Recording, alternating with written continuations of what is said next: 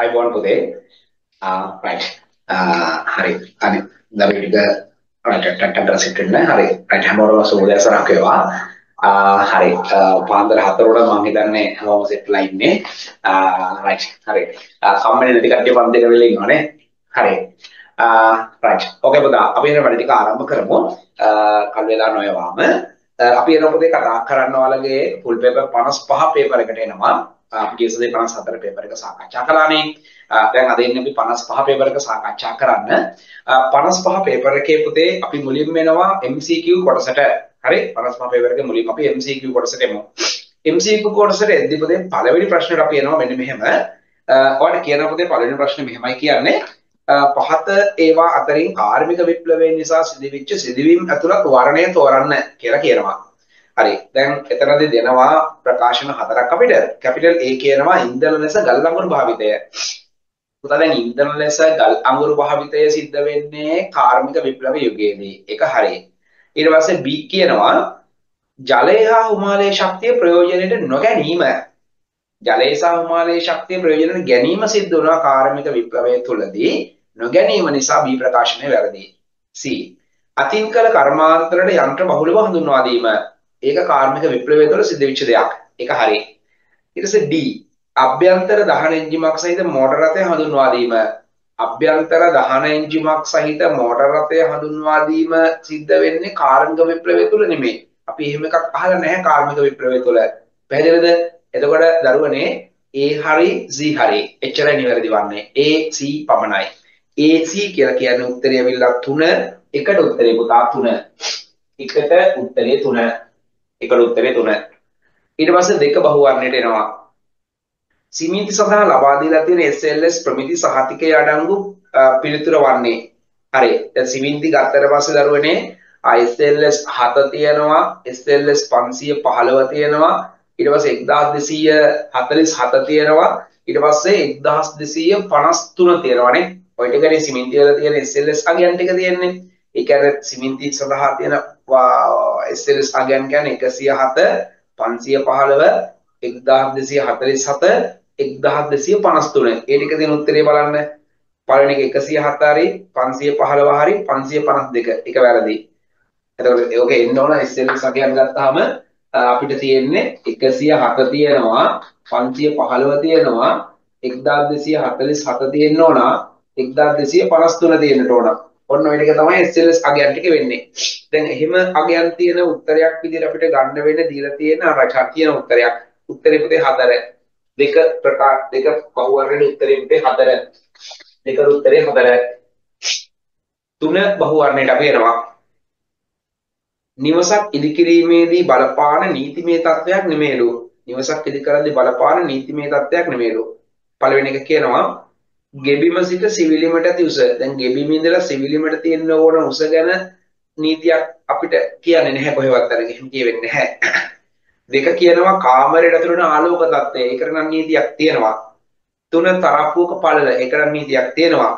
ලිඳේ සිට වැසිකිලි වලට දුර. ඒකට නම් නීතියක් තියෙනවා. පහ පාර මැදේ සිට ගොඩනැගිල්ලේ ආරම්භක ස්ථානයට තියෙන කෙටිම දුර. අපි කියන එකට ගොඩනැගිලි රේඛාව කියලා. ඒකට නීතියක් තියෙනවා. අපෙන් අහන්න නීතියක් නැති තත්ත්වය උත්තරේ 1 3ට 1. තුනට උත්තරේ 1. ඊට පස්සේ හතර බහුවර්ණයට අපි එනවා. ගෙබිම උළු ඇතිරීමට පෙර ගෙබිම මත අතුරන්නට වන බදාමය වන්නේ. ඒ කියන්නේ බිම ටයිල් කරන්න කලින් දරුවනේ යොදන්න බදාමය. අපෙන් අහන පළවෙනි කොටස. ඒ කියන්නේ ගෙබිම උළු අතුරනවා කියන්නේ ටයිල් කරනවා. ඊට කලින් ගෙබිමම අතුරන්නට වන බදාමය. පළවෙනි එක කියන සිමෙන්ති වැලි. දැන් ඔය කියන්නේ ටයිල් අල්ලන්න කලින් දරුවනේ අතුරන්නට වන බදාමය. ඒ කියන්නේ දැන් අපි අපි ඔය කියන්නේ දැන් ඔය දැන් විශේෂම දැන් ඔය දැන් ටයිල් එකක් බිමට අල්ලන්න කලින් අපි දැන් මුලින්ම කරනවා බිම අපි බදාම කපනවා කියලා වැඩක් කරනවා සිමෙන්ති වැලි බදාමය දාලා. හරිද ඊට පස්සේ අපි ටයිල් අලවීම කරනවා සිමෙන්ති කොළඹ පාවිච්චි කරලා හරිද හරි එතකොට හරි එතකොට රයිට් අපි මෙතනදී බලමු උත්තර ටික කොහොමද වෙන්නේ කියලා ගෙබි මුළු අතුරන්න පෙර ගෙබි මම අතුරන්නට බදාමය දැන් සිමෙන්ති වෙලි බදාමය පළවෙනි එක ඒක නම් හරි දෙක ද්‍රාවීය සිමෙන්ති මේ ද්‍රාවීය සිමෙන්ති කරන මොනවද පුතේ ද්‍රාවීය සිමෙන්ති කියන්නේ වතුර දාලා හදාගත්ත සිමෙන්තිද? වතුර දාලා හදාගත්ත සිමෙන්තිද? නැහැ. ද්‍රාවීය සිමෙන්ති කියන්නේ මොකද? වටහලවන්න ගන්න ගම් එකයි. වටහලවන්න ගන්න ගම් එක දෙන ඔය අපි ඔය කියන්නේ ස්ලෝන් ගම් එකක්, ඇන්ටන් ගම් එකක් දැන් අර අපි බ්‍රෑන්ඩ් නේම් එකෙන් ඔක කියන්නේ. සාමාන්‍යයෙන් ඔක අපි ගන්නවට බටහලවන්න දරුවන වල අර ගන්න ගම් එක තියෙන PVC බටහලවන්න වතුර ටැප් ලයින් වල එහෙම බටහලවන්න ගන්න. ඔකට කියන්නේ ද්‍රාවීය සිමෙන්ති e කියලා. එතකොට ඒ සිමෙන්ති බදාමයක් නෙමෙයි ඔක. ඔක ඒ ද්‍රාවීය සිමෙන්ති කියලා බටහලවන්න ගන්න ගම් එක. ඒක ඔතෙන් අදාළ නැහැ. සිමෙන්ති හුණු බදාමයක් නෙමෙයි, හුණු වෙලි බදාමයක් නෙමෙයි, මැටි හුණු බදාමයක් නෙමෙයි. එහෙනම් ටයිල් අරගෙන කලින් බිම මට්ටම් කරගන්න අපි ගන්න සිමෙන්ති වෙලි බදාමය. උත්තරේ 1. හතරට උත්තරේ 1. පහ. පසක ඉසිලුම් ධාරිතාව වැඩි විටකදී හරි පසක ඉසිලුම් දැන් ඔය හතරවෙනි ප්‍රශ්නෙට උත්තරේ 1 කියලා දාලා උත්තරේ වැරදි දාලා තියෙන දරුවෝ කීප දෙනෙක් ඇති මං හිතන්නේ චුට්ටක් හිමිගතේ අය හදාගන්න එක පහ වහුවරට එනවා පසක ඉසිලුම් ධාරිතාව වැඩි විටකදී පසේ ඉසිලුම් ධාරිතාව කියන්නේ පසට පස මතර ඔරොත්තු දීමේ හැකියාව. එතකොට පසක ඉසිලුම් ධාරිතාව වැඩි විටකදී යොදා ගන්න පුළුවන් අතිවාරම් වර්ගය. ඒ කියන්නේ පස තුල ගොඩනැගිල්ල ගිලා බහින්නේ නැහැ. හරි ඒ කියන්නේ වැලි සහිත මැටි සහිත පසක් නෙමෙයි තද පසක්. එක්ක කළු ගල් සහිත පසක් නැත්නම් බොරළු සහිත පසක් තමයි ඉසිලුම් ධාරිතාව වැඩි පසක් කියලා කියන්නේ. ඒ වගේ පසක් තියෙන තැනක ගොඩනැගිල්ලක් හදනකොට යොදන අතිවාරම් වර්ගය මොකක්ද කියලා යහන්නේ. පළවෙනි එක කියන පටුපටි අතිවාරම. පටුපටි අතිවාරමක් දාන්න පුළුවන්. ගිලා වහින්නේ නැති නිසා. පළල්පටි අතිවාරම දෙක ඒක නම් වැරදි. තුන ටැඹ අතිවාරම මේක අවශ්‍යත් නැහැ. හතර පොට්ට අතිවාරම වැඩක් නැහැ. පහ පහුරු අතිවාරම මේක අවශ්‍යත් නැහැ. එහෙනම් මෙතනදී ගිලා බහින්න ගතිය අඩු. ඒ කියන්නේ ඉසුලුම් දහරිතාව වැඩි අවස්ථාවක යදන තියෙන අතිවාරම් වර්ගය තමයි පොදේ පටු පටි අතිවාරම. පටු පටි අතිවාරම කියන්නේ එක උත්තරය. පහට උත්තරේ එක. පහට උත්තරේ එක. හරි. ඊට පස්සේ එනවා හය බහු වර්ණයට. හොඳ තත්ත්වයේ නිෂ්පාදිත ගඩොලක් හඳුනා ගන්න පුළුවන් ලක්ෂණය වන්නේ. දැන් පළවෙනි එක කැපිටල් A කියනවා. පැය 24ක කාලයක් තුළ ගඩොලට ජලය උරා ගැනීමේ උපරිමය එහි වියලි බරින් පහෙන් එකයි. ඒක හරිනේ. ඒ අපි ඔබට කියනවා දරුනේ ජල අවශෝෂණ ප්‍රතිශතය කියලා. හරි කැපිටල් A හරි. B ඔලු මුහුණත පහතට සිටිනසේ මීටර 1.2ක පමණ උසක සිට බිමට පත් කරාට පස්සේ නොකැඩී පවතින්නට ඕනේ. ඒකත් හොඳ ගඩොලක ලක්ෂණයක් කියලා අපි දන්නවා. C ගඩලෙහි හරස්කඩ පරීක්ෂා කරන පස්සේ දුමුරු පැහැ වර්ණය ඒකාකාරව නොතිබීම. ඒකාකාරව තිබීම කිව්වා නම් හරි නොතිබීම කියන නිසා වැරදි. D ගඩලක සාමාන්‍ය බර කිලෝ 4යිලු. නෑ ගඩලක සාමාන්‍ය බර කිලෝ කීයද? දෙකක් විතර වෙනවා කියලා අපි සලකන්නේ. එතකොට CD නම් වැරදි AB පමණක් නිවැරදි. උත්තරේ පුතා 3. හයට උත්තරේ 3. හයට උත්තරේ පුතා 3. ඊට පස්සේ හත බහු වර්ණයට අපි එනවා. ගොඩනැගිල්ලක් ඉදිකර ඉදිකිරීමේදී සිදු කරන කාර්යයක් නෙමෙයිලු. ගොඩනැගිල්ලක් ඉදිකරද්දී කරන කාර්යයක් නෙමෙයිලු. බලමු ඇතිරීම. ඇතිරීම කියන්නේ සිමෙන්ති ඇතිරීම, ටයිල් ඇතිරීම වගේ දේවල් අපි කරනවා. ඒක වෙනවා. විදීම සිද්ධ වෙනවා. සුසංවසනය කරන්න වෙන ගොඩනැගිලි හදනකොට කැනීම් කරන්න වෙන දැන් උදාහරණයක් වශයෙන් ෆවුන්ඩේෂන් එක දාන්දී හරි දරුවනේ පොළව කැනීම් කරන්නට සිද්ධ වෙනවා ඊට පස්සේ උත්පාදනය උත්පාදනය කියන ක්‍රියාවලියක් අපි දරුවනේ ගොඩනැගිල්ලක් හදද්දී කොතනකවත් අපි භාවිතා කිරීමක් සිද්ධ වෙන්නේ නැහැ උත්පාදනයක් සිද්ධ වෙන්නේ නැහැ උත්තරේ එයයි හතට උත්තරේ පහ හතට පහ ඊට පස්සේ අට දොරක ප්‍රධාන කොටසක් වන්නේ දොරක ප්‍රධාන කොටසක්. දැන් පළවෙනි එක කියන කියන හිස කණු කන් කියලා කියනවා. දොරක ප්‍රධාන කොටස් වන්නේ. දැන් දොරක ප්‍රධාන කොටස් ගත්තට පස්සේ දොර රාමුවක ප්‍රධාන කොටස් නම් තමයි පුතේ ඔය හිස කණු සහ කන් කියලා කියන්නේ. දැන් දොර රාමුවක නැත්තම් දොර උළුවස්සක් ගන්නකො දොර උළුවස්සක ප්‍රධාන කොටස්. දැන් මේ කියන්නේ දොරක ප්‍රධාන කොටස්. දැන් දොරක ප්‍රධාන කොටස් කියලා ගත්තහම දොර පියනයි දොර උළුවස්සයි කියන දෙකම සලකනවා. දැන් ඔය කියන දොර පියනකත් නෙමෙයි. දොර උළුවස්සකත් නෙමෙයි. ඒ දෙන්න එකතු වුණාම තමයි දොරක් වෙන්නේ. දොරක ප්‍රධාන කොටස් තියෙනවානේ දරුවනේ. දොරක් ගත්තාම දොරේ පියන තියෙනවා, දොරේ රාමුවක් තියෙනවා, පියනයි රාමුවයි එකට සම්බන්ධ කරන්න යොදා ගන්න සවිකුරු තියෙනවා. ওই ටිකනේ දොරක ප්‍රධාන කොටස් වෙන්නේ. මම කිව්ව දෙය පැහැදිලිද? කියන්නේ දොරක ප්‍රධාන කොටස් කියන්නේ දොරේ උළුවස්ස ප්‍රධාන කොටස්වත් දොරේ පියන ප්‍රධාන කොටස්වත් නෙමෙයි. දොරක් කියන්නේ ওই දෙන්නක එකතුව. දොර පියනයි, දොර උළුවස්සයි එකතු වුණාම තමයි දොරක් හැදෙන්නේ. එතකොට දොරක ප්‍රධාන කොටස් තියෙනවා තුනක් තියෙනවා. එකක් තමයි දොරේ පියන අනිත් එක දරුවනේ දොරේ උළුවස ඒ කියන්නේ දොරේ රාමුව අනිත් එක තියෙනවා ඔය දෙන්න එකට සම්බන්ධ කරන විදා ගන්නවා සවිකුරු. පැහැදිලිද? ඒතර කොටස් තුනෙන් තමයි උළුවසක් නිර්මාණය වීම සිද්ධ වෙන්නේ. එතකොට දරුවන උත්තරේ වෙන්නේ රාමුවක් තියෙනවා පියනක් තියෙනවා සවිකුරු තියෙනවා උත්තරේ හතර අටවෙනි කෙනාට. අටවෙනි කෙනාට පුතේ උත්තරේ හතර විදියටයි අපි ගන්නෙ. අඩුපාඩු තියෙනවා නම් සකස් කර ගැනීම කරන්න.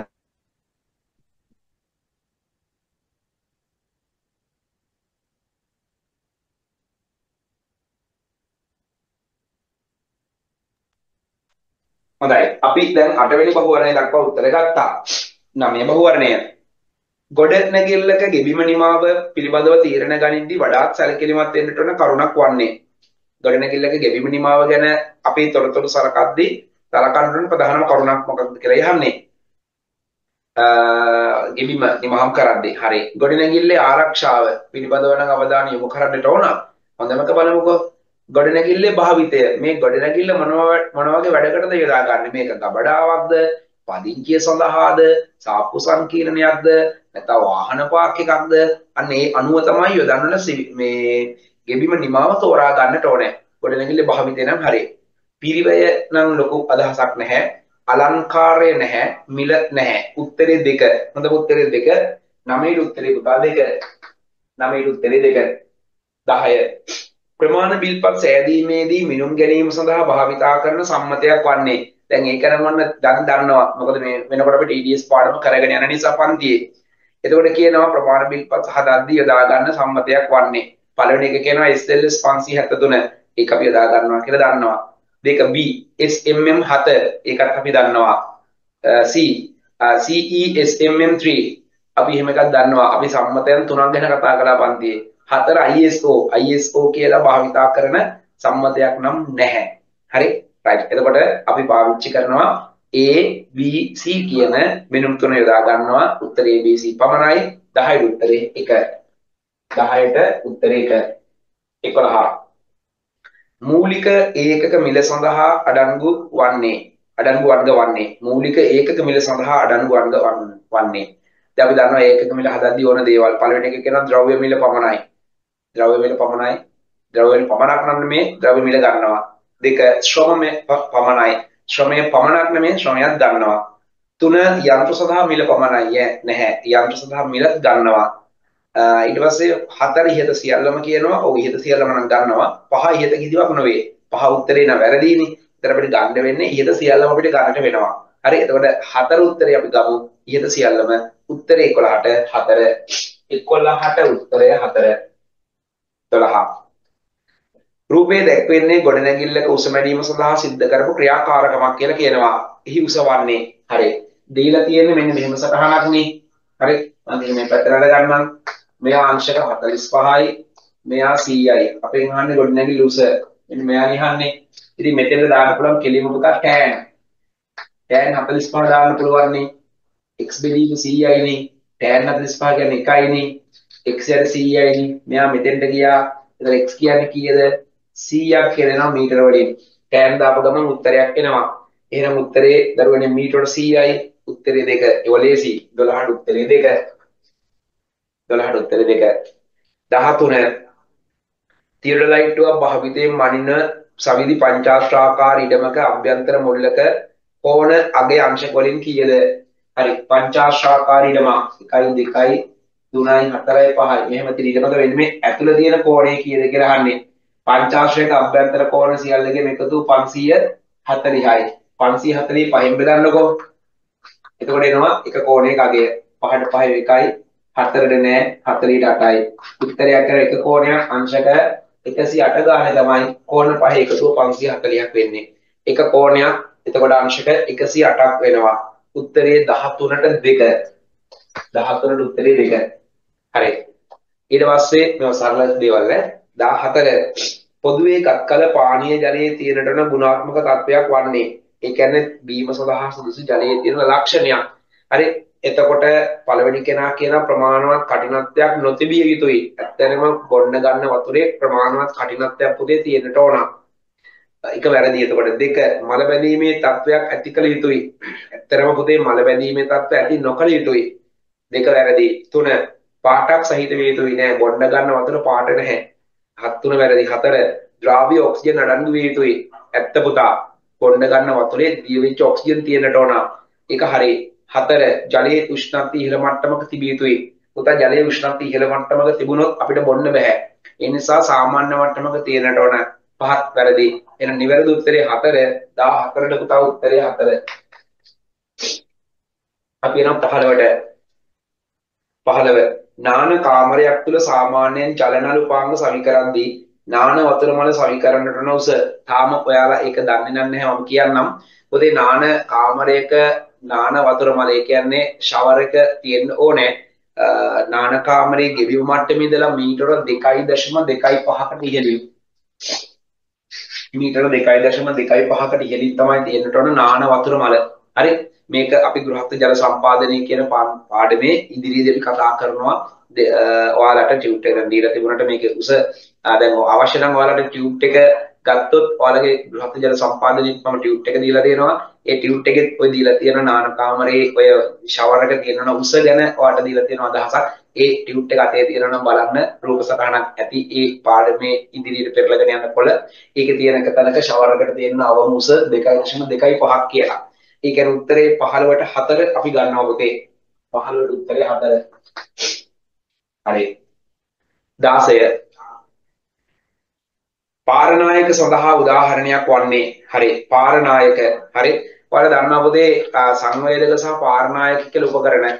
හරි. පාරනායක කියනකොට අපි දරුවනේ ගන්නවා. දරුවනේ පාරනායක කියලා කියන්නේ විද්‍යුත් ශක්තිය දීලා ඒ කියන්නේ භෞතික தත්ත්වය වෙනස් කරලා ඒ කියන්නේ භෞතික தත්ත්වය වෙනස් කරලා භෞතික ඒ කියන්නේ භෞතික රාශිය වෙනස් වෙන විදිහට එළියට දාන කට්ටිය. ඒ කියන්නේ ඒ කියන්නේ එතකොට එතනදී කරන්නේ විද්‍යුත් ශක්තිය දීලා නැත්තම් ඒ කියන්නේ මේ විද්‍යුත් ශක්තියත් එක්ක වෙනස් වෙන රාශියක් ගැන අපි එතනදී කතා කරේ. එතකොට අපි පාරනායක ගැන කතා කරද්දී දැන් සංවේදක සහ පාරනායක සංවේදක ගත්තාට පස්සේ උදාහරණ විදිහට ගත්තා රසදී උෂ්ණත්වමානය වගේ දේවල්. ඒ කියන්නේ අපි ලබා දෙන භෞතික රාශිය එහෙම වෙනස් වෙනවා. දැන් උදාහරණයක් වශයෙන් අපි ගත්තොත් උෂ්ණත්වය කියන රාශිය නැත්නම් උෂ්ණත්වය වෙනස් වීම බලන්න අපි උෂ්ණත්වමානයක් ගත්තාම උෂ්ණත්වය කියන්නේ එක රාශියක්.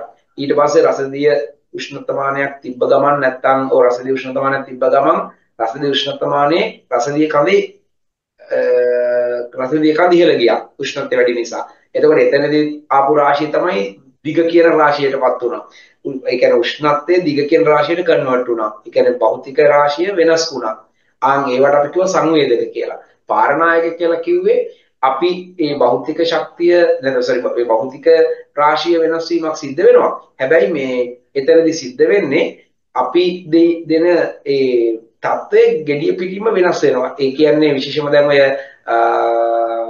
මයික්‍රොෆෝනය ඒ වගේම ස්පීකර්ස් ඔය වගේ දේවල් ගත්තට පස්සේ අර විදුලි විද්‍යුත් ශක්තියත් එක්ක තමයි රාශිය වෙනස් වීම සිද්ධ වෙන්නේ. ඒවට තමයි පාරනායක කියලා කිව්වේ ට්‍රාන්ස්ඩියුසර්ස්. කියන අදහසින්. හරි එතකොට මෙතනදී අපිට ගන්න වෙන්නේ දැන් මධ්‍යස්ථ උෂ්ණතමානය සංවේදකයක් දුනු තරාදිය ගත්තට පස්සේ බර කියන කෙනා එක්ක සංසන්දනය කරලා එතන පොඩි වෙනසක් සිද්ධ වෙනවා. මේ තියෙන කට්ටියකින් අපිට ගන්න වෙන්නේ ස්පීකර්ස් සහ මයික්‍රොෆෝන් වගේ දේවල් තමයි පාරනායක වෙන්නේ කියලා උදාහරණ සහිතව ඒකක සමිනුම් පාඩමේදීත් වලට කියලා දෙනවා. ඒතර ගන්න වෙන උත්තරේ මයික්‍රොෆෝනය උත්තරේ 5 16ට 5. ඒකට වැඩි තරහ කරන්න නැතුව උනවට උත්තර ගන්න පුළුවන් උත්තර වැඩි වේලාවක් යන්න දෙමු උත්තර තෝර ගන්න පුළුවන් 17 මයික්‍රෝ ඇම්පියර දශම බිඳුව එක යන්නට සමාන උත්තරයක් මොකක්ද කියලා අහනවා. මයික්‍රෝ ඇම්පියර දශම බිඳුවයි එකයි. මයික්‍රෝ ඇම්පියර දැන් මේ දීලා තියෙන්නේ රයිට් නැනෝ සහ මිලි වලින් දීලා තියෙනවා.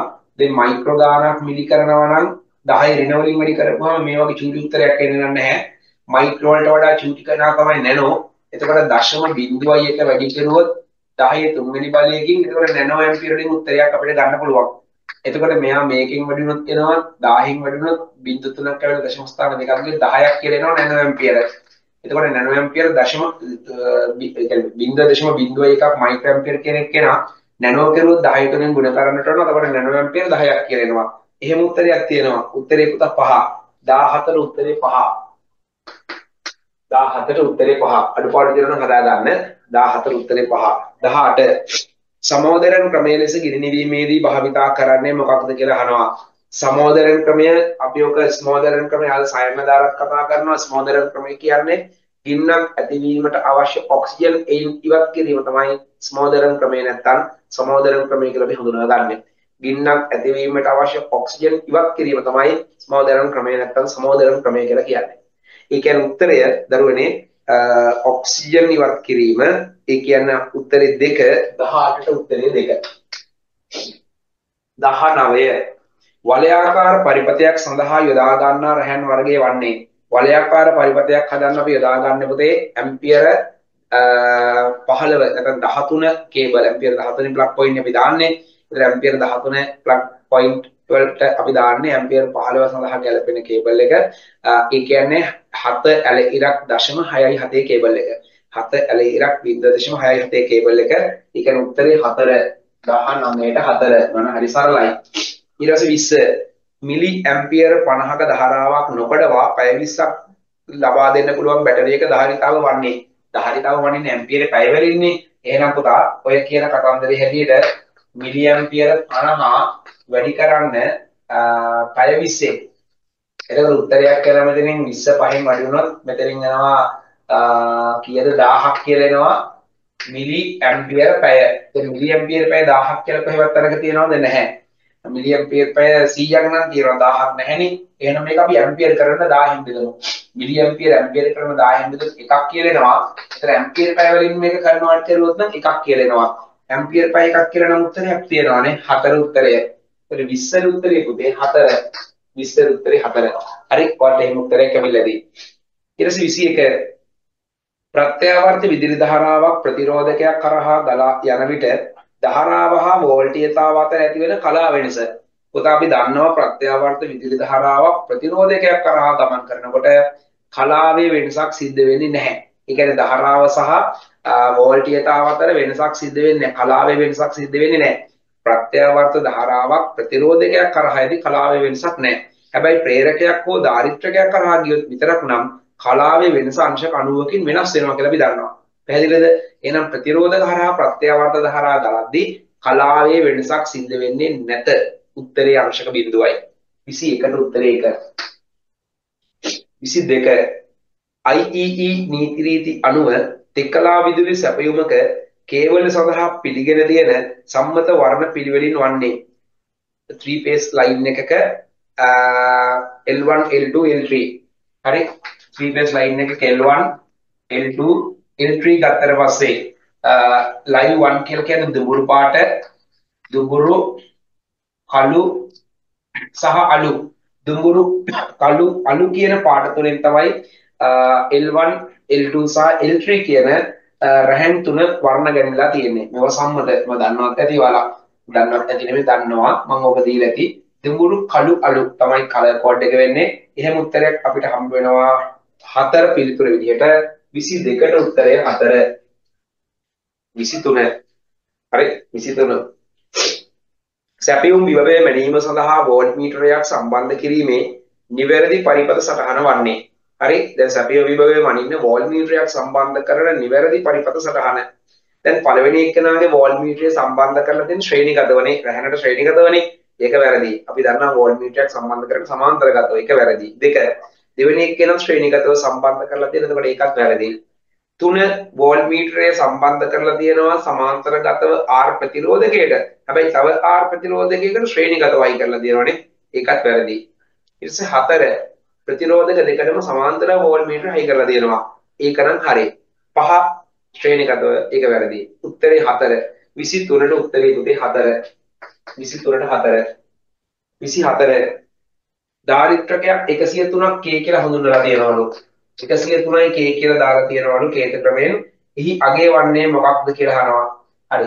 දැන් 103ක් කියලා කියනකොට මෙතනින් අදහස් කරන්නේ 10 වැඩි කිරීම 10 3යි. හරි? ඊට පස්සේ මෙතනදී ඔය අපිට දීලා තියෙනවනේ දරුවනේ K කියන්නේ සහනගයක් K කියන්නේ ධන හෝරණ 10ක් නේ ඒතර මෙතනින් එන්නේ මේ ඔය දීලා තියෙන්නේ ඔය දාරිත්‍රකයක් එතකොට මෙතනින් අපිට දරුවනේ මයික්‍රෝ ෆැරඩ් වලින් උත්තර එනවා ධන හෝරණ 110කුත් එක්ක. හරි?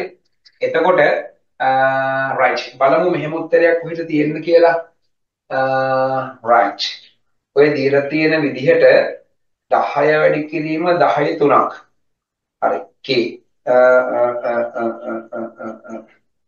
මෙතනදී අපිට වටිනාකමක් ගන්න.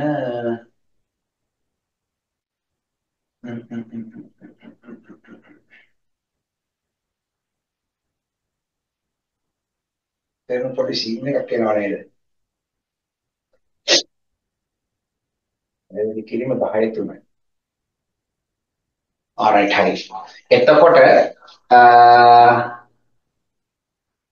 ඊළඟ කියන හරියට මෙතන හරි 10 වැඩි කිරීම 10 තුනක් කියන්නේ 10 වැඩි කිරීම 10 තුනයි මෙතනදි වෙන්නේ අපිට මේ මේ ෆැරඩ් වලින් කියලා කියන මෙතනදී එන්න දරුනේ මෙන්න නොෆැරඩ්නේ මේක අපි මයික්‍රෝ ෆැරඩ් කරනකොට අපි මේක වැඩි කරන්නේ කෙලින්ම 10 එරින 6න් එතකොට මේක මයික්‍රෝ ෆැරඩ් වෙන්නේ. හරි? එතකොට මේ දෙන සුළුවිදි 10 වැඩි කරනවා මේ දෙන සුළුවිදි 10 එරින 3ක් කියලා එනවනේ මයික්‍රෝ ෆැරඩ් වලින්. ධන හොරින 10ක් 100 කියලා නියන්නේ එතකොට මෙතනදී එනවා ඒක මේක ෆැරඩ් වුණාම මයික්‍රෝ ෆැරඩ් වුණාම මෙහෙම වෙනවනේ 10න් බෙදපුවා බෙදෙනවා කියලා කියන දශම 0.1යි මයික්‍රෝ ෆැරඩ් ධනහෝරියට 10ක් 100 කියලා කියන්නේ. ආ මෙහෙම ලියන්නේ හරියට ඒක කතන්දරේ. මෙහෙම උත්තරයක් ඇත්ත කොහෙද? ආ තියෙනවනේ මෙහෙම උත්තරය. හරි හරි. හරි ඒකට එතකොට 103ක් k කියනකොට 10 වැඩි කිරීම 10 3ක් ෆැරඩ් කියලා එනවා. ඒ ෆැරඩ් ගන්න මයික් ෆැරඩ් කරන්න එපා. හරි. ඒ කියන්නේ 10 වැඩි කිරීම 10 3යි ෆැරඩ් කියලා එන්නේ. ධනහෝරියට 10ක් 100ට. ආ ඒක තමයි මයික්‍රෝ ෆැරඩ් කරද්දී 10 වෙන 6 ගුණ කරලා දාන්නේ. හරිනේ. රයිට්. එතකොට ඔහොම එනවා 0.1ක් මයික්‍රෝ ෆැරඩ්. එහෙම උත්තරයක් තියෙනවා 3. 24 උත්තරේ 3. දැන් ඔයාලගේ හරි වැරදි දාගන්න ඔයාලා තනියම මේ පේපර් එක කරලා ඇති අඩු පාඩු ටික හදාගමු. එතන 24ට උත්තරේ 3. හරි. 25. විදුලි සැර වැදුණු පුද්ගලයෙකුට ප්‍රථමාධාර සපයද්දී පළමුවෙන්ම කරන්න ඕන මොකක්ද කියලා අහනවා. පළවෙනි කෙනා කියනවා දැන් මම එකෙකුට කරන්ට් එක වැදලා බිම වැටලා ඉන්නවා. හරි. තාම විදුලි සැර වදිමින් ඉන්නවා කියලා හිතන්නකො තව. හරි. තාම කරන්ට් එක වදිනවා. අපි කරනවා ටක් ගාලා ගියපු ගමන් કૃත්‍රිම ශෝෂණය දෙනවා රෝගියාට. ඇඳලා ගත්තා උට කෘත්‍රිම ශෝෂණය දෙනවා. එහෙම කරුවොත් අපිට කරන්ට් එක වදිනවනේ. හරි දෙක රෝගියා සනසනවා මූට කරන්ට් එක වැදිලා දඟලනවා දඩබඩ ගාලා දඟලනවා කියලා හිතන්නකෝ. රෝගියා දඟලනවා. දඟලනකොට අපි ළඟට ගිහලා කියනවා ඔයා කලබල වෙන්න එපා, අඬන්න එපා, හිරි වැටෙනව ගණන් ගන්න එපා. කී කී අපි එයාට බණ කියන්න ගත්තොත් ඌට කෙලවෙන ටික කෙලවෙලි ඉවරයි. පැහැදිලිද? හරි. ඊට පස්සේ තුන රෝග විදුලි පද්ධතිය විසන්ද කිරීම. ඒක අනිවාර්යයෙන්ම අපි කළ යුතුයි. ඒක හරියි හතර බීමට ජලය ස්වල්පයක් දීම නැහැ. පහ වෙනත් ස්ථානයකට ගෙන යාම නැහැ. අපි මුලින්ම කරන්නට ඕනේ සම්බන්ධ වෙලා තියෙන පරිපතෙන් ඔහු අයින් කරන්නට ඕනේ. එහෙම නැත්නම් විදුලි සැපයුම් විසන්දි කරන්නට ඕනේ. උත්තරය 3 25ට උත්තරය 3 හරි. රයිට් දරුවෙක් අහනවා 24ට 4 ගත්තොත් වැරදිද කියලා ආ හතරවෙනි එකත් එම උත්තරයමයි තියෙන්නේ නේද 24ට. ආ එකම උත්තරේ 24ට 3 4 දෙකටම දීලා තියෙන්නේ. ආ එතකොට මේ දෙකෙන් එක ඕන එකක් හරිනේ 24ට 24ට 3ක් හරි එහෙනම් 4ක් හරි ඈ 3 4 දෙකෙන් 3 හෝ 4 ඔය දෙකෙන් ඕන එකක් හරි මොකද එකම උත්තරේ 3 4 දෙකටම දීලා තියෙන්නේ. හරි රයිට්. එතකොට 25 හරි. හරි. 26 මෙම පරිපත සටහනට අනුව RSP අගේ වන්නේ. හරි. බලමු අපි 26ට උත්තරේ ගන්න යන්නේ.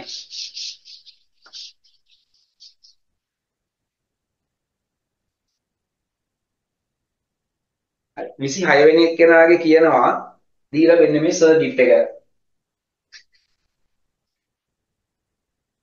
මෙතන දෙනවා සෙනර් ඩයොඩ් එකක්. මෙයා RL මෙයා RS මෙතනින් IS කරන්ට් එකක් යනවා. මේ දෙන්න අතර විභවය VS කියලානේ කියන්නේ. හරි. එතන මෙයාගේ විභවය VZ කියලා කියනවා. හරි. අපෙන් අහනවා මෙම පරිපත සටහනට අනුව RSP අගය. ඒ කියන්නේ මෙන්න මේ ප්‍රතිරෝධකයේ අගය පොතේ මෙයාගේ විභවය VZ නම් සෙනඩයිට් සෙන කරන්ට් එකක් යනකොට මේ විභවය මේ විභවය සමාන වෙනකොට මෙන්න මෙතන විභවය VZ වෙනවානේ. එතකොට අපෙන් අහන්නේ ඔව් මෙන්න මේ මේ ප්‍රතිරෝධයට අගය. එතකොට මේ විභවයේ VZ වෙනකොට මෙන්න මෙතන මෙන්න මෙතන මේක මෙන්න මේ මෙන්න මේ පොයින්ට් එකේ විභවය ඒ කියන්නේ මෙතන විභවය VZ වෙද්දී සම්පූර්ණ විභවය VS වෙද්දී මෙයාගේ විභව අන්තරය කියලා කියන්නේ අපිට මෙයා තුළ ගන්න කරන්ට් එක කියලා කියන්නේ I සමාන වෙන්නේ මේ කැලේ විතරක් ගත්තාම මම වෙනම ගත්තොත් මෙහෙම එද්දි මෙතන විභව මෙයාගේ විභව VS මේ විභවය VZ කොහොමද තියෙන්නේ? මෙයා RS මෙයා තුලින් ගන්න කරන්ට් එක IS ඔන්න ඕකනේ ඔය මේ කැලේ ගත්තාම එන්නේ. ඕකනේ අපෙන් ඔය අහන්නේ එතකොට මෙයාට I සමානයි V බෙදීම R දාපුවාම i සමානයි v බෙදීම r කියලා දාපුවම මෙයාගේ i කියන්නේ is v කියන්නේ මෙයාගෙන් මේ අඩු කරනවා. Vs ඍණ vz r කියන්නේ ප්‍රතිරෝධය. මෙයාගේ වටිනාකම rs නේද? Rs නේ rs කියලා එනවා ඕකනේ වෙන්නේ i සමාන v බෙදීම r දාපුවාම විභව වෙනස vs ඍණ vz බෙදුව rs වලින් සමානයි is කියලා එනවනේ දැන් අපෙන් අහන්නේ rs වලගේනේ එහෙනම් මම මේක මෙතෙන්ට දානවා rs කියන්නේ vs ඍණ VZ බෙදෙනවා මොකෙන්ද? IS එකෙන්. ඔන්න ඕක තමයි උත්තරේ වෙන්නේ. ඕක තමයි VS වෙන VZ බෙදීම IS. උත්තරේ 4. 26ට උත්තරේ 4.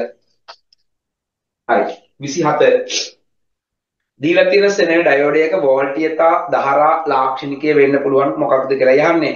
සෙනෙන ඩයෝඩ් එකක වෝල්ටීයතා ලාක්ෂණිකය අපි දන්නවා දැන් ඔය සෙනෙන ඩයෝඩ් එකක වෝල්ටීයතා ලාක්ෂණිකය කියලා කියද්දි අපි දන්නවා පෙරනැඹුරු අවස්ථාවේ ධාරාව ගලන්න පුළුවන් පසු නැඹුරු වෙලාවේදී යම් නියත වෝල්ටීයතාවයක් ගත්තට පස්සේ එතනින් එහාට ඒ වෝල්ටීයතාවය නියත වෙනවා කියලා අපි දන්නවා. ඒකෝර ධාරා ඒ කියන්නේ IB ලාක්ෂණිකය ගත්තාම ඒ කියන්නේ ධාරා වෝල්ටීයතා ලාක්ෂණිකය ගත්තාම ඩයෝඩ් එකක එකම රටාවක් අපිට එන්නේ අපි දකිනවා ඒ තමයි පස්වෙනි රටාව. ඒක ස්ටෑන්ඩඩ් එකක් සම්මතයක්. ඒ තමයි ඩයෝඩ් එක ලාක්ෂණික වක්‍රය. පෙරනැඹුරු අවස්ථාව සහ පසු නැඹුරු අවස්ථාව ගත්තාම අංක 7 පහ තියෙන විදිහට තමයි ඒ ප්‍රස්ථාරය යන්නේ කියලා අපි දන්නවා. ඒක ඔයාලා මේ වෙනකොට ඉගෙනගෙන දන්න කාරණාවක්. තියරිවලදී එහෙමම ඉගෙනගෙන තියෙන දෙයක්. 24 උත්තරේ 5. ඒ නිසා අපි ඒක තර්ක කිරීමකින් කරවම උත්තරේ තෝර ගන්නවා 24 උත්තරේ 5 කියලා. 28 සංඛ්‍යාත මුර්ජිත ගුවන්විදුලි සංඛ්‍යාත කලාප වන්නේ. එතකොට ඔය සංඛ්‍යාත මුර්ජිත ගුවන්විදුලි සංඛ්‍යාත කලාප කියන්නේ දරුවනේ FM ෆ්‍රීකවන්සි එක. දැන් FM ෆ්‍රීකවන්සි එක ගත්තම ඔයා දන්නවා ගුවන්විදුලි යන්ත්‍රයක ඔයා දැකලා ඇති දරුවනේ ගුවන්විදුලි යන්ත්‍රයක FM තරංග පරාසය තියෙන මොන මොන රේන්ජ් එක ඇතුළද? ඔව් කිලෝහර්ට්ස් 88 108 අතර 88 108 අතර. මොකද මේ දෙක අතර තමයි ඔය FM channel සේරම ටික තියෙන්නේ. ඒතර FM නොවන channel තමයි 88න් පහළ තියෙන්නේ. ඒතර FM channel ටික 88 සහ 108 අතර දරුවනේ තියෙනවා. මේක සාමාන්‍ය දැරීමට මම හිතන්නේ ඔබ දන්න කාරණාවක්. ඒතකොට උත්තරේ වෙන්නේ අංක 3 28ට උත්තරේ 3. 28 අංක 3. ඔය ෆ්‍රීකවන්සි රේන්ජ් එකේ තියෙන පරාසය යවහන්නේ අපෙන්. එතකොට ඔය FM channel තියෙන විදිහ ගත්තාම හරි. ඔයාලගේ ගුවන්විදුලි යන්ත්‍රය උනත් 88ට වැඩි 108ට අඩු පරාසය තමයි FM ෆ්‍රීකවන්සි රේන්ජ් එක වෙන්නේ. ඒක තමයි අහන්නේ. 29 චුම්බක ශ්‍රාවයේ ඒකක වන්නේ චුම්බක ශ්‍රාවය වනින්නේ වේබර් වලින් වේබර් වලින්. හරි ශ්‍රාව ඝනත්වය වනින්නේ වර්ග මීටරට වේබර් ඒවත් ටෙස්ලා වලින්.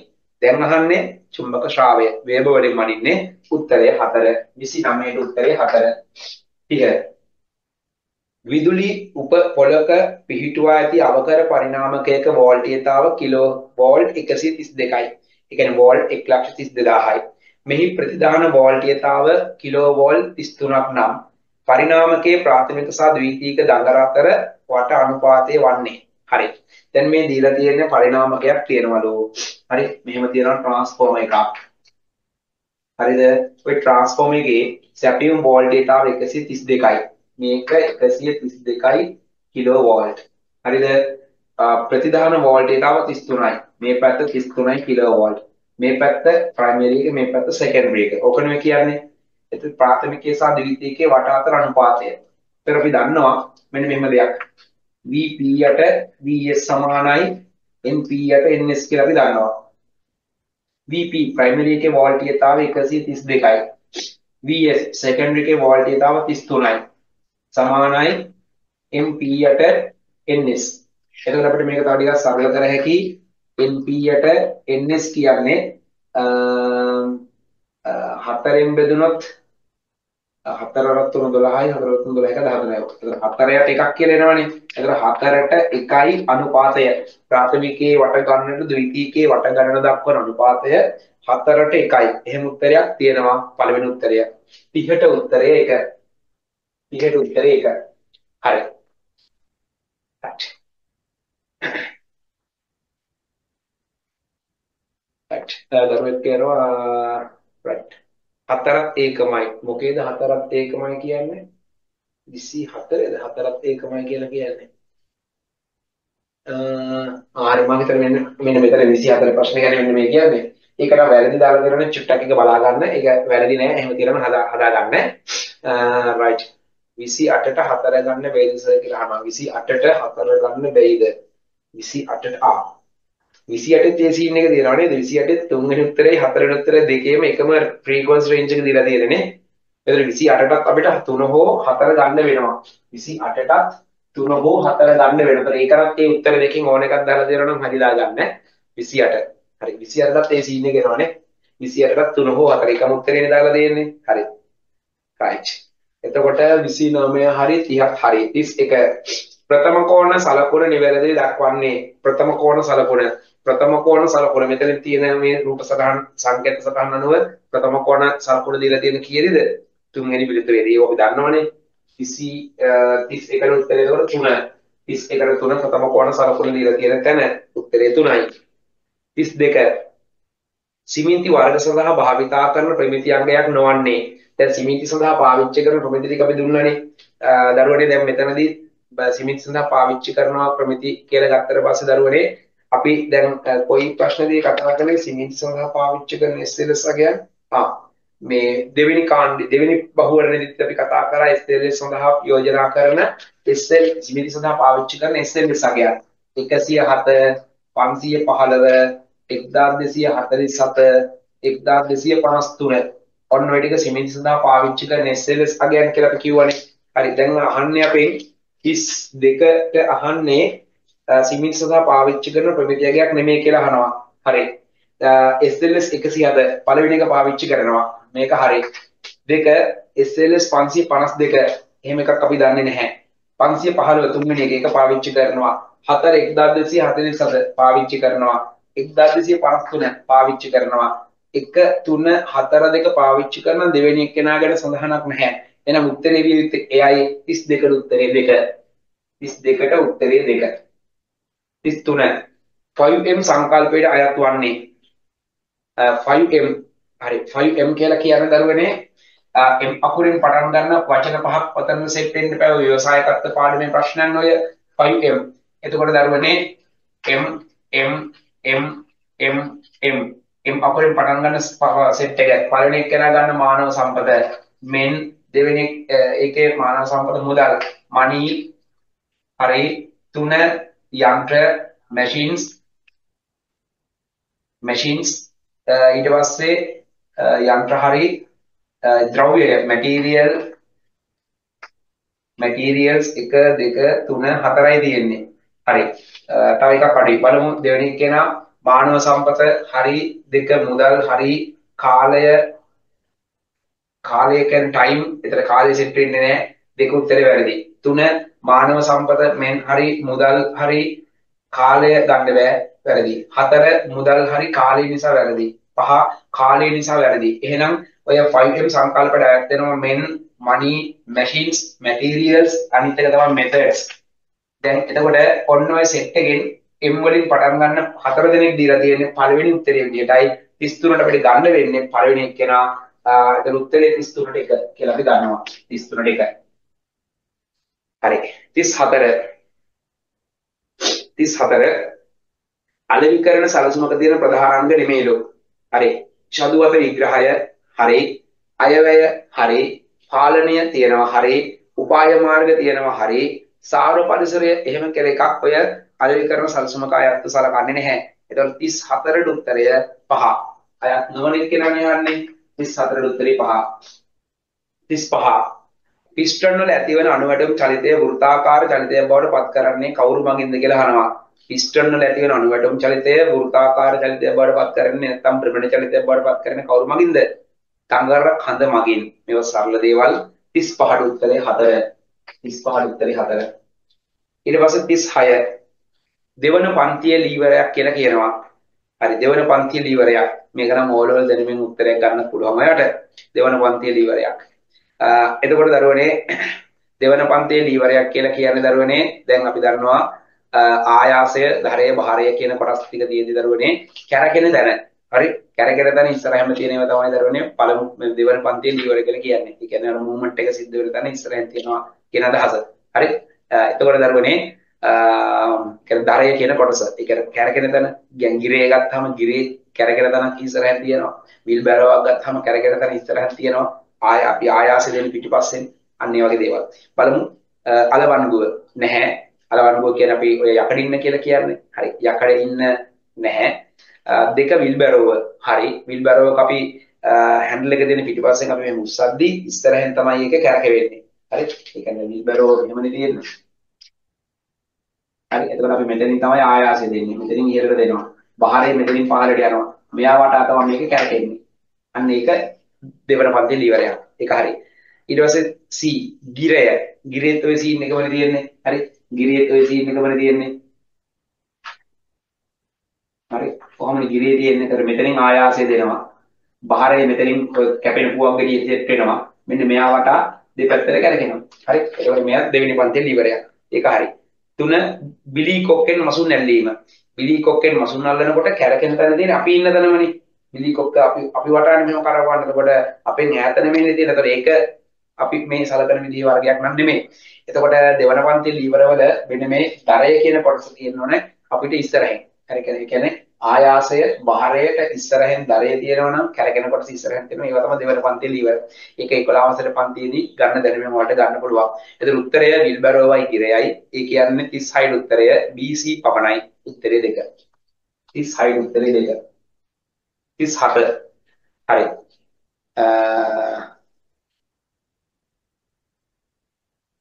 right ඊට පස්සේ දරුවෙක් කරන ලීවර පන්ති කීයක් තියෙනවද සර්? ඇයි ඕලවල දැනුමින් ඔයාලා දන්නද ලීවර පන්ති තුනක තියෙන්නේ? පළමු පන්තියේ ලීවර, දෙවන පන්තියේ ලීවර, තෙවන පන්තියේ ලීවර, තුන්වෙනි පන්තියේ ලීවර කියන එක. හරි? පළවෙනි පන්තියේ ලීවර, දෙවෙනි පන්තියේ ලීවර සහ තුන්වෙනි පන්තියේ ලීවර. ඒක 11 වසර දැනුමින් ගන්නත් පුළුවන් ඈ. හරි. 11 වසර ඕක ගන්නවා. හරි. ඊට පස්සේ 36ට හරි 37 ලෝ ලෝහ කොටසක සිදුරක් විදීමට පෙර අනුගමනය කළ යුතු මූලික පියවර වන්නේ අපි දන්නවා දැන් ලෝහයක සිදුරක් විදින්න කලින් අපි කරනවා මැදි පොන්චි අරගෙන ලෝහයේ අදාළ තැන සලකුණු. ඒ කියන්නේ අපි විදින්න ඕන තැන සලකුණු කරගෙන තමයි අපි විදුම් කටුව පාවිච්චි කරලා විදීම කරන්නේ. හරි? අපෙන් අහනවා පළවෙනි කෙනා විදුම් යන්ත්‍රයේ ජවය සැපීම නැහැ. මතු පිට හොඳින් පිරිසිදු කර ගැනීම නැහැ. ඊට කලින් සලකුණු කරගන්න බෑ විදින්න ඕන තැන. දෙකක් නෙමෙයි තුන. පැන්සල භාවිතයෙන් සිදු කරන ස්ථානයේ සටහන් කර ගැනීම නැහැ. පැන්සල නෙමෙයි පාවිච්චි කරන්නේ මේ සඳහා අපි යොදා ගන්නවා දරුවනේ සෙන්ටර් පංචක. එහෙම නැත්නම් අඳින කටුව පාවිච්චි කරනවා සලකුණු කරගන්න නම් ඊට පස්සේ හතර කව කටුව භාවිතයේ සිදු කර සිදුරු කරන ස්ථානයේ සිදුරු කරන වෘත්තය සලකුණු කිරීම නෑ. එහෙමනම් කරන්නේ නැහැ. පහ මැද පොංචිය මැද පොංචිය සහ මිටියක් ආධාර කරගෙන සිදුරු විදින ස්ථානයේ සලකුණු කිරීම. ඒක අපි කරනවා. ඒක තමයි කරන්න ඕන දේ. එතකොට උත්තරේ වෙන්නේ 37ට 5 37ට උත්තරේ 5 38 වායු වෙල්ඩින් කිරීම සඳහා භාවිතයට නොගන්නා උපකරණයක් වන්නේ. වායු වෙල්ඩින් කරන්න දැන් වෙල්ඩින් ට්‍රාන්ස්ෆෝර්මර් එක ගන්නෙ නම් නැහැ. ගෑස් වෙල්ඩින් කරන්න ආක් වෙල්ඩින් එකට තමයි වෙල්ඩින් ට්‍රාන්ස්ෆෝර්මර් එක ගන්නෙ. එතකොට වායු වෙල්ඩින් ඒ කියන්නේ ගෑස් වෙල්ඩින් වලට වෙල්ඩින් ට්‍රාන්ස්ෆෝර්මර් එක ගන්නෙ නැහැ. එක වැරදි. දෙක ඔක්සිජන් සිලින්ඩරය ගන්නවා. දෙක තුන ඇසිලින් සිලින්ඩරය ගන්නවා. හතර පීඩන මානය ඕන වෙනවා පහ දමනි පහන ඕන වෙනවා. අවශ්‍ය නැත්තේ පළවෙනි එක. 38ට උත්තරේ ඒක 39 භාණ්ඩ නිෂ්පාදනයේක අවසාන පියවර වන්නේ. භාණ්ඩ නිෂ්පාදනයේක අවසාන පියවර. එක සැලසුම් චිත්‍ර ඇඳීම ඒක තමයි පළවෙනිම පියවර. දෙක කොටස් හැඩ කිරීම. එක අතරමඟද අතරමඟදී වෙන පියවරක්. පහ කොටස් එකලස් කිරීම. ඒකත් අතරමඟදී සිද්ධ වෙන පියවරක් පහ කොටස් තුන කොටස් එකලස් කිරීම. පහ කොටස් හැඩයම් කිරීම ඒකත් අතරමඟදී වෙන වැඩක් හතර නිමහම් කිරීම ඕනෑම ඩියුටි එකක අවසානම ක්‍රියාව තමයි නිමහම් කිරීම එතනින් වැඩ ඉවරයි. නිමහම් කිරීම තමයි එහෙනම් නිෂ්පාදන වාහන නිෂ්පාදනයක අවසාන පියවර වෙන්නේ. උත්තරය 39ට පුතේ 4. 39ට 4. 40. ලියවන පට්ටලයේ භාවිතයෙන් සිදු කරන ක්‍රියාවලියක් නෙමෙයිලු. ලියවන පට්ටලයේ භාවිතයෙන් සිද්ධ කරන වැඩක් නෙමෙයිලු මේක. බලමුකෝ. මුහුණක් ලියවීම ලියවන පට්ටලයෙන් කරන්නේ. සිදුරු කිරීම ලියවන පට්ටලයෙන් කරන්නේ. දැතිරෝධ කැපීම කරන්නේ මොන යන්ත්‍රයෙන්ද? මිලින් මැෂින් එකෙන්. මෙහෙලුම් යන්ත්‍රයෙන් තමයි ප්‍රතිරෝධ කැපීම කරන්නේ. මෙහෙලුම් යන්ත්‍රයෙන්. හතර පොටවල් කැපීම ලේත් මැෂින් එකෙන් කරනවා. පහ සමාන්තර ලියවීම ලේත් මැෂින් එකෙන් කරනවා. එතකොට ලේත් මැෂින් එකෙන් කරන්නේ නැති වැඩේ තමයි තුන්වෙනි කෙනා 40 උත්තරය 3 41 මෝටර් රථවල එන්ජිමෙහි හිස හා බඳ එකිනෙකට හේතු නොවි ඒ අතරින් සම්පීඩිත වායු මිශ්‍රණය කාන්ද වීමට ඉඩ තියෙනවා. එම නිසා ඒ අතරට යෙදෙන කොටස වන්නේ ඒ කියන්නේ එන්ජින් එකේ හෙඩ් එකයි බ්ලොක් එකයි අතරට අපි දානවා මොකද්ද පුතේ? ගෑස්කට් එකක්. හරි? ඒතර වැල්ව නෙමේ, පැතලි වොෂර් නෙමේ, තෙල් මුදුව නෙමේ, දුනු වොෂර් නෙමේ, ගෑස්කට් එකක් දාලා තමයි හෙඩ් එකයි බ්ලොක් එකයි සම්බන්ධ කරන්නේ. උත්තරේ 41ට 4. 41ට උත්තරේ 4. ඊට පස්සේ 42 සම්ප්‍රේෂණ පද්ධතියයි උපාංග පිළිවෙලින් දක්වන්නේ. හරි බලමුකෝ සම්ප්‍රේෂණ පද්ධතියයි උපාංග ටික. අපි දන්නවා මොනවද උපාංග ටික අපි පිළිවෙලට ගත්තොත් එනවා. කෙලින්ම කච්චක තියෙනවා ගියර පෙට්ටිය තියෙනවා අවරපෙති කන තියෙනවා ආන්තරය තියෙනවා අක්ෂ දල තියෙනවා. ඔය පහනි සම්ප්‍රේෂණ පද්ධතිය තියෙන්නේ. බලමු පළවෙනි එක. ක්ලච් එක තියෙනවා ගියර පෙට්ටිය තියෙනවා ආන්තරය තියෙනවා අක්ෂ දළු තියෙනවා. එතකොට මේකේ ආන්තරයට කලින් අවරපෙති කඳ නම් මේක දීලා නැහැ බලමු අනිත් ඒවාගේ තියෙනවද කියලා. හරි. දෙක කියනවා පළවෙනි එක අර අර මොනවද ගියර පෙට්ටියෙන් පස්සේ අපිට දැන් වාහනයක ප්‍රොපලර් ෂාෆ්ට් එක තියෙන ඒවාක් තියෙනවා නැති ඒවාක් තියෙනවා. ප්‍රොපලර් ෂාෆ්ට් එක තියෙන කෙනෙක් නම් එයා එනවා. ප්‍රොපලර් ෂාෆ්ට් එක නැත්තම් එයා නැතුව ඩිෆරන්සර් එක නැත්තම් ආන්තරේ එනවා. පළවෙනි උත්තරේ දැනට හරි කියලා තියාගමු. දෙක උත්තරේට එන්නකො. ක්ලච් එක හරි සෝරි ගියර පෙට්ටිය හරි ඊට පස්සේ ක්ලච් එක. ගියර පෙට්ටියෙන් පස්සේ ක්ලච් එක ජවය යන්නේ නැහැ දෙක වැරදි. තුන ගියර පෙට්ටිය හරි ආන්තරය හරි ක්ලච් එක. එතනින් පස්සේ ක්ලච් එකට යන්නේ නැහැ. තුනක් වැරදි. හතර ක්ලච් එක හරි ආන්තරය හරි අක්ෂ ධනු හරි අක්ෂ ධනු හරි අවසානයේ ගියර පෙට්ටිය. එහෙම එකක් වෙන්නේ නැහැනේ. වෙන්න බෑ එක පහ ක්ලච් එක හරි ගියර පෙට්ටිය හරි අක්ෂ ධනු හරි ආන්තරය. අක්ෂ ධනු වලින් පස්සේ ආන්තරයට ශක්තිය යන්නේ නැහැ. ජවය යන්නේ නැහැ. එහෙනම් උත්තර සේරම දෙක තුන හතර පහ වැරදි හරි උත්තරේ විදිහට ගන්න වෙන්නේ අංක 1. එතකොට පළවෙනි උත්තරේ තුල ඒ තියෙන වාහනේ ප්‍රොපලර් ෂාෆ්ට් එකක් නැහැ කියලා සලකලා ගන්නට වෙනවා. උත්තරේ එතකොට 1 42ට උත්තරේ කියන්නේ. 42ට උත්තරේ කියන්නේ. හරි. 43 43ට අපි උත්තරයක් ගන්නවා 43 අභ්‍යන්තර දහන එන්ජිමක භාවිතා වන ජවරෝධයේ ප්‍රධානම කාර්ය වන්නේ. පොතේ දැන් ජවරෝධය නැත්තම් ෆ්ලයි වීල් එක ගත්තාම ෆ්ලයි වීල් එකකින් වෙන වැඩ දෙකක් තියෙනවානේ. එකක් තමයි අර එන්ජින් එකේ බලපහර අවස්ථාවේ ඇතිවන ජවය ගබඩා කරගන්න ෆ්ලයි වීල් එකේ. දෙක බලපහර හැර සෙසු පහරවල් තුන සිද්ධ වීම සඳහා අවශ්‍ය ජවය මුදා හැරීම සිද්ධ කරන්නේ ෆ්ලයි වීල් එකෙන්මයි. ඔන්න වැඩ දෙකම සිද්ධ වෙනවා. බලමුකෝ පළවෙනි එක. එන්ජිම සහ ගියර පෙට්ටිය සම්බන්ධ කරන්න ජවරෝධය ඕනේ. නෑ වැරදි. දෙක. එන්ජිම සහ ගියර පෙට්ටිය අතර සම්බන්ධ ඉවත් කරන්න ඕනලු. නැහැ. තුන. දඟර කඳ හා ගියර පෙට්ටිය අතර සම්බන්ධ කරන්න නැහැ. හතර. පණ ගැන්වූ මෝටරය සම්බන්ධ කිරීමට හා සම්බන්ධ ඉවත් කිරීමට නෑ. පහ. එන්ජිම ක්‍රියා කිරීමට අවශ්‍ය ශක්තිය ගබඩා කිරීම හා මුදා හැරීම. ශක්තිය ගබඩා කිරීම සිද්ධ වෙනවා බලපහරේදී. බලපහරේදී ඇතිවන ජවය ගබඩා කර ගැනීම ෆ්ලයි වීල් එකේ වෙනවා. ඊට පස්සේ ගබඩා කරගත්ත ජවය ජව මේ බලපහර හැර සිසු පහරවල් තුන සිද්ධ වීම සඳහා ඒ ජවය මුදා හැරීමක් සිද්ධ වෙනවා. ඔය කියන ෆ්ලයි වීල් එකේ. ඒතර උත්තරේ 5. 43 උත්තරේ 5 කියලායි අපිට ගන්න වෙන්නේ. 44 එන්ජිමට අයිති පද්ධතියක් වන්නේ සම්ප්‍රේක්ෂණ පද්ධතිය හරි වායු සමීකරණ පද්ධතිය හරි ආ මෝටර් වා මෝටර් රථයක තියෙන එන්ජින් ටික. මේ මේ සෝරි මෝටර් රථයක තියෙන පද්ධති ටික. ආව සෙට් එකම මෝටර් රථයක තියෙන පද්ධතිය නම් තමයි එන්ජින් රැලි පද්ධතියක් ගත්තාම එන්ජින් රැලි පද්ධති හතරක් තියෙනවනේ පොතේ. එන්ජින් රැලි පද්ධති මොනවද? ඉන්ධන පද්ධතියක් ඕනේ ස්නේහන පද්ධතියක් ඕනේ. ඊට පස්සේ ජ්වලන පද්ධතියක් ඕනේ.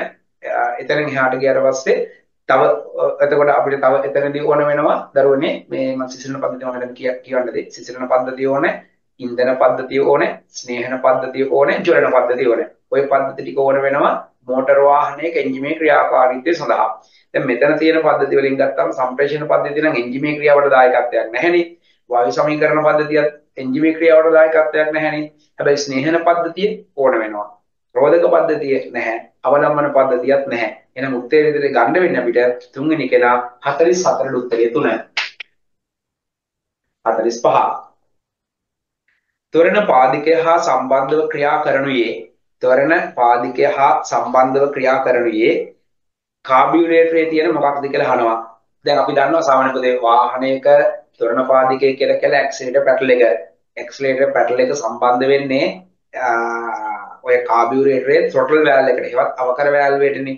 ඒක එතකොට අපි රියදුරා ඇක්සිලරේටර් පාගනකොට throttle valve එක පුතා ඕපන් වෙනවා. කොහොමද වෙන්නේ? හරි. අපි බලමු කාබියුරේටර් දෙන කොහාටද කියලා අහනවා. චෝක් valve එකට නම් නෙමේ දෙක අවකර valve එකවත් throttle valve එකට. උත්තරේ දෙක 45 උත්තරේ දෙක. මේවා කෙලිය පිටීම තියරි කොටස්. 46 එකෙලි සිව්පහර එන්ජිමක දහන පිළිවෙල ෆයරින් ඕඩර් එක අහන්නේ. හරි ඒ කියන්නේ ෆෝර් ස්ට්‍රෝක් එන්ජින් එකක ෆයරින් ඕඩර් එක. ෆෝර් ස්ට්‍රෝක් එන්ජින් එකක ෆයරින් ඕඩර් එක මොකද්ද? 1 3 4 2. හරි ෆයරින් ඕඩර් එක 1 3 4 2. උත්තරය දරුවනේ 3. 47 සිලින්ඩර හතරක් සහිත සිව්පහර එන්ජිමක එක් බලපහරක් ලැබී ඊළඟ බලපහර ලැබීමට ගතවන කාලය අංශක වලින් කොච්චරද කියලා අහනවා. ගතවන කාලය ගතවන කාලයට දාලා අංශක ගන්න. දරුවනේ දැන් එක බලපහරක් ලැබිලා ඊළඟ බලපහර ලැබෙනවා කියලා කියන්නේ දරුවනේ දඟර කන්ද දැන් අපි දන්නවා එන්ජින් එකේ ඔය දඟර කන්ද වට දෙකක් කරකැදි තමයි එක එන්ජින් සර්කල් එකක් ඇති වෙන්නේ. එතකොට දැන් අපිට ඔය කියන්නේ එක බලපහරක් ලැබී ඊළඟ අනෙක් බලපහර ලැබීමට ගතවන කාලය. එතකොට දැන් ඕක ඇවිල්ලා සිලින්ඩර් හතරක් තියෙනවනේ. දැන් සිලින්ඩර් හතරක් තියෙනවා නම් අපි දන්නවා දැන් එන්ජින් එකේ ඔය පහර සිද්ධ වෙදී දඟර කඳ වට දෙකක් අරගෙන තමයි එක එන්ජින් සර්කල් එකක් ඇති වෙන්නේ. දැන් දඟර කඳ වට දෙකක් ක්‍රියාත්මක වෙද්දී ওই සිලින්ඩර් හතරේම බලපහරල එක බැගින් සිද්ධ වෙනවා. පැහැදිලිද? දඟර කඳ වට දෙකක් අරගෙද්දී සිලින්ඩර් හතරේම බලපහරල එක බැගින් සිද්ධ වෙනවා. දඟර කඳ වට දෙකක් අරගෙනවා කියන්නේ අංශක 720ක් අරගෙනවා. ඒතර අංශක 720ක් අරගෙනකොට ওই අංශක 720 ඇතුලේ බලපහරල් හතරක් තියෙනවා. එකක් සිද්ධ වෙලා ඊළඟ එක සිද්ධ වෙන්න කොච්චර කාලයක් යනවද කියලා ඇහුවොත් ඇත්තටම 724න් බෙදපුවම හරි. අංශක 724න් බෙදා ගන්න. එතකොට එනවා කොච්චර බලපහර ප්‍රමාණයක් ඕක ඇතුලේ තියෙනවද කියලා. ඒ කියන්නේ අංශක ප්‍රමාණයක් තියෙනවද කියලා. දඟර කඳ වට දෙකක් කරගෙනදී බලපහරවල් සිලින්ඩර් එකක එක බලපහර බැගින් සිලින්ඩර් හතරේ බලපහරවල් හතරක් ඇති වෙනවා. එතකොට එක බලපහරක් වෙලා ඊළඟ බලපහර ඇති වෙන්න කැරකෙන්න ඕන අංශක ගාන හොයන්න. අංශක 724න් බෙදන්න. එතකොට එනවා අංශක 180ක් කියලා. ඒක තමයි බල පහරවල් දෙකක් අතර දඟර කන්න කරගෙන කෝණය වෙන්නේ. 724න් බෙදා ගන්න උත්තරේ එනවා. අංශක 180යි. ඒ කියන්නේ උත්තරේ 1. 44 උත්තරේ 1. 48. වතුර පොම්පයක් රහිතව සිසිලන කාරක වේදන එන්ජිමක සිසිල් කිරීම හඳුන්වන්නේ. ඒ කියන්නේ වෝටර් පම්ප් එකක් නැති කූලින් සිස්ටම් එකයි යහන්නේ. වෝටර් පම්ප් එකක් නැති කූලින් සිස්ටම් එක කියන්නේ තාප නිනාල සංසරණ පද්ධතිය. තාප නිනාල සංසරණ ක්‍රමය. උත්තරේ පුතේ 4. 48 උත්තරේ 4. 49. රූපේ දැක්කේන ద్వාරයේ වන්නේ. මේ දීලා තියෙන්නේ දරුවනේ මේ දීලා තියෙන O ගේට් එකක් ලයින් එක ඉස්සරහින් නොට් එකක් දාලා තියෙනවා. එතකොට no ගේට් එකක් වෙනවා. පස්සේ පැත්ත ලයින් එක ඩබල් කරලා තියෙනවා. එතකොට දරුවනේ එක්ස්ක්ලූසිව් no ගේට් එකක් බවට පත් වෙනවා. ඒ කියන්නේ x no ගේට් එකක් වෙනවා. උත්තරේ 49ට උත්තරේ 5. මේව අපි දන්නවා සරල දේවල් මේ පේපර් හරි ලේසි ඊට පස්සේ 50 මෙම ට්‍රාන්සිස්ටරේ නැඹුරු කරලා තියෙන කොහොමද කියලා අහන 50 ඔයාලට පේනවා දරුවනේ මේකේ කලෙක්ටර් එක සහ එමීටර් එක ගත්තට පස්සේ ප්‍රතිරෝධක දෙකයි. ඊට පස්සේ පාදම හරහා සම්බන්ධ වෙන උඩින් යටි ප්‍රතිරෝධක දෙකක් දාලා තියෙනවා.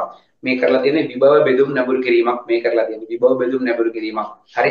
උත්තරේ 1 50 උත්තරේ 1 හරි. දැන් ඔයාලා මම හිතන්නේ තනියම මේවට උත්තර ලියලත් ඇති. අඩුපාඩු තියෙනවා නම් බලා ගන්න. ඔන්න MCQ 50ම උත්තර ටික දාලා තියෙනවා. අඩුපාඩු තියෙන දරුවෝ ඉන්නවා නම් ටක් ගාලා හදා ගන්න බලන්න. හරි. ඔතනින් ඔන්න MCQ ටික නම් අපේ අහවරයි. ඊට පස්සේ අපි එන්නේ ඔයාලගේ රචනා පේපර් එකට. හරි අඩුපාඩු තියෙන කට්ටිය හදා ගන්න කොටක් ගාලා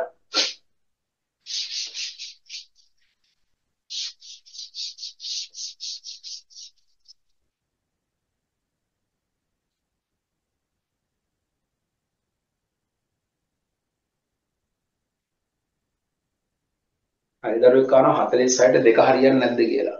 46ට 46ට දෙක එක හතර තුන දෙකක් තියෙනවා හැබැයි බහුලව තියෙන එක තුන හතර දෙක එක හතර තුන දෙකක් වැරදෙනක් නැහැ නමුත් ෆෝර් ස්ටොක් එන්ජින් වල බහුලවම තියෙන එක තුන හතර දෙක කියන රටාව නිසායි අපි තුන ගත්ත එක තුන්වෙනි උත්තරේ විතරක්ම තෝරගන්න අනිත් එක වැරදි නැහැ නමුත් තුන විතරක්ම තෝරගන්නකො. හරි. හරි. මේ උත්තර ටික දැන් ලියාගෙන ඉවරද මම මකන්නද කමක් නැද්ද? හරි කමක් නැහැ. right.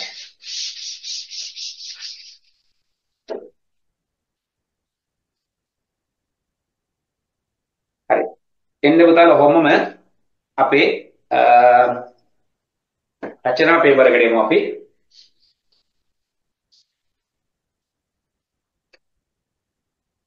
රචනා පේපර් එකෙන් ටක් දාලා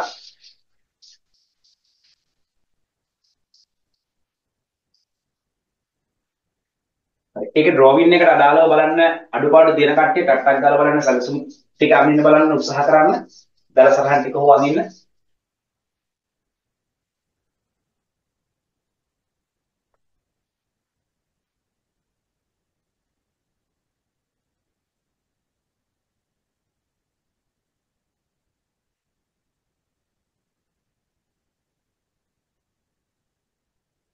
හරි.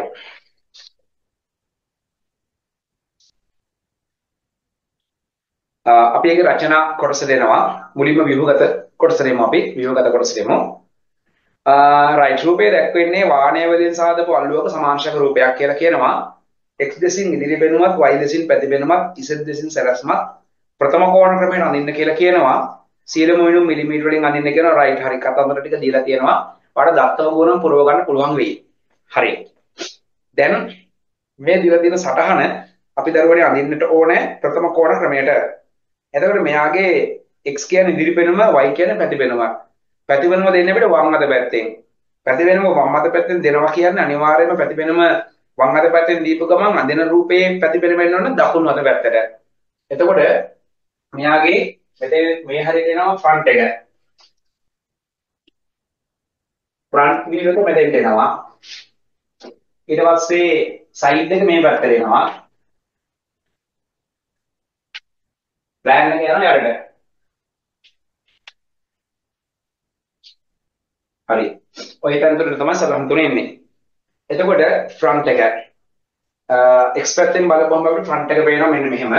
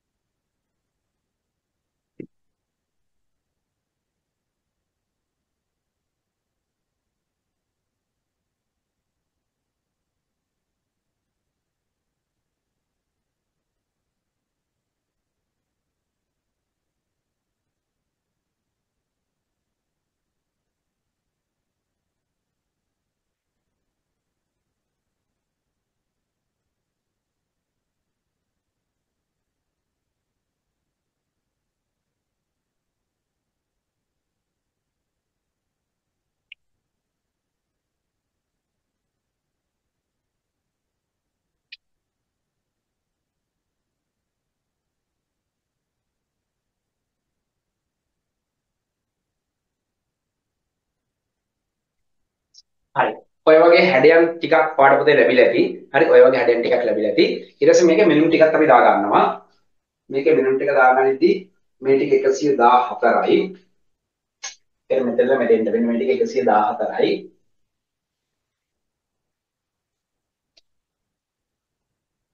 මේ ටික 114යි. මේ අරේ 32යි. මෙතනින් මෙතෙන්ට තියෙන 32ක්.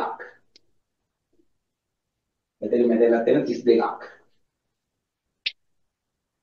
රයිට් හරි. එතකොට මෙතන අඳිනකොට ඇඳ ගන්න බැරි ප්‍රශ්නයක් වෙනවා මේක දිගේ වැඩි ප්‍රශ්නයක් වෙනවා අපි ඒක ස්කේල් එක චුට්ටක් වෙනස් කරලා අඳින්න මම ඒකත් එක වෙනස් කරලා අඳින්න කියලා කිව්වා මම හිතන්නේ අපිට මේක 19යි මේ ටිකේ උස 19යි ඊට පස්සේ මේ ටිකේ උස 45යි මේ ටික 45යි ඊට පස්සේ මේ ටික ඇවිල්ලා 64යි රයිට් හරි එතකොට මේ ටික ඇවිල්ලා 64යි මෙයයි මෙයයි 64ක් තියෙනවා. හරි ඊට පස්සේ මේ ටික 38ක් තියෙනවා. රයිට් ඉතින් ටික බැලන්ස් කරගන්න පුළුවන් එතකොට. හරි එතකොට මේ ටික 38යි. මෙතනයි මෙතනයි අතර 38යි. ඉතින් විතර මේ ටික අපිට ගන්න පුළුවන්. මේ අරගේ අරය 32යි. මෙතනින් මේ පැත්තට අරය කියනවා 32ක්. එතකොට R 32ක් කියලා අපිට ගන්න පුළුවන්. මට මේක මෙතන ලියන්නත් පුළුවන් R 32ක් කියලා මෙහෙම අරය මෙයාගේ එතකොට අරය 32ක් වෙනවා. ආ ඒක තමයි මෙතන කියවෙන එක වෙන්නේ. නොලියුවත් ගැටලුවක් නැහැ. මෙතනින් ඒක කියවෙනවානේ. R 32 අපි නොලියමු. ඒක කියවෙන නිසා. එතකොට මේ විස්කම්භය 22යි. මෙයා විතරක් අපි ලියමු මේක විස්කම්භය 22ක් කියලා. මෙයාගේ විස්කම්භය ලියමු අපි පයි 22ක් කියලා. පයි 22ක් වෙනවා මෙන්න මෙයා. මෙයාගේ 22ක් විස්කම්භය වෙනවා. ඒක පමණක් ලියමු පයි 22ක් කියලා. හරි. ඊට පස්සේ හරි ඊළඟට 32යි 64 මේ ටික මෙයාගේ එතකොට මේ ලොකු එක්කෙනාගේ අරය 64ක් වෙනවා. ඒ කියන්නේ මේ අරය 32යි විස්කම්බ 64. ඒ කියන්නේ මෙයාගේ ලොකු වෙන මෙයාගේ මෙන්න මේ පරතරය 64ක් වෙනවා. මේ පරතරය 64ක් වෙනවා. හරි. ඊට පස්සේ මෙයා ගොසත් මාගේම වෙනවනේ. හරි. එතකොට රයිට් ඔය දුර්වල ටික ලකුණු කර ගන්නවා. ඊට පස්සේ මේ පැත්තත් 64ක් වෙනවා. 64යි මේක දැන් ඔය ලියන විදිහට අපිට අදින්න බෑ ස්කේල් එක වෙනස් කරලා අපිට ගන්න වෙනවා නැත්නම් අදින ගන්න එක ගැටලුවක් වෙනවනේ එතකොට මේකේ මුළු දිග ගත්තාම මේ පැත්ත 32යි 32 64යි දැන් අපි x දුර සහ y උස ගත්තාම මෙයාලගේ ලොකුවා ගන්නේ මේ පැත්තට යන 114යි 32 32 64යිනේ එතකොට 114ට 64ක් එකතු වුණාම 8යි 6යි 7යි 6යි 1යි 7යි 1යි මේ පැත්තට 178ක් ඒකට මෙතන 64ක් එකතු වෙනවා. එතකොට එනවා 8යි 4යි 12යි 6යි 1යි 7යි 7යි 14යි 1යි 1යි 2යි 242ක් එනවා x පැත්ත. y පැත්ත කියන්නේ මේක උස එනවා මේ ටික එන්නේ 64යි. මේ ටික එනවා 45යි 64යි කියලා දෙන්නගේ එකතුවක් විදියට. මේ 45යි 19 කියලා දෙන්නගේ එකතුවක් විදියට. 45යි 19 කියන්නේ මේ ටිකේ උස වෙනවා 9යි 5යි 14යි 4යි 5යි 1යි 6යි මේ පැත්තත් 64ක් වෙනවා. එතකොට 64 ඒවා දෙකක් කියලා කියන්නේ 128ක් වෙනවා. y පැත්ත නම් ගැටලුවක් නැහැ. හැබැයි x පැත්ත අපිට අඳින්න බෑ. පොලේ පෙරලලා ගත්තත් 242ක් අපිට අඳගන්න බෑ. ඒ නිසා අපි මේ නිර්මාණය කරනකොට අපි මේක ස්කේල් එක චුට්ටක් වෙනස් කරගමු. අපි මේක ඔයාලගේ ගානෙම හදාගන්න පරිමාණ එකට එකක් කියන එක දෙකට එකක් කියලා හදාගන්න. ස්කේල් එක දෙකට එකක්. දෙකට එකක් කියලා පරිමාණය හදාගන්න. දෙකට එකක් කියලා පරිමාණය හදාගෙන මේ හැම මිනුමම්ම දෙකෙන් බෙදලා පුංචි කරලා අඳින්න. එතකොට ඔක අඳ ගන්න පුළුවන්. පැහැදිලිද? හරි. එතකොට මේ කුඩා කරලා අඳින්න. එතකොට ඔක අඳින්න පුළුවන්. නැත්තම් ඔක අඳ ගන්න බැරුව යනවා. හරි. ස්කේල් එක දෙකට එකක් කියලා ගන්න. එතකොට හැම මිනුමම්ම දෙකෙන් බෙදන්න. දෙකෙන් බෙදලා අඳින්න. දෙකෙන් බෙදලා අඳින්න. එතකොට හරි. ඇත්ත වටිනාකම ලියන්න. ස්කේල් එක චූටි වෙයි, පරිමාණය පුංචි වෙයි, ඇත්ත වටිනාකම ලියන්න. දැන් උදාහරණයක් විදිහට 64 කියන එක අඳිද්දී අපිට 32යි ගන්න ඕනේ 72 32 කරන් අඳින්න අඳින රූපේ ළඟ ඇත්ත වටිනාකම 64ක් කියලා ලියන්න. එච්චරයි. හරි. ටක් ගාලා බලන්න මේ දරසරන් ටික ඇඳගෙන පොඩි try එකක් දෙන්න බලන්න මේ රූප සරන් ටික ඇඳලා නැති කට්ටිය අඳින්න. ඇඳපු කට්ටිය ඉන්නවනම් මට ටක් ගාලා බලන්න ස්ක්‍රීන්ෂොට් එකක් ගහලා දාන්න බලන්න ඒක. ඇඳපු කට්ටිය ඉන්නවනම් දාන්න. ඇඳලා නැති කට්ටිය නම් ටට්ටක් ගලවලා නදින්න. කෝකටද දලසරණ හද ගන්න හැම දරුවෙක්ම ඉක්මන් කරන්න බලන්න.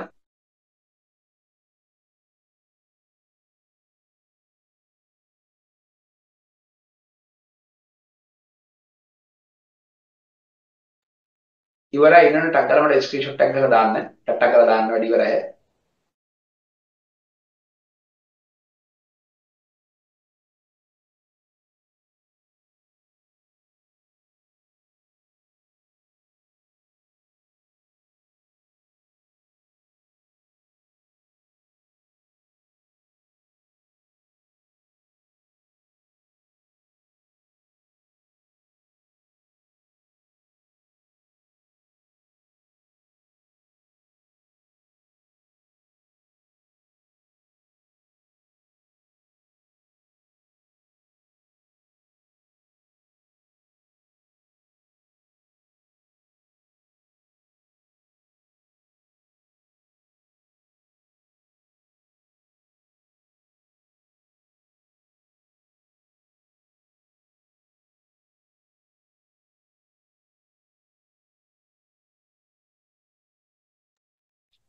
හරි ඉක්මන් කරගන්න. රයිට් හරි. අද උදේවරුණ කියලා බලන්න දාගෙන දාගෙන යන බලමු අපි. රන්ජුත් ඔයා දාලා තියෙනවා පුතේ. රයිට් හරි පුතේ. ඔයාගේ මෙනු ටික රයිට් හරි. හරි. රන්ජුත්ගේ හරි අනිත් අය බලන්න දාන්න.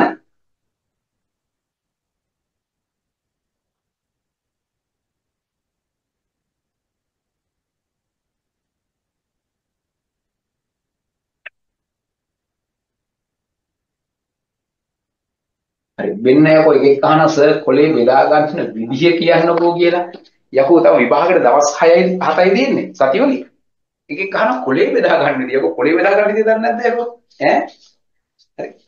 කිරියම්මට හාල් දරන්න තමයි තියෙන්නේ ඈ? තාම කොලේ බෙදා ගන්න වෙයි නම්. හ්ම්? ඈ. අන්න මේ නම නොකිය කියන්නේ. හරි සර් කොලේ බෙදා ගන්න බැරි වුණොත් තව ඉන්නවා කියන විභාගෙට යන්න ඕනද? හ්ම්? ප්‍රශ්නයක් තියෙනවනේ. කොලේ බෙදා ගන්න බෑ. තව ඩ්‍රොවින් එකක් කරගන්න. මේ පාර ලියන්න එපා එක්සෑම් එහෙමනම්. හ්ම්. හරි. ආ ඒ තේරෙන්නේ නැති වුන් ඉන්නන බලන්න පොඩ්ඩ මේ පැත්ත. යකෝ. ඉරියම්මඩ දෙපාර දෙපාර හාල් ගන්න පුළුවන් වෙන්න ඕනේ. හ්ම්. හරි. මෙහෙම තියෙනකොට ඩ්‍රොවින් ෂීට් එකේ ආ කොලේ බෙදා ගන්න දන්නේ නැති අය ඉන්නන බලා ගන්න පොඩ්ඩක්. මතක කරන්න එපා. තව දවස් 6න් 7න් විභාගයට යන්න ඉන්නවා සති වලින් ඈ. හරි.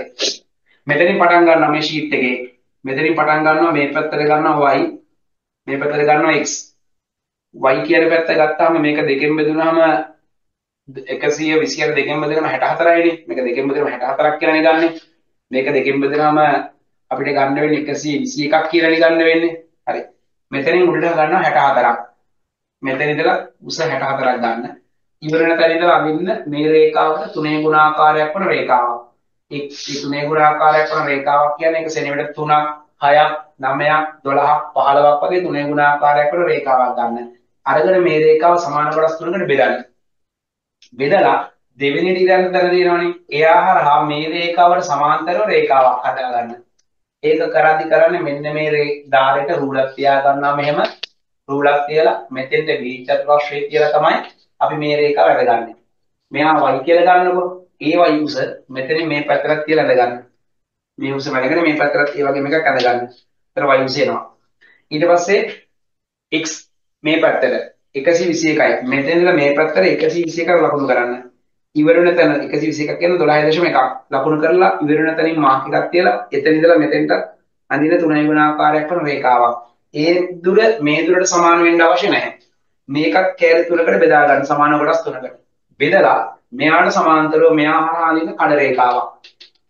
ලාවට ඇඳ ගන්න ඒක. මේ දුර x කියලා ගමුකෝ. මේ පරතරය මෙතනයි මෙතනයි ලකුණු කරලා මේ ටික කොහොම ඇඳ ගන්න. එතකොට කඩ රේඛාව වලින් කොටුවක් හැදෙනවා. අන්නේ කොටුව ඇතුලේ ඔය රූප තුන ස්ථානගත කරන්න. එතකොට මේ රූපේ මේ පැත්ත දිග වෙන්නේ කීයද 178යි මේ උස 64යිනේ. එතකොට ඒක දෙකට බෙදලා ගත්තොත් එකසිය හැත්තෑටක් කියන එක්කෙනා දෙකට බෙදුවොත් එනවා. දෙවරක් අට දාසයයි දෙවරක් නමය අසූ නමයයි මේ පැත්තර අසූ නමයක් දිගට මේ පැත්තර හැට හතරක් කියල කියන තිස් දෙකක් දිගට කොටුවක් කදාගන්න ඒක ඇතුළේ මේ රූපේ මතු කරන්න. දෙකෙන් බෙදලි ගණ්ඩෝන එස මේ කොටුව හැට හතරයි හැට හතරයි එකන් තිස් දෙකේ තිස් දෙකේ කොටුවක් හැදෙන්නේ. මේ පැත්තට 32යි මේ පැත්තට 32ක කොටුවක් ඇඳගෙන ඒක තුළ මේ නිර්මාණය කරන්න.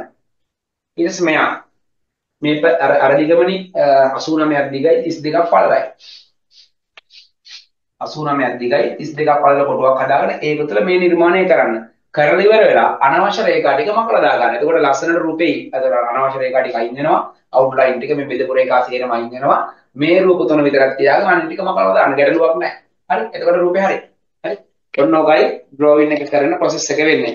ආ ඒක තේරෙන්නේ නැති අය ඉන්නවනේ ටක් ගාලා නෝට් කරගන්න බලන්න. Uh, රයිට් අනිත් අය දාලා තියෙනවා බලමු. අපි ලක්ෂාන් දාලා තියෙනවා බලමු. ලක්ෂානයාගේ ලක්ෂයන් ලක්ෂයන් ලක්ෂ. ලක්ෂයන් පුතේ ඔයාගේ අර මේ සයිඩ් විව් එකේ තියෙන්නේ. සයිඩ් විව් එකේ ඇරේට කැපෙන පැති දිගක් තියෙනවනේ. අනේ පැති දිග එන්න ඕන පුතේ අර එල් අකුරක ෂේප් එකට නෙමෙයි. ලක්ෂණ කියන පුතේ මෙන්න මේක මම මේ කියන්නේ. ලක්ෂණ මෙන්න මෙතන. මෙන්න මේ ලයින් එක තියෙන්නේ. මෙන්න මේ මෙන්න මේ රේඛාව වෙන්න ඕන ලක්ෂණ මෙන්න මේ සීමාවට මෙතන 13ක් ගැප් එක තියෙන්නේ මේ 13 ගැප් එක ළඟට මේ රේඛාව වෙන්න ඕන මෙහෙම රේඛාවක් එන්න බෑ හරි මෙන්න මේ රේඛාව අඳින්න. එහෙම ඇඳලා ලක්ෂාංගේ හරි. එතන පොඩ්ඩක් වැරදිලා තියෙනවා. ඒක හදාගන්න ලක්ෂාංගේ. ඊට පස්සේ රිද්මිගේ දාලා තියෙනවා. හ්ම් හ්ම් හ්ම් ආරයිට් රිද්මිගෙත් හරි. රිද්මි හරි අවුලක් නැහැ. ඊට පස්සේ නිපුන් හර්ෂණ. නිපුන්ගේ හරි. නිපුන්ගේ හරි. Right. අනිත් අය තව වැඩි ඉවර කට්ටිය ඉන්නවා මට ටග්ගා දාන්න බලන්න. ඉක්මන් කරලා අපි ගනිමු.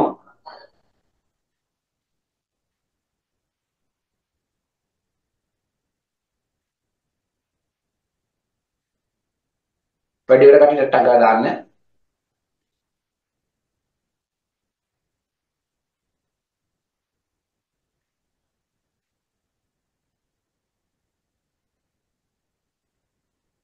Right. කාංචන මට ටක් ගාලා දාන්න බලන්න. කාංචන ඉන්නවද ක්ලාස් එකේ? පොකලා දාන්න වැඩි වෙනවා අද කසුන් නැද්ද? Right. නෙවන් මේ පුතේ වැඩි ඉවරද නෙවන් මේ වැඩි වෙනවා දාන්න. චින්තා ඉන්නවනම් මට දාන්න ටක් ගාලා බලන්න. ඊට සමජය ඉන්නවද? බලලා දාන්න. ඖෂධි මට ඩ්‍රෝවින් එක දැම්මේ නැහැ ඖෂධි යන්නේ නැද්ද? ඖෂධි පොඩ්ඩක් බලන්න. රිද්මි හරි. අනික ඉක්මන් කරන්න. සෙනරි මට ඩ්‍රෝවින් එක දාලා තිබ්බේ නෑ. සෙනරි චුට්ටක් ඉක්මන් කරන්න බලන්න. සෙනරි ඉක්මන් කරන්න. රයිට් අනිතර ටිකක් ඉක්මන් ඉක්මන් කරලා දාන්න බලන්න.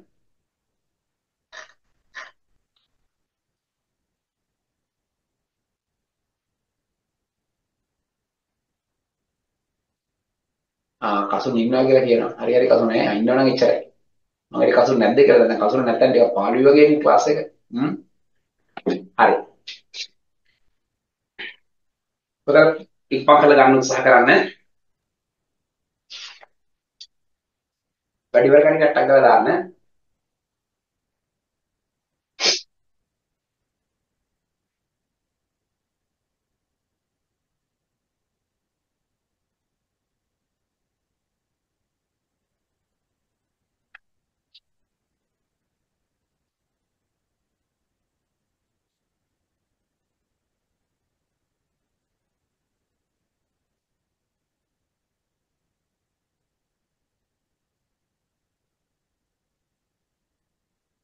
රයිට් තව වෙලා ගන්න එක අපරාධයක් වගේ නේද මං එන්නන්නේ ඊළඟ කොටසට. මේක එහෙනම් නෝට් එකක් දාගන්න අනිත් අය වැඩ ඉවර කරන්න පන්ති ඉවරනට පස්සේ හරි. හරි?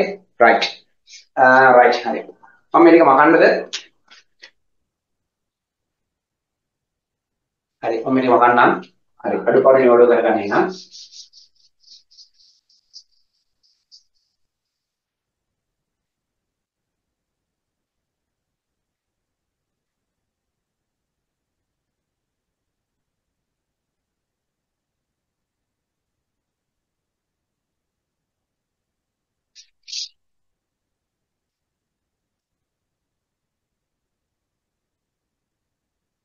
හරි. ඊට පස්සේ පොත ඔයාලට කියනවා මෙන්න කාරණාවක් කියනවා. දැන් මම ඉන්නේ විභගත පෙරවලගේ ඉදිරි ප්‍රශ්න වලට උත්තර ටික ගන්න. හරි.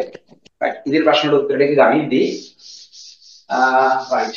අර විනාඩියක් දෙන්න.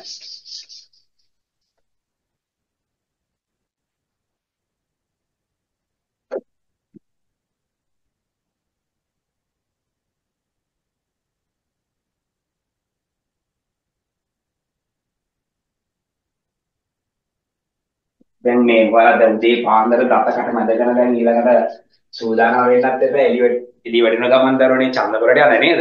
ඈ? Right. uh right.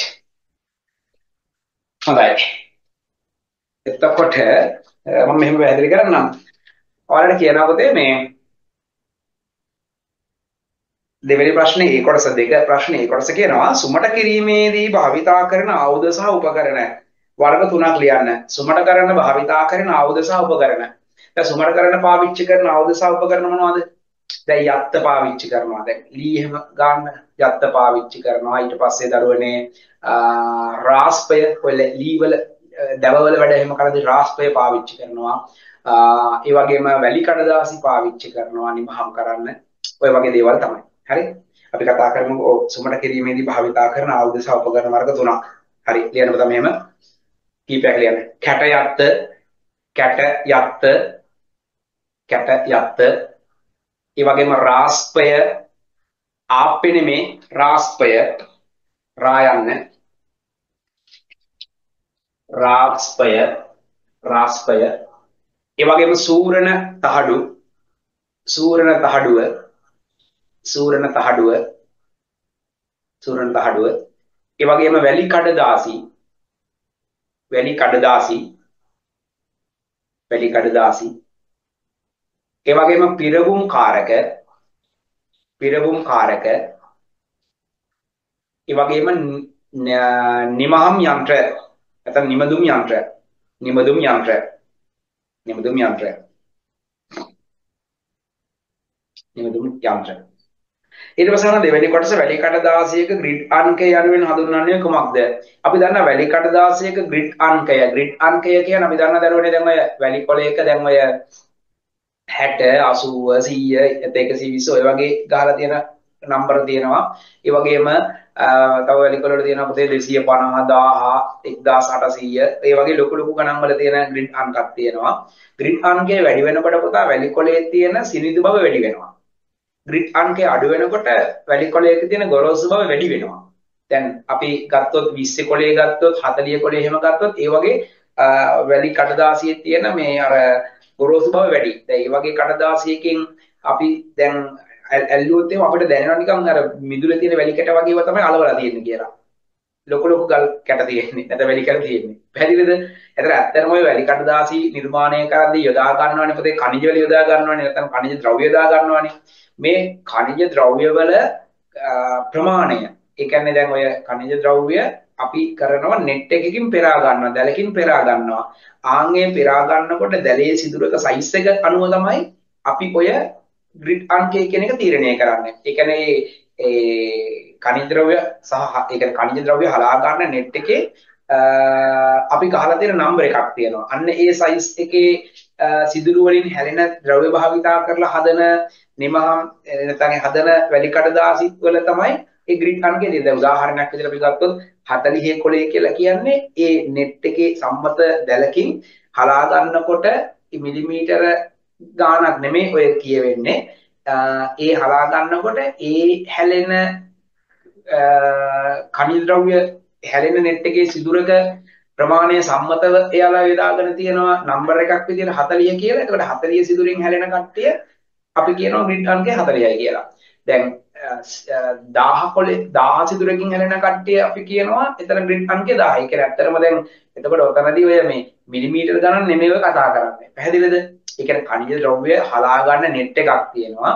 නෙට් එකේ ගහලා තියෙන සිදුරු වල සම්මතයක් තියෙනවා. ආන්ගේ සම්මත සිදුරු වලින් හැලෙන කනිජ ද්‍රව්‍ය වල ප්‍රමාණය මත තමයි අපි ওই ග්‍රිඩ් අංකය කියන එක තීරණය කරන්නේ. සරලව කියනවා නම් ග්‍රිඩ් අංකය අඩු වෙනකොට ගොරෝසු බව වැඩි ග්‍රිඩ් අංකය වැඩි වෙනකොට සුමට බව නැත්නම් සිනිඳු බව වැඩි හරි ලියන්නකො මෙන්න මෙහෙම අපෙන් අහන්නේ ග්‍රිඩ් අංකය යන හඳුන්වන්නේ කොහොමද ලියනකොට මෙහෙම වැලි කඩදාසියේ ඇති වැලි කඩදාසියේ ඇති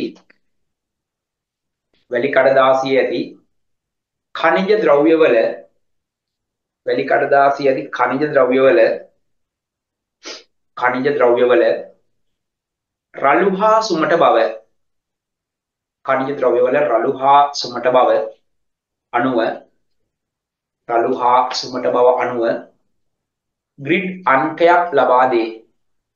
රළු හා සුමට බව අණුව ග්‍රිඩ් අංකයක් ලබා දේ. ග්‍රිඩ් අංකයක් ලබා දේ නිමදුම් ද්‍රව්‍යය නිමදුම් ද්‍රව්‍යය නිමදුම් ද්‍රව්‍යය කම්බි දැල් වලින් පෙරා ගනී. නිමදුම් ද්‍රව්‍ය කම්බි දැල් වලින් පෙරා ගනී. නිමදුම් ද්‍රව්‍ය කම්බි දැල් වලින් පෙරා ගනී. මෙම දැල්වල මෙම දැල්වල වර්ගය අනුව මෙම දැල්වල වර්ගය අනුව එනම් එනම් වර්ග අඟලකට ඇති වර්ග අඟලකට ඇති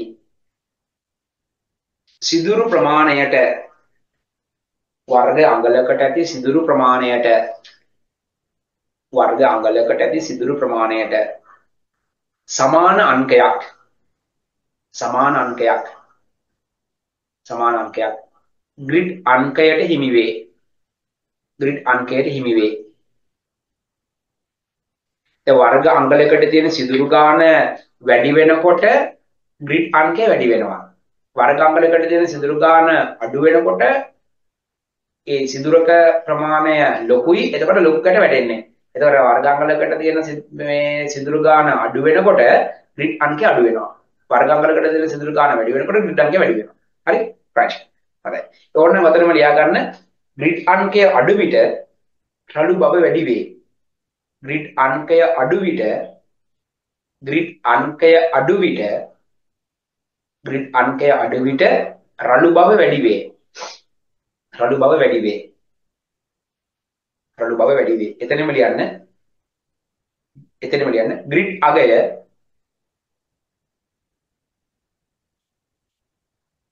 ග්‍රිඩ් අගය වැඩි විට ග්‍රිඩ් අගය වැඩි විට සුමට වේ. ග්‍රිඩ් අගය වැඩි විට සුමට වේ. සුමට වේ. හරි. ඊට පස්සේ කියනවා දෙවෙනි කොටස හරි ඒ වල ඊට පස්සේ B වල දෙවෙනි ප්‍රශ්නේ B වල පළවෙනි කොටස. ඔබ දන්නා මූට්ටු වර්ග තුනක් ලියන්න. ඊට පස්සේ කියන එම මූට්ටු වර්ග භාවිතා කරන එක අවස්ථාවක් සඳහා උදාහරණයක් බැගින් ලියන්න කියලා කියනවා. හරි. දරුවෝ අපි දන්න මූට්ටු. හරි අපි දන්න මූට්ටු මොනවද? එකක් අපිට ලියන්න පුළුවන්. අපි දන්න මූට්ටු වර්ග කීපයක් තියෙනවනේ පොතේ. මම ඒ ටික මෙහෙම නෝට් කරන්න. එක්කෙනෙක් අපිට ගන්න පුළුවන් දරුවනේ අපි ගන්න මූට්ටු ගත්තට පස්සේ අපිට එක්කෙනෙක් ලියන්න පුළුවන් දරුවනේ තව් කුඩුමි මුට්ටුව තව් කුඩුම්බි මුට්ටුව තව් කුඩුම්බි මුට්ටුවක් කොහෙද තියෙන්නේ? තව් කුඩුම්බි මුට්ටුවක් තියෙන්නේ කොහෙද? තව් කුඩුම්බි මුට්ටුවක් තියෙන්නේ උළුවස්සක හිසයි කණුවයි සම්බන්ධ කරන තැන. පැහැදිලිද? තව් කුඩුම්බි මුට්ටුව තියෙනවා. මම ඒක එකටම ලියනවා. මම කියන්නම් ඒක. ඊට පස්සේ දරුවනේ අපිට හම් වෙනවා තව කෙනෙක් ඉලිප්පු සංදි මුට්ටුව නැත්නම් ඉලිප්පු මුට්ටුව ඉලිපු මුට්ටුවක් කොහෙද තියෙන්නේ? බිත්තියට ලීයක් සහ පරාලයක් සම්බන්ධ වෙන තැන. ඊට පස්සේ කයිනෝක් මුට්ටුව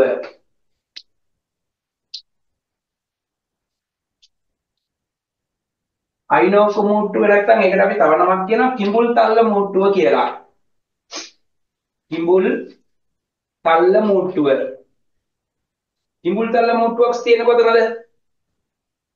මුදුන් යටලී ඒ කියන්නේ යටලී දෙකක් එකට සම්බන්ධ කරනකොට කිඹුල් තල්ල මූට්ටුවක් නැත්නම් කයිනෝක මූට්ටුවක් අපි පාවිච්චි කරනවා. ඒ වගේම අපි තව පාවිච්චි කරන කත්තු මල්ලි මූට්ටුව.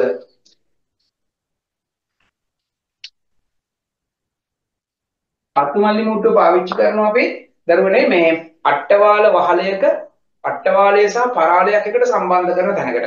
හරි? ඔන්න මම මූලික හතර දෙනෙක් කතා කළා. ඒ වගේම තව එක්කෙනෙක් අපිට ගන්න පුළුවන් දරුවනේ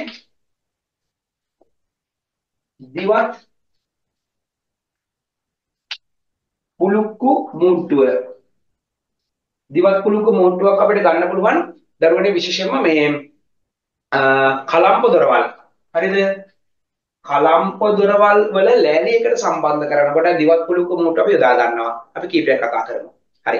අපෙන් අහන්නේ ඔය B කොටස එක දෙක කොටස් දෙකටම අපි එකටම උත්තරේ ලියමු. මෙහෙම ලියන්න. අපෙන් අහන්නේ මූට්ටු වර්ග තුනකුයි. ඒවා භාවිතා කරන අවස්ථා සඳහා උදාහරණ කියලා කියන්නේ? හරි අපි මෙහෙම ලියමු. කියන්නේ මුලින්ම එක දෙක දෙකටම උත්තර එකපාරම ලියන්න. ලියන්න. තව් කුඩිම මූට්ටුව. තව් කුඩිම මූට්ටුව. තව් කුඩිම මූට්ටුව. ලියන්න පුංචි කැලක් හරි ඉදිරිය ලියන්න. උළුවස්සක උළුවස්සක හිස හා කණුව සම්බන්ධ කිරීමට. උළුවස්සක හිස හා කණුව සම්බන්ධ කිරීමට. හිස හා කණුව සම්බන්ධ කිරීමට. ඊට පස්සේ දෙක. ඉලිප්පු මුට්ටුව. ඉලිප්පු මුට්ටුව. ඉලිප්පු මුට්ටුවක් අපි පාවිච්චි කරනවා ලියන්න. විත්ති යටලීය මත පරාල රැඳවීමට. බිත්ති යටලිය මත පරාල රැඳවීමට. බිත්ති යටලිය මත පරාල රැඳවීමට. ඊට පස්සේ කයිනෝක්කු මුට්ටුව එහෙම නැත්නම් කිඹුල් තල්ල මුට්ටුව. කයිනෝක්කු මුට්ටුව එහෙම නැත්නම් කිඹුල් තල්ල මුට්ටුව. කයිනෝක්කු මුට්ටුව නැත්නම් කිඹුල් තල්ල මුට්ටුව පාවිච්චි කරනවා පුතේ අපි. කයිනෝක්කු මුට්ටුව එහෙම නැත්නම් කිඹුල් තල්ල මුට්ටුව පාවිච්චි කරනවා. ලියන්න. ගැන යටලී දෙකක්. එකට සම්බන්ධ කිරීමේදී යටලී දෙකක් එකට සම්බන්ධ කිරීමේදී යටලී දෙකක් එකට සම්බන්ධ කිරීමේදී. ඊළඟට කත්තු මල්ලි මූට්ටුව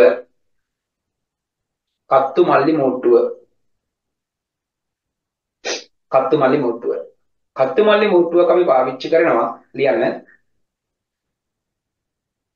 දැන් අට්ටවාලය හා අට්ටවාලය හා පරාලයක් සම්බන්ධ කිරීමේදී. අට්ටවාලයක් හා පරාලයක් සම්බන්ධ කිරීමේදී. අට්ටවාලයක් හා පරාලයක් සම්බන්ධ කිරීමේදී.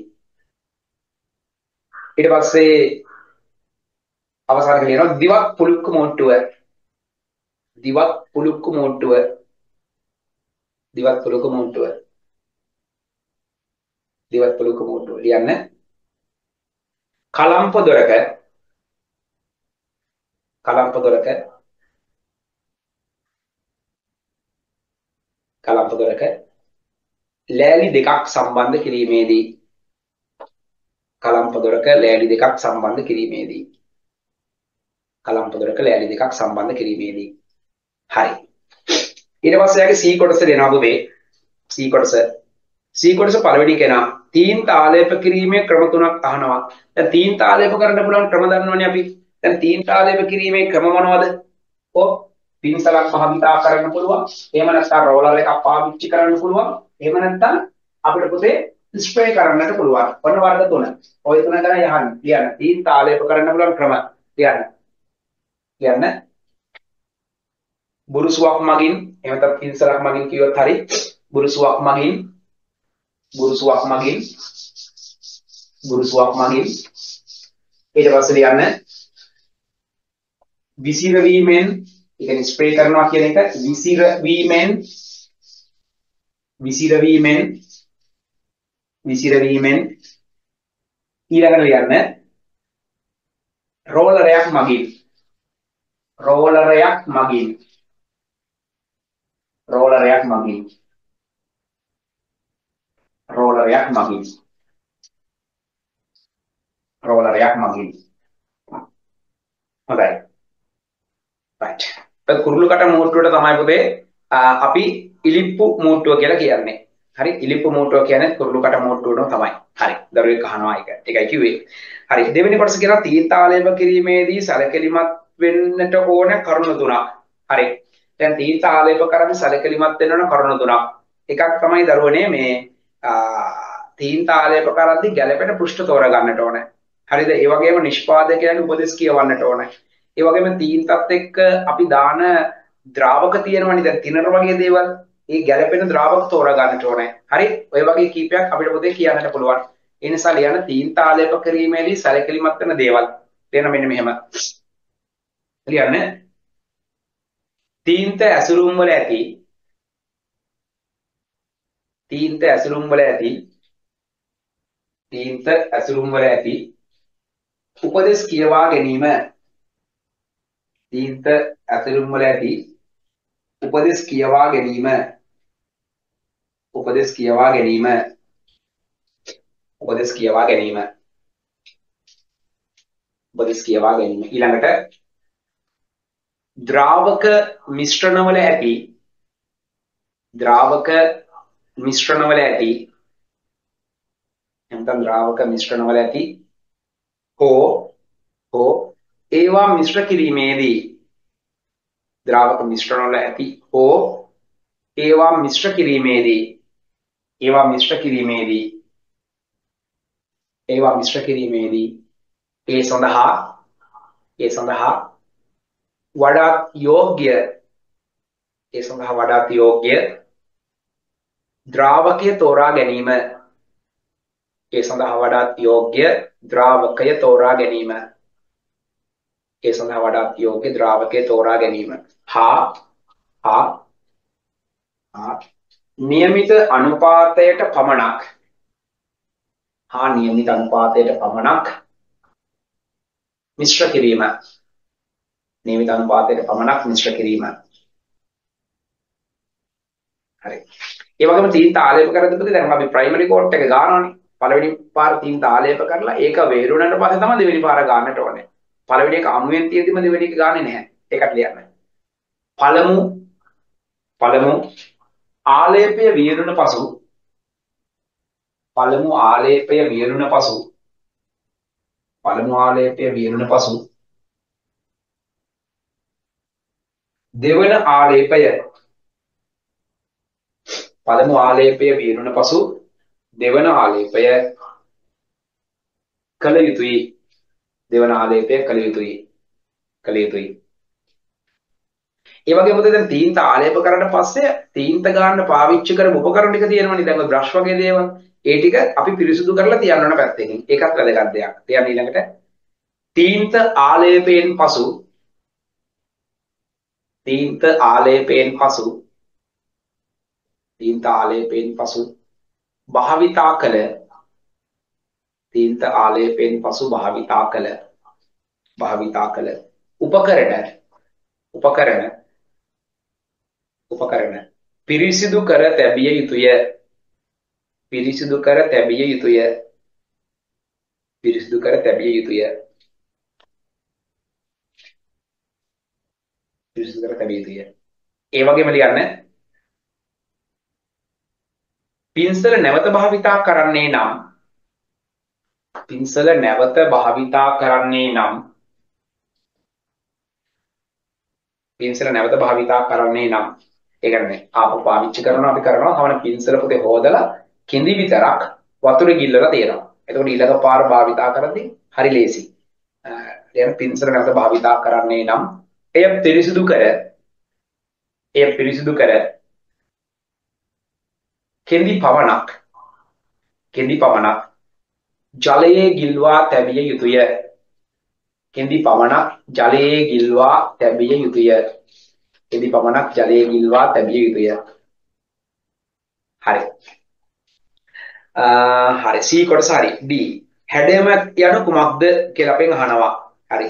හැඩයමක් කියලා කියන්නේ පුතේ අච්චුවක්. දැන් අපේ ඔය හැඩයමක් ඔව් හැඩයමක් කියන්නේ මොකක්ද දැන් අපි කොන්ක්‍රීට් දාද්දි පාවිච්චි කරන සැටලිම තියෙන සැටලිම කියන්නේ හැඩයමක් ඒ කියන්නේ తాවකාලික ආධාරකයක් ඒ කියන්නේ කොන්ක්‍රීට් එකක් නම් අපි ඒක වීරණකම් එම එහි හැඩය නොවෙනස්ව පවත්වා ගැනීම සඳහා යොදා ගන්න తాවකාලික ආධාරකයක් තමයි අපි හැඩයමක් කියලා කියන්නේ හරි අපෙන් අහන්නේ එහෙම එකක්. කැඩයමක් කියන්නේ කුමක්ද කියලා අහන්නේ. ලියන්න පුතා මෙහෙම. ලියන්න. ලියන්න. කොන්ක්‍රීට් හෝ බදාම යෙදීමේදී කොන්ක්‍රීට් හෝ බදාම යෙදීමේදී කොන්ක්‍රීට් හෝ බදාම යෙදීමේදී බදාම යෙදීමේදී බදාම යෙදීමේදී නිර්මාණයේ හැඩය කොන්ක්‍රීට් හෝ බදාම යෙදීමේදී නිර්මාණයේ හැඩය ඒ ආකාරයෙන්ම නිර්මාණයේ හැඩය ඒ ආකාරයෙන්ම පවත්වා ගැනීම සඳහා. නිර්මාණය හැදී ඒ ආකාරයෙන්ම පවත්වා ගැනීම සඳහා සඳහා ආධාරකයක් ලෙස යොදා ගන්නා ආධාරකයක් ලෙස යොදා ගන්නා ආධාරකයක් ලෙස යොදා ගන්නා తాවකාලික නිර්මාණයකි. ආධාරකයක් ලෙස යොදා ගන්නා తాවකාලික නිර්මාණයකි. తాවකාලික නිර්මාණයකි. తాවකාලික නිර්මාණයකි. తాවකාලික නිර්මාණයකි. తాවකාලික නිර්මාණයකි. හරි. ඊට පස්සේ කියනවා හැඩයමක අවශ්‍යතා දෙකක් අපෙන් අහනවා. හරි. පොතේ හැඩයමක් මොකටද ඕන වෙන්නේ කියලා අහනවා. එකක් තමයි නිර්මාණයේ හැඩය පවත්වා ගන්න. ඒ වගේම භාවිතා කරන මැටීරියල්ස් අපද යන එක වළක්වා ගන්න. ඒ වගේම නිර්මාණයෙන් පස්සේ නිමහම් කිරීම පහසු කර ගන්න. ඒ වගේම මොනවද ඊට අමතරව ඔය හැඩයමක් අපි භාවිතා කරන්නේ අලංකාරය සඳහා. ඔය වගේ වැඩවලට තමයි අපි ඔය හැඩයම් භාවිතා කරන්නේ. අපෙන් අහන්නේ එහෙම එකන්නේ ඕ හැඩයමක අවශ්‍යතාව දෙකක් අපෙන් අහනවා. ලියනකොට මෙහෙම. ලියනවා. ද්‍රව්‍ය අපතේ යාම වළක්වා ගැනීමට. ද්‍රව්‍යය අපතේ යාම වළක්වා ගැනීමට. ද්‍රව්‍ය අපතේ යාම වළක්වා ගැනීමට. තව එකක්. විවිධ හැඩයට විවිධ හැඩයට කොන්ක්‍රීට් ව්‍යුහ විවිධ හැඩයට කොන්ක්‍රීට් ව්‍යුහ විවිධ හැඩයට කොන්ක්‍රීට් ව්‍යුහ නිර්මාණය කර ගැනීමට විවිධ හැඩයට කොන්ක්‍රීට් ව්‍යුහ නිර්මාණය කර ගැනීමට නිර්මාණය කර ගැනීමට නිර්මාණය කර ගැනීමට නිර්මාණය කර ගැනීමට. තව එකක්. හැඩයෙන් හා ප්‍රමාණයෙන් හැඩයෙන් හා ප්‍රමාණයෙන් සමාන හැඩයෙන් හා ප්‍රමාණයෙන් සමාන හැඩයෙන් හා ප්‍රමාණයෙන් සමාන කොන්ක්‍රීට් ඒකකයන් කොන්ක්‍රීට් ඒකකයන් නිර්මාණය කර ගැනීමට කොන්ක්‍රීට් ඒකකයන් නිර්මාණය කර ගැනීමට නිර්මාණය කර ගැනීමට. තව එකක්. සකස් කරගත් සකස් කරගත් නිපැයුම් වල සකස් කරගත් නිපැයුම් වල නිපැයුම් වල උසස් මට්ටමක නිර්මාණය කළ නිර්මාණය කළ නිපැයුම් වල එහෙම නැත්නම් සකස් කරගත් නිපැයුම් වල නිපැයුම් වල උසස් මට්ටමක උසස් මට්ටමක උසස් මට්ටමක නිමාවක් ලබා ගැනීමට උසස් මට්ටමක නිමාවක් ලබා ගැනීමට උසස් මට්ටමක නිමාවක් ලබා ගැනීමට තව එකක්. නිපයුමේ හැඩය සහ නිපැයුමේ හැඩය සහ ප්‍රමාණය ගැන. නිපයුමේ හැඩය සහ ප්‍රමාණය ගැන පෙර දැනුමක් ලබා ගැනීමට. පෙර දැනුමක් ලබා ගැනීමට. පෙර දැනුමක් ලබා ගැනීමට. ඔන්න ඔයගේ වැඩවලට තමයි අපිට හැඩයම් පුතා අවශ්‍ය වන්නේ. ඊ කොටස කියනවා. හැඩයමක් ඊ කොටස පළවෙනි කෙනා හැඩයමක් සඳහා යොදා ගන්නා ද්‍රව්‍ය තුනක් අහනවා. දැන් ඒ කියන්නේ සැරලින් එහෙම ගහන්න ගන්න දේවල් ගැන හිතන්නකො කොන්ක්‍රීට් නිර්මාණයන් වල අච්චු හදන්න ගන්න දේවල් ගැන හිතන්නකො. දැව ගන්නවා, ලෝහ තහඩු ගන්නවා, ෆයිබර් ග්ලාස් ගන්නවා, රිජි ෆෝම් ගන්නවා. ඔය වගේ දේවල් නේ ගන්නෙ. ලියන්න පොතේ කීපයක්. දැව ඒ කියන්නේ e ඊ කොටසේ පළවෙනි එක කරන්න. දැව ලෝහ තහඩු ලෝහ තහඩු ඒ වගේම ප්ලාස්ටික් ප්ලාස්ටික් ඒ වගේම ෆයිබර් ඔය වගේ දේවල් ගන්නවා. ඒක දෙවෙනි කොටස හැඩයමක තිබිය යුතු ගුණාංග තුනක් අහනවා. හැඩයමක තිබිය යුතු ගුණාංග තුනක්. දැන් අපි හැඩයමක තියෙන ගුණාංග තමයි පොතේ පළවෙනි කෙනා ශක්තිමත් වෙන්න ඉබෑ. දැන් අපි කොන්ක්‍රීට් එකක් දාන්න කලින් සැටලිමක් ගහලා ඒක උඩ කොන්ක්‍රීට් කම්බිනේට් එක දාලා සේවකයෝ එහාට මෙහාට යමින්නේ දරුවනේ කොන්ක්‍රීට් එක දාන්න උඩ එතකොට සේවකයන්ගේ ඒ වගේම උපකරණවල කොන්ක්‍රීට් වල කම්බි වල බර දරා ගන්න තරම් ශක්තියක් තියෙන්නට ඕන. ඒ වගේම වතුර ගෑවුනා කියලා මේ ලෑලි ඇදවෙන්න, ගැලවෙන්න, ඉදිමෙන්න බෑ. ඒ වගේම ලෑලි ගැලෙවුවට පස්සේ ලස්සනට ෆිනිෂින් එක තියෙන්නත් ඕන. මූට්ටු විවර වෙන්න බෑ. ඒ වගේම ආර්ථික වශයෙන් වාසිදායක නැත්නම් ලාභදායී වෙන්නට ඕන. ඉතින් ඔය වගේ දේවල් තමයි හැඩයමක තියෙන්න ඕනේ ගුණාංග විදිහට අපි දකින්නේ. කියන්නේ කීපයක් මෙහෙම.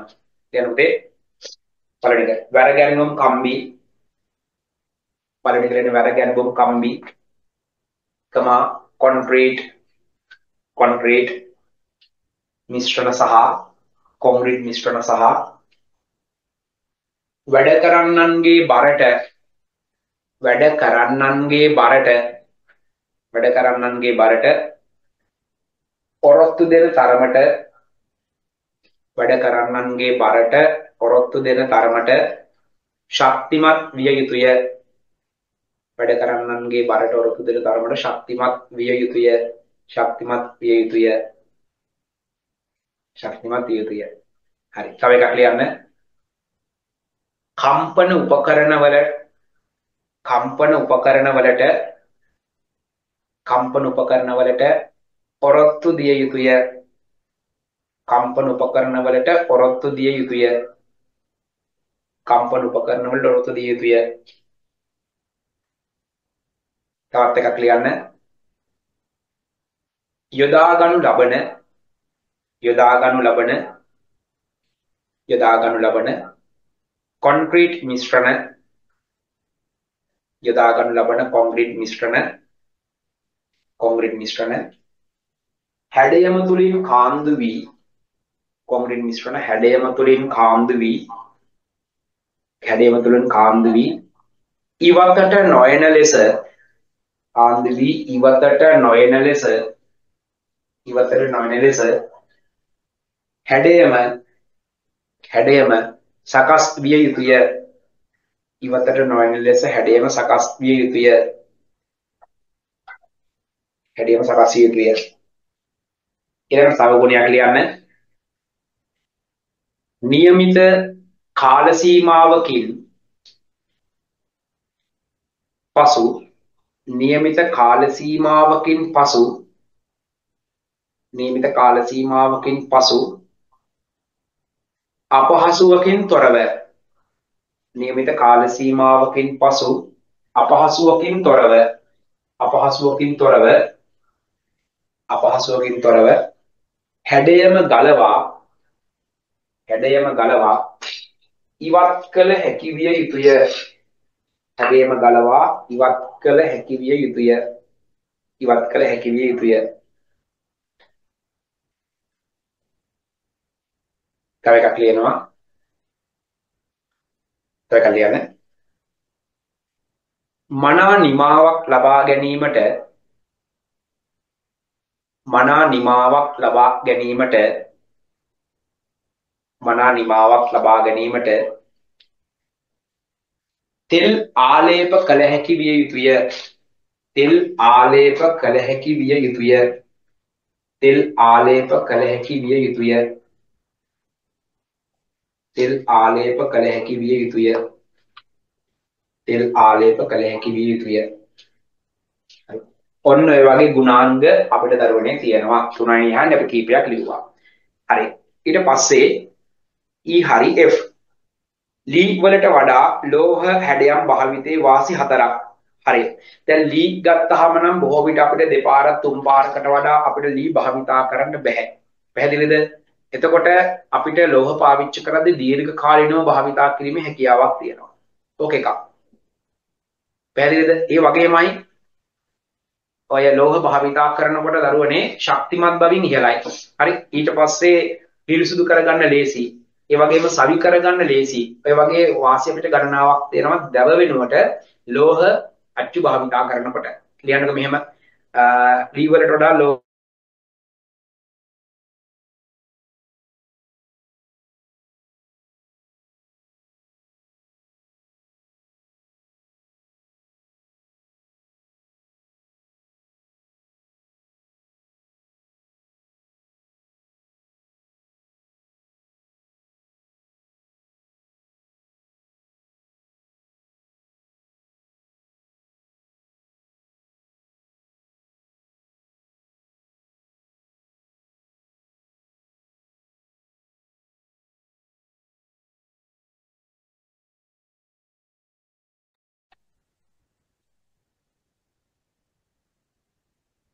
Uh, පොතේ දැන් මේ එතකොට ලෝහ හැඩයන් භාවිතා කරන එකේ වාසිනි අපි දැන් කතා කරන්න යන්නේ දැවවලට වඩා ලියන්නක කීපයක් මෙහෙම ලියන්න.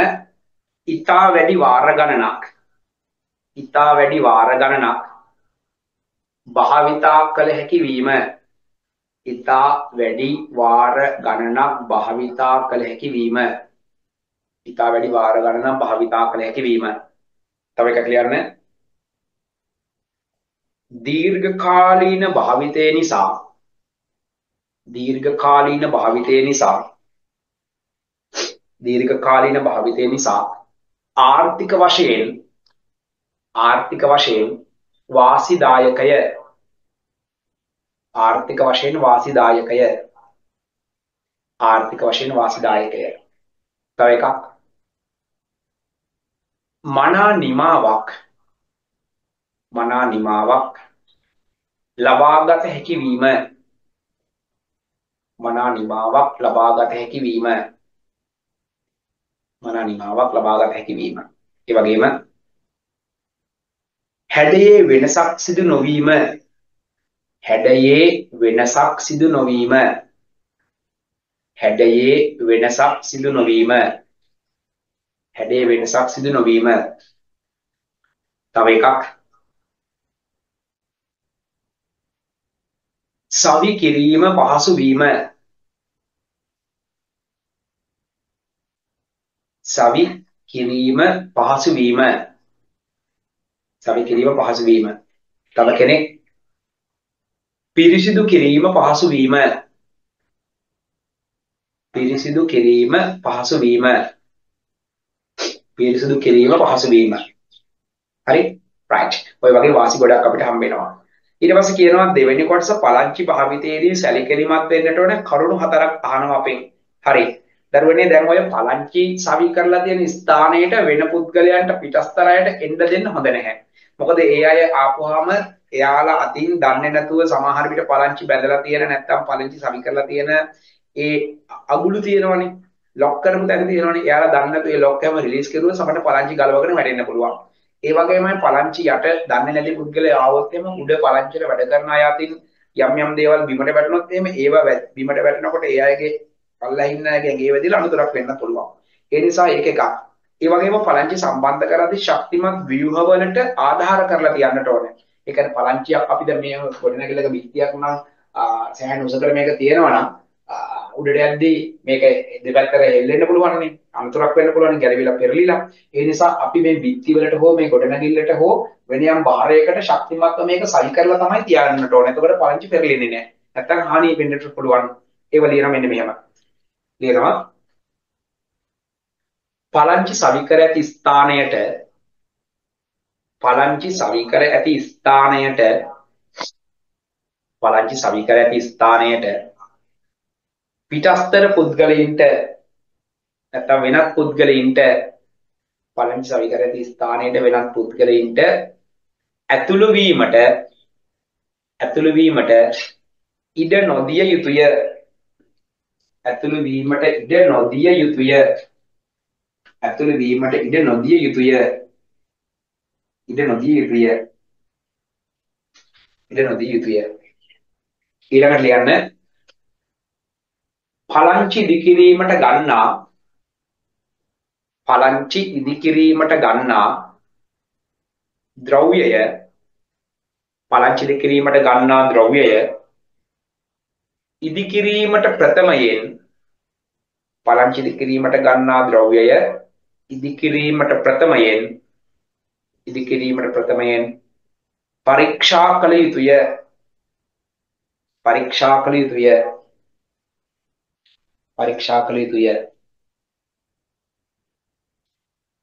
එතනින්ම ලියන්න. නැත්නම් යටින් ලියුවත් කවන්නේ පලංචි සවි කිරීම. පලංචි සවි කිරීම. පළපුරුදු අයකු විසින් පලංචි සවි කිරීම පළපුරුදු අයකු විසින් කළ යුතුය. පලංචි සවි කිරීම පළපුරුදු අයකු විසින් කළ යුතුය. කළ යුතුය. කළ යුතුය. ඒ වගේම තමයි පලංචියක් සවි කරද්දී ගොඩනැගිල්ලට ආනතව තියෙන විදිහට තමයි පලංචිය හදන්න ඕනේ. එතකොට ගොඩනැගිල්ලට හේතු වෙලා හිටිනවා. නැත්තම් අනතුරක් වෙන්න පුළුවන්. ලියන්න මෙහෙම පලංචිය සකස් කිරීමේදී පලංචිය සකස් කිරීමේදී නැත්නම් පලංචි කණු සිටුවීමේදී එහෙම දාන්නකො පලංචි කණු සිටුවීමේදී පලංචි කණු සිටුවීමේදී පොළවට සිරස්ව හෝ පොළවට සිරස්ව හෝ ගොඩනැගිල්ලට ආනතව පොළවට සිරස්ව හෝ ගොඩනැගිල්ලට ආනතව ගොඩනැගිල්ලට ආනතව සිටු විය යුතුය. ගොඩනැගිල්ලට ආනතව සිටු විය යුතුය. ගොඩනැගිල්ලට ආනතව සිටු විය යුතුය. ඒ වගේම මොකද දැන් ඔය පලංචි වලට දානවනේ ලෑලි දානවනේ ලෑලි වල පළල මිලිමීටර 200ක් වෙන්නට ඕනේ ඒක අනිවාර්යයෙන්ම වෙන්නට ඕන නැත්නම් කකුල් තියාගන්න ඉඩ මදි වෙනවා. ඒකට සෙන්ටිමීටර් 20ක්. හරි? ලියන්න මෙහෙම. පලංචි සඳහා යොදන පලංචි සඳහා යොදන ලෑලි ලෑලි ලෑලි වල පළල ලෑලි වල පළල මිලිමීටර් 200ක්ද මිලිමීටර් 200ක්ද පළල මිලිමීටර් 200ක්ද ඝනකම ඝනකම මිලිමීටර් 50ක්ද විය යුතුය? විය යුතුය. විය යුතුය. ඒ වගේම පොතේ පලංචි සිටුවදී පලංචි වල උස මීටර 8කට වඩා උසයි නම් පලංචි මීටර 8කට වඩා උඩින් නම් තියෙන්නේ අනිවාර්යයෙන්ම පලංචි වටා ආරක්ෂක වැටක් ගහන්න ඕනේ. උඩට ගොඩ වෙන්න ඉනිමකක් වගේ තියා ගන්නත් වෙනවා. නැත්තම් උඩ වැඩ කරන අය වැටෙන්න පුළුවන්. ඒක ලියන්න. පලංචියක උස පලංචියක උස පොළව මට්ටමින් පලංචියක උස පොළව මට්ටමින් මීටර 8කට වඩා වැඩි නම් මීටර 8කට වඩා වැඩි නම් මීටර 8කට වඩා වැඩි නම් මීටර 8කට වඩා වැඩි නම් පලංචියට පලංචියට අත් වැටක් පලංචියට අත් වැටක් හා අත්වැටක් හා පාපුවරුවක් සවි කළ යුතුය. අත්වැටක් හා පාපුවරුවක් සවි කළ යුතුය. පාපුවරුවක් සවි කළ යුතුය. පාපුවරුවක් සවි කළ යුතුය. හරි. ඊට පස්සේ කියනවා ඔන්න පළවෙනි දෙවෙනි ප්‍රශ්නේත් ඉවරයි. තුන්වෙනි ප්‍රශ්නට එනවා. ගොඩනැගිල්ලකට අදාළ සැලැස්මෙහි එක් එක් තැනක පහත් දැක්වෙන ආකාරයේ කම්බි විස්තර දක්වා තියෙනවා හරි 1 2 3 4 මගින් හඳුන්වන්නේ කුමක්ද කියලා අහනවා. හරි. මෙයාගේ දරුවනේ ඔය කියන්නේ මොකක්ද 4යි y 16 5 200 cc කියලා කියන්නේ. හරි. එතකොට දරුවනේ මෙතනදී අංක 1 දැන් පළවෙනි එක්කෙනා කියන අංක 4නේ. මෙතනදී කියන්නේ දරුවනේ right. ඔව්. මෙතනදී දරුවනේ ඔයාලට ඔය කියන්නේ කම්බි ගණන. අංක හතර කියන්නේ කම්බි ගණන. Y කියන්නේ කම්බියේ මාධ්‍යය මොකද්ද මේ කම්බියේ වර්ගය? 16 කියන්නේ කම්බියක හරස්කඩ විස්කම්බිය මිලිමීටර් 16 කම්බි කියලා කියන්නේ. ඊට පස්සේ දරුවනේ ඔය අංක පහ කියලා කියන්නේ දරුවනේ ඔය කම්බි දෙකක් අතර පරතරය. ඊට පස්සේ ඔය 200 කියලා කියන්නේ බාකෝඩ් නම්බර එකක් C to C ඒක C ඇලේරක් C කියන්නේ මැදින් මැද පරතරය කියන අදහස. ඔන්න ඔය ටික තමයි කියන්නේ. ලියා ගන්නකො ලස්සන යටින් මෙන්න නෝට් කරන්න. ඔයාලට 1 2 3 4 වෙනි ගන්න තියෙන අංක එක කියන්නේ කම්බි ගණන. අංක එක කියන්නේ මොකද? කම්බි ගණන. අංක එක කියන්නේ කම්බි ගණන. ඒ කියන්නේ මේ අංක හතරෙන් හතර කියලා දාලා තියෙන කම්බි ගණන. ඊට අංක දෙක. අංක දෙක කියන්නේ කම්බියේ වර්ගය. ඒ කියන්නේ මෘදු වානේද, දඟර වානේද, නාරටි වානේද අන්න ඒ වගේ. අංක දෙක කියන්නේ කම්බියේ වර්ගය. නැත්නම් කම්බි වර්ගය.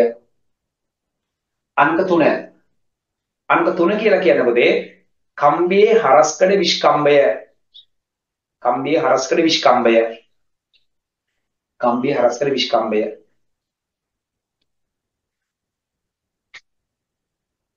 ඊට පස්සේ 1 2 3 4 අංක 4 කියන්නේ බාකෝඩ් අංකය. බාකෝඩ් අංකය. බාකෝඩ් අංකය. අංක 5 කියන්නේ කම්බි දෙකක් අතර පරතරය.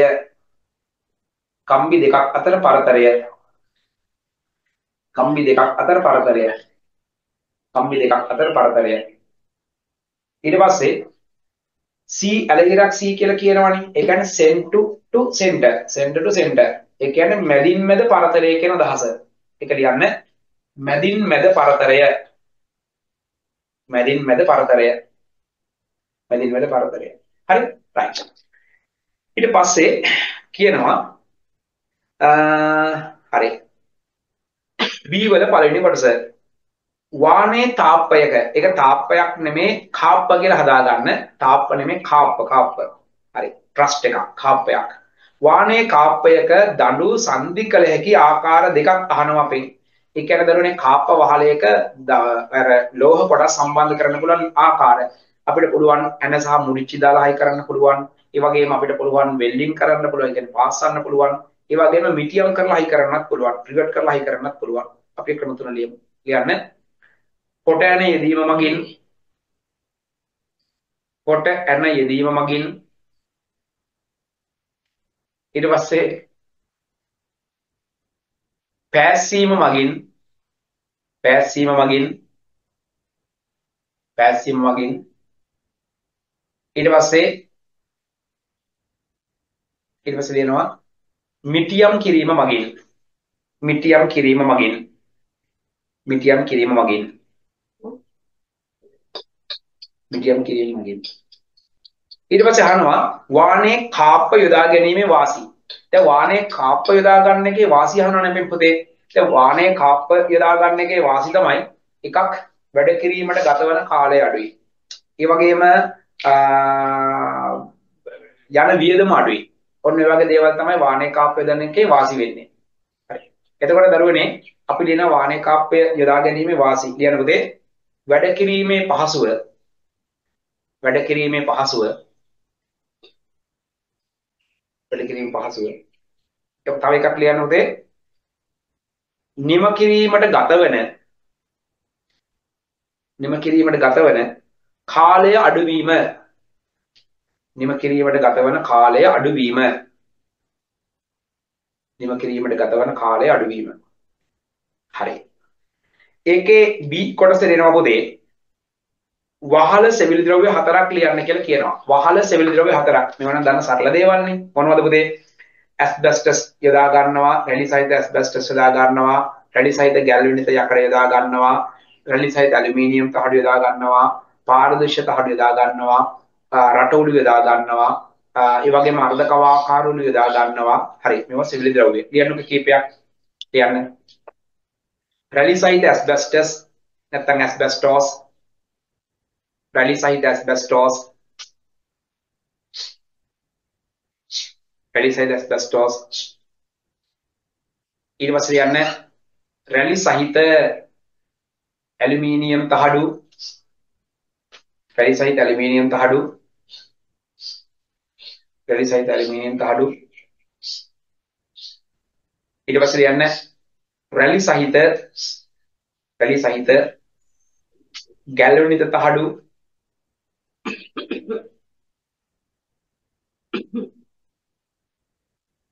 රැලි සහිත ගැලවනිත තහඩු ඊට පස්සේ ලියන්න තව ඔන්න ලියා ගන්න පුතේ පාරදෘශ්‍ය තහඩු පාරදෘශ්‍ය තහඩු පාරදෘශ්‍ය තහඩු පාරදෘශ්‍ය තහඩු ඒ වගේම ලියනවා රටකුළු රටකුළු ඒ වගේම ලියනවා අර්ධ කවාකාර උඩු අර්ධ කවාකාර උඩු අර්ධ කවාකාර උඩු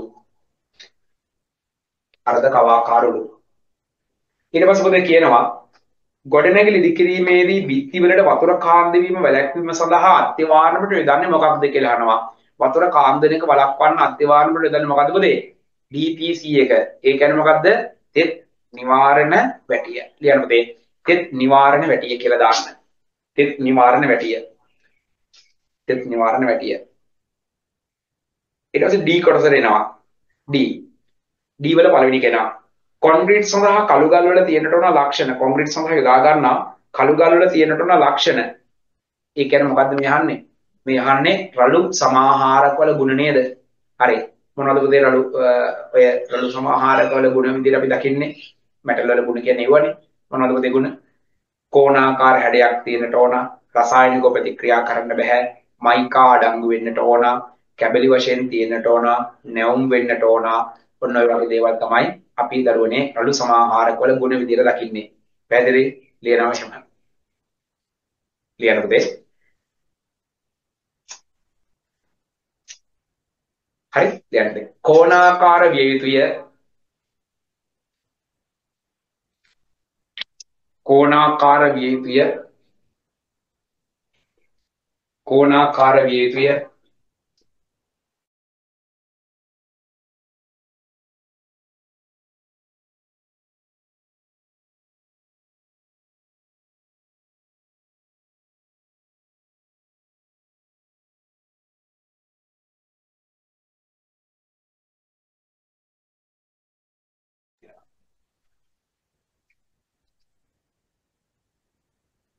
කෝණාකාර විය යුතුය.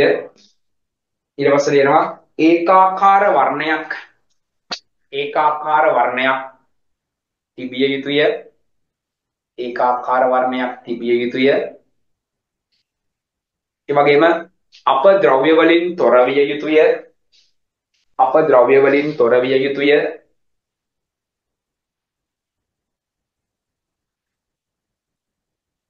අප ද්‍රව්‍ය වලින් තොර විය යුතුය.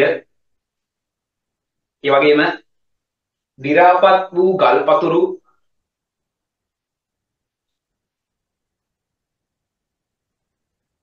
දිරාපත් වූ ගල්පතුරු නොවීම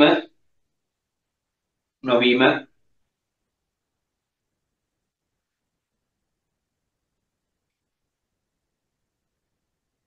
දිරාපත් වූ ගල්පතුරු නොවීම.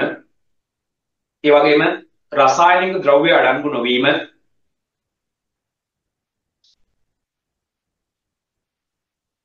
රසායනික ද්‍රව්‍ය අඩංගු නොවීම රසායනික ද්‍රව්‍ය අඩංගු නොවීම ඒ වගේම නැවුම් බවින් යුක්ත වීම. නැවුම් බවින් යුක්ත වීම. නැවුම් බවින් යුක්ත වීම. නැවුම් බවින් යුක්ත වීම. හොඳයි. Uh, රයිට් ඊට පස්සේ පුතේ uh, අපි යාගේ uh, දෙවෙනි කොටසට එනවා. හරි. එයාගේ දෙවෙනි කොටසට එද්දි පුතේ කියන්නේ මෙහෙමයි. එයාගේ දෙවෙනි කොටසද කියනවා අපිට මේ ඔය පෙරසවි කොන්ක්‍රීට් වල තියෙන වාසි දෙකක්. පෙරසවි කොන්ක්‍රීට් වල තියෙන වාසි දෙකක්. දැන් ඔය මේ පෙරසවි කොන්ක්‍රීට් කියන්නේ මොනවද?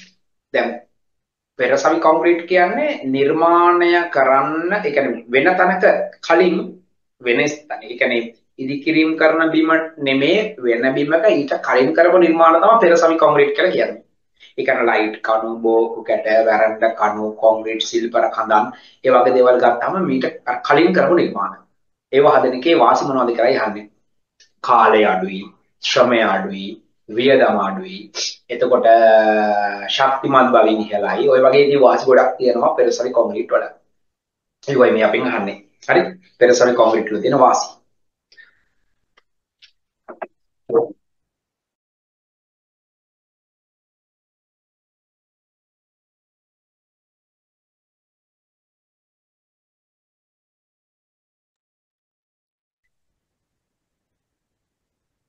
හරි. පොතන විනාඩියක් කොහොම ඉන්න. මේ තේ කැවිලම තේ කැවිලම ගන්නවා. විනාඩියක් කොහොම ඉන්න. ඔයාලත් ඒ වරණ ටක් ගාලා බොන්න. මේ මොන කට්ටිය මම ටක් ගාලා දෙන්න බිලා විනාඩියක් දෙන්න.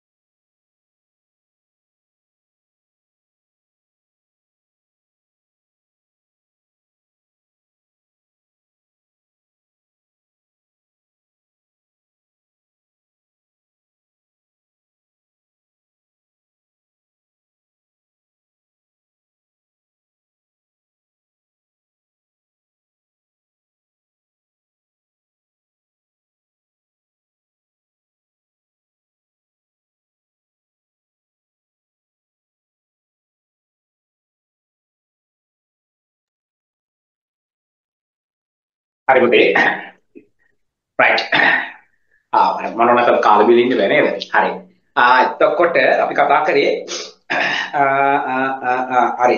එතකොට අපි කතා කරේ ආ right හරි. පෙරසවි කොන්ක්‍රීට් වල තියෙනවට වාසි හරි පෙරසවි කොන්ක්‍රීට් වල තියෙන වාසි. ලියන පුතේ කීපයක්.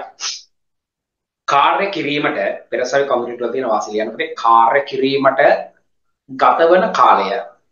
කාර්ය කිරීමට ගතවන කාලය අඩුවීම. කාර්ය කිරීමට ගතවන කාලය අඩුවීම. කාර්ය කිරීමට ගතවන කාලය අඩුවීම. කාර්ය කිරීමට ගතවන කාලය අඩුවීම. තව එකක් කියන්න. අඩු ශ්‍රමය. අඩු ශ්‍රමය. අඩු ශ්‍රමය. තව කෙනෙක් ලියන්න. වියදම අඩුවීම. වියදම අඩුවීම. වියදම අඩුවීම. තව කෙනෙක් හැසිරවීමේ පහසුව හැසිරවීමේ පහසුව හැසිරවීමේ පහසුව. තව කෙනෙක් මනා නිමාවක් තිබීම මනා නිමාවක් තිබීම. හරි. ඊට පස්සේ කියනවා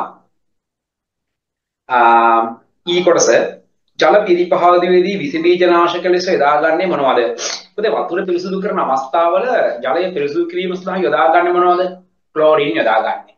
ක්ලෝරින් යොදාගන්නේ. උත්තරේ ක්ලෝරින්. ක්ලෝරින්. දෙක පානීය ජලයේ තිබිය යුතු ලක්ෂණ තුනක්. ඒ කියන්නේ බීමට සුදුසු ජලයේ තියෙන ලක්ෂණයි මේ අහන්නේ. බීමට සුදුසු ජලයේ ලක්ෂණ තමයි දරුවනේ විෂදායක ද්‍රව්‍ය වලින් තොරයි, මල බැඳීමේ තත්ත්ව ඇති කරන්නේ නැහැ, ප්‍රමාණවත් උෂ්ණත්වයක් තියෙන්න ඕනේ, ද්‍රාව්‍ය ඔක්සිජන් අඩංගු වෙලා තියෙන්න ඕන. ඔය වගේ දේවල් තමයි ප්‍රමාණවත් කටිනත්වයක් තියෙන්න ඕනේ. ඕවා තමයි බොන්න සුදුසු ජලයේ තියෙන ලක්ෂණ විදිහට අපි දකින්නේ. හරි? රයිට්. අපි ලියමු වෙන්නේ මෙහෙම. ලියන්න.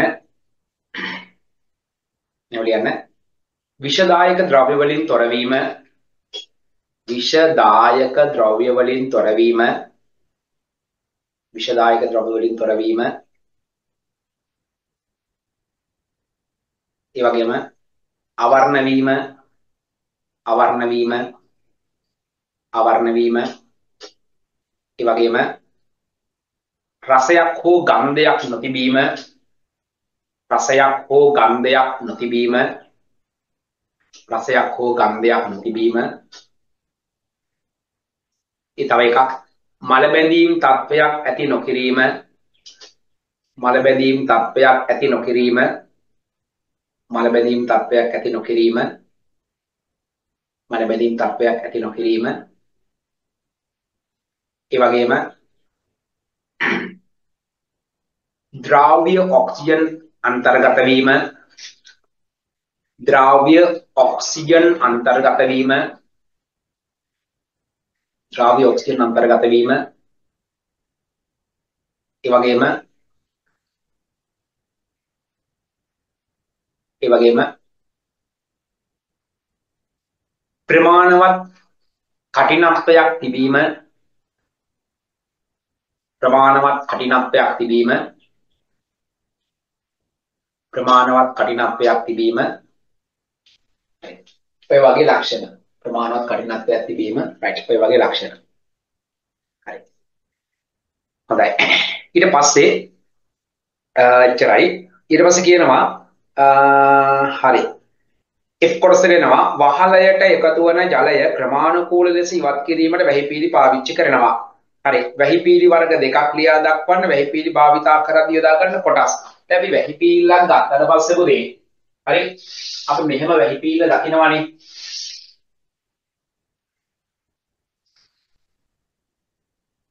මෙහෙම අපි වැහිපීලක් දකිනවා.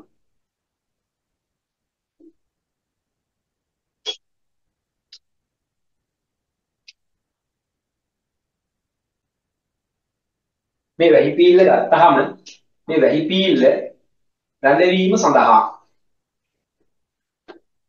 වැහිපීල්ල රැඳවීම සඳහා අල්ලු භාවිතා කරනවා.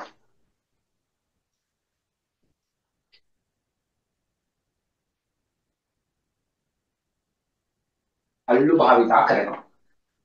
ඊට පස්සේ වැහිපීලි දෙකක දිග මදි වුණොත් ඒ වැහිපීලි දෙක එකට සම්බන්ධ කරන්න අපි පාවිච්චි කරනවා අපි අල්ලුවකුත් යොදා ගැනීම සිද්ධ කරනවා.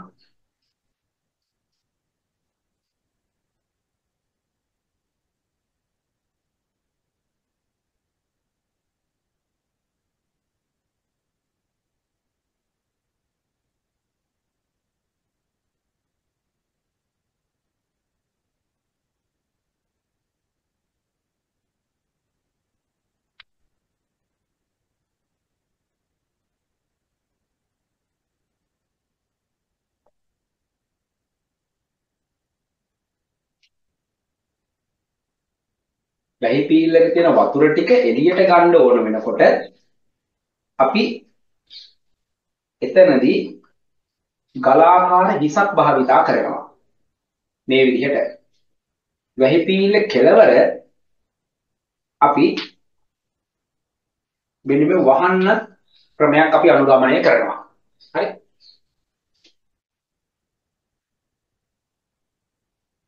හරි. ඔය විදිහට. මේක කොටස් ටික අපි හඳුනා ගත්තොත් මෙන්න මෙයාට අපි කියනවා මේ තමයි වෙහි පීල්ල. මේ තියෙන්නේ පීලි අග වැස්ම. පීලි එන් කැප් එක අග වැස්මක්. මේ තියෙන්නේ එයාම තමයි පීලි අග වැස්ම. මෙන්න මෙයාට අපි කියනවා මේ කොටසට අපි කියනවා ගලාකාර හිස. ගලාකාර හිස. මෙයාට කියනවා දිය බස්නා නලය කියලා. වතුර ගලන නලය. ඩවුන් පයිප් එක කියලා කියනවා. මෙයාට අපි කියනවා පීලි අල්ලුව. පීලි අල්ලුව. ඕකෙන් තමයි වැහිපිලි රඳව ගන්නේ. මෙයාට කියනවා පීලි සංදිය වැහි පීලි දෙකක් එකට සම්බන්ධ කරන කෙනා. හරි ජොයින් කරන්න පාවිච්චි කරන මෙන්න මේක ක්ලිප් එකක්. මේකෙන් තමයි වැහි පීල්ල වඩි මුලැලට රඳවලා තියාගන්නේ. ඒක වෙන එකක්. පැහැදිලිද? හරි. මේ එතකොට අපෙන් අහන්නේ මොකක්ද අහන්නේ මේ වැහි පීලි වර්ග දෙකක් ලියන්න. වැහි පීලි වර්ග. එකක් තමයි වැහිපිලි වර්ග කියන්නේ ඕක අපිට හදන්න පුළුවන් එක්කෝ PVC නල වලින් හදන්න පුළුවන්. එහෙම නැත්නම් ඇලුමිනියම් තහඩු වලින් හදන්න පුළුවන්. අන්න ඒ වගේ අදහසක් තමයි අපෙන් ඔය අහන්නේ. හරි ඒ නිසා අපි ඒක පිළිමෙන් පැහැදිලි කරමු. ලියන්න. අපෙන් අහන්නේ යා වැහිපිලි වර්ග ලියන්න පුතේ PVC PVC වැහිපිලි PVC වැහිපිලි PVT වැහිපිලි අනිත් තව එකක් ලියන්න යටින්. සින්ක් ඇලුමිනියම් තහඩු. ඒක අමානු ෂීට් නමල හදලා තියෙන වැහිපිලි තියෙන්නේ. සින්ක් ඇලුමිනියම් තහඩු. සින්ක් ඇලුමිනියම් තහඩු වලින් නිර්මිත වැහිපිලි වලින් නිර්මිත වැහිපිලි වලින් නිර්මිත වැහිපිලි හරි. දරුවේ කනස කටිනත්වය කියන්නේ මොකක්ද? ජලයේ මොන ගුණයද? කටිනත්වය කියන්නේ මොකක්ද? කිවුල් ගතිය කියලා කියන්නේ කිවුල කියලා කියන්නේ අපි. ඒක තමයි කටිනත්වය කියන්නේ. වතුරේ කටිනත්වය යම් පමණක් තියෙන්න ඕනේ. ඒක ප්‍රමාණය ඉක්මවා තිබුණොත් තමයි ගැටලුවක් වෙන්නේ. මේ දරුවේ කනස මොකක්ද තැඹිලි පහට ඉරක් තියෙන බෝඩ් එකේ. ආ ඒ තමයි දරුවනේ. ජයග්‍රහණේ පාරාදීසයේ රේඛාව. හ්ම් ඉදි ඉර. ඔය තියෙන්නේ ඒක තමයි. හරි? රයිට් ඔන්න ඉර වැහුවා. හරි. රයිට් දරුවෙක් අහනවා එහෙම හඳයි එතකොට මේ අහනවා රයිට් ඔතනින් පස්සේ අහනවා වැහිපීලි සවි කරද්දී භාවිතා කරන කොටස් හතරක්. මොකද වැහිපීලි භාවිතා කරද්දී යොදා ගන්න කොටස් හතරක් අහනවා. ඒ කියන්නේ වැහිපීලක තියෙන කොටස් ටික. පැහැදිලිද? හරි. ඒ නිසා ඔයාලා ටක් ගාලා මෙන්න මේ වැහිපීලි ටක් ටක් ගාලා අඳ ගන්න. ඔයාලා මේක තාම දන්නේ නැහැ මේක අපි කතා කරන්නේ ගෘහස්ත ජල සම්පාදනය කියන පාඩමේදී. හරි? එතකොට මේ තාම දන්නේ නැහැ. නමුත් ඔක ටක් ගාලා අඳ ගන්න මම පැහැදිලි කරන්නම් ඊළඟට.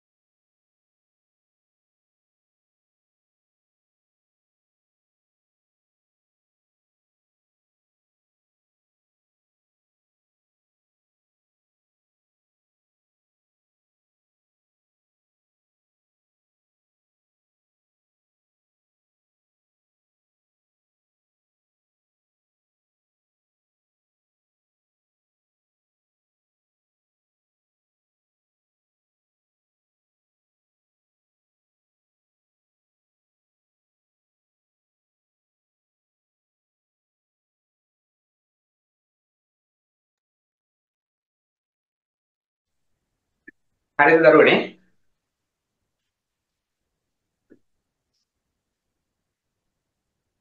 මේක නම් කරද්දී මේක පීලි අග වැස්ම පීලි අග වැස්ම. මෙයා වැහි පීල්ල මෙතන තියෙන්නේ පීලි අල්ලුව. පීලි අල්ලුව කියන්නේ ඔය මේ වඩින් බුල ඇල්ලට මේ පීල්ල හයි කරලා තියෙන මේ අල්ලුව බ්‍රැකට් එකක් මේ තියෙන්නේ. මෙතන එන දෙකක් දාලා හයි කරන්න තියෙන්නේ. පීලි සංදිය කියන්නේ එහෙම එන දාලා හයි කරන්න තියෙන එකක් නෙමෙයි. වැහි පීලි දෙකක් කෑලි දෙකක් එකට සෙට් කරන්න තියෙද්දි ඒක ජොයින් එකක් කියලා කියන්නේ ජොයින් කරන්න පාවිච්චි කරන කෙනෙක් පීලි සංදිය කියන්නේ. මෙතන තියෙනවා ගලාකාර හිස. ගලාකාර හිස කියන්නේ මොකද? වතුර එකතු වෙන ලොකු බකට් එකක් තියෙනවනේ. ඒකෙන් එකතු වෙන වතුර ටික තමයි දියවස්නා නලයෙන් පහළට ගෙනියන්නේ. ඩවුන් පයිප් එකෙන් පහළට ගෙනියන්නේ යා. මෙතන තියෙන්නේ පීලියක වැස්මක්. පීලියක වැස්මක්. අර මෙතන තියෙනා වගේම මේ පැත්තේ පීලියක වැස්මක් තියෙන්නේ. හරි. ඉක්පන් කරන්න බලන්න.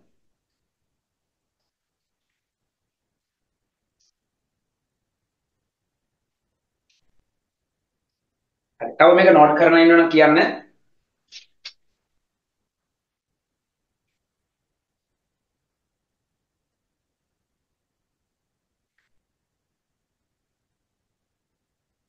හරි නේද?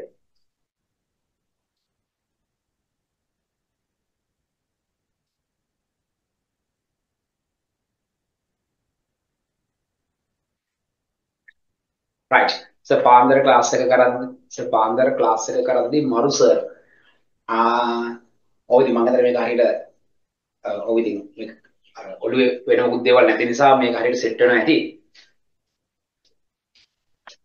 වැඩි තියෙන ඉතින් හැමදාම ඡන්ද නෑනේ ඡන්ද දීපනම් හැමදාම ක්ලාස් නෑ. දැන් අද දවසේ නැත්තා වෙන දවසක් වගේ නම් අද ක්ලාස් තියෙන දවසන්නේ සෙනසුරාදා. හරි. හැබැයි මේ වෙනතරට මම හිතන්නේ පන්තිය සම්බන්ධ වීමත් හොඳට තියෙනවා නේද? පාන්දර කියලා නෑ හැබැයි නේ. අපේ ළමයි ටික හොඳට වැඩ කරනවා පාන්දර. හතරෙදි මම හිතන සෙට් වෙලා හිටිය කට්ටිය. හොඳයි. බලමුකෝ අපි එහෙමනොත් මේ කොහොමද විභාග ලඟ වෙද්දී අපි එහෙම මොකක් හරි සෙල්ලමක් දාමු. හරි. ඒතකොට මට තමයි අමාරු නෑ කයිත් කමන්නේ. ඉතින් මම මොකක් හරි මම ඒක විදදරා ගන්න. අපි එක්සෑම් ලඟ වෙද්දී තව බලමුකෝ අපි කරන්න පුළුවන් උපරිම දෙයක් මම ඔයාලට දෙන්න සපෝට් එකක්. හරි. right මේක ඉවරයි. හරි. ඊට පස්සේ මේක නම් ටික හරියට දාගන්න. මේක තාම ඔයාලා ඉගෙනගෙන නැහැ. ගෘහස්ත ජල සම්පාදන වල මේ ටියුට් එකේ අපි ඔක කතා කරනවා ඉස්සරහට දීලා තියෙන දැන් ඔය කහපාට ටියුට් එකේ ක්ලාස් එකේදී. අපි ඔක ඉස්සරහට කතා කරමු. දැනට ලියා ගන්න මේක පීලි අග වැස්ම පීලි අග වැස්ම මේක වැහි පීල්ල මෙතන තියෙන පීලි අල්ලුව පීලි අල්ලුව මෙතන තියෙන පීලි සංදිය පීලි සංදිය මෙතන තියෙන ගලාකාර හිස ගලාකාර හිස. මෙතන තියෙන දියබස්නා නලය දියබස්නා නලය. මෙයා පීලි අග වැස්ම. පීලි අග වැස්ම. පැහැදිලිනේ? හරි. ඊට පස්සේ පුතේ හරි. තුන්වෙනි ප්‍රශ්නෙත් ඉවරයි. අපි එනවා දැන් ඊළඟට කතා කරන්න පුතේ හතරවෙනි ප්‍රශ්නයට. හරි ව්‍යුහගත පේපර් එකේ හතරවෙනි ප්‍රශ්නයට එනවා. හතරවෙනි ප්‍රශ්නේ පළවෙනි එක එනවා. සිම්පල් ඒ කොටස ව්‍යවසායකයෙකු වීම නිසා පුද්ගලයෙකුට ලැබෙන වාසි. ව්‍යවසායකයෙකු වීම නිසා පුද්ගලයෙකුට ලැබෙන වාසි මොකක්ද? දැන් විශේෂම ගත්තාම දරුවනේ දැන් ව්‍යාපාරය තමාගේ නිසා ස්වාමියාත් Taman නිසා තීන්දුව తీරන ගන්න ලේසි. පැහැදිලිද? ඒ වගේම අර ආයතනයේ අපේක්ෂා කරන ලාභයට වඩා වැඩි ලාභයක් ලබා ගන්න උපක්‍රම යොදා ගන්නත් පුළුවන්. ඒ වගේම තමන්ගෙන් පස්සේ තමන්ගේ ව්‍යාපාරය කැමැති පුද්ගලයෙකුට පවරන්නත් පුළුවන්. ඒක පවුල කෙනෙකුට හිතවතෙකුට. එහෙම නැත්නම් තව තමන් කැමති වෙන කෙනෙක් ඉන්නවනම් එයාට ලබා දෙන්නත් පුළුවන්. හරි? ඒ වගේම හිතමිතුරු නෑදෑ ආදීන්ගෙන් උදව් උපකාර ලබා ගන්නත් පුළුවන්. ඒවා ව්‍යවසායකයෙකු වෙනකොට තියෙන වාසි. ඒක මේ උදව් උපකාර ගන්න නෙමෙයි උදව් උපකාර දෙන්නත් පුළුවන් ඒ අයට. ඒවා තමයි ව්‍යවසායකයෙකු වීම නිසා ලැබෙන වාසි. අපි ලියමු කීපයක්. හරි? ලියන්න මෙන්න මෙහෙම. ලියන්න හතරවෙනි ප්‍රශ්න ඒ කොටසට. ව්‍යාපාරය තමාගේ නිසා ව්‍යාපාරය තමාගේ නිසා ව්‍යාපාරය තමාගේ නිසා ව්‍යාපාරය තමාගේ නිසා ස්වාමියාද තමා නිසා ව්‍යාපාරය තමාගේ නිසා ව්‍යාපාරය තමාගේ නිසා ස්වාමියාද තමා නිසා ස්වාමියාද තමා නිසා තමා නිසා කිසිවෙකුටත් යටත් නැති කිසිවෙකුටත් යටත් නැති ස්වාධීන පුද්ගලයෙකු වීම. කිසිවෙකුටත් යටත් නැති ස්වාධීන පුද්ගලයෙකු වීම. කිසිවෙකුටත් යටත් නැති ස්වාධීන පුද්ගලයෙකු වීම. ස්වාධීන පුද්ගලයෙකු වීම. හරි ස්වාධීන පුද්ගලයෙකු වීම. ඒ වගේම ලියනවා ආයතනයක සේවය කර ආයතනයක සේවය කර ලබන වැටුපට වඩා ආයතනයක සේවය කර ලබන වැටුපට වඩා ආයතනයක සේවය කර ලබන වැටුපට වඩා වැඩි ලාභයක් වැඩි ලාභයක් වැඩි ලාභයක් අත්පත් කරගත හැකි වීම වැඩි ලාභයක් අත්පත් කරගත හැකි වීම ආයතනයක සේවය කර ලබන වැටුපට වඩා වැඩි ලාභයක් අත්පත් කරගත හැකි වීම අත්පත් කරගත හැකි වීම. ඊළඟට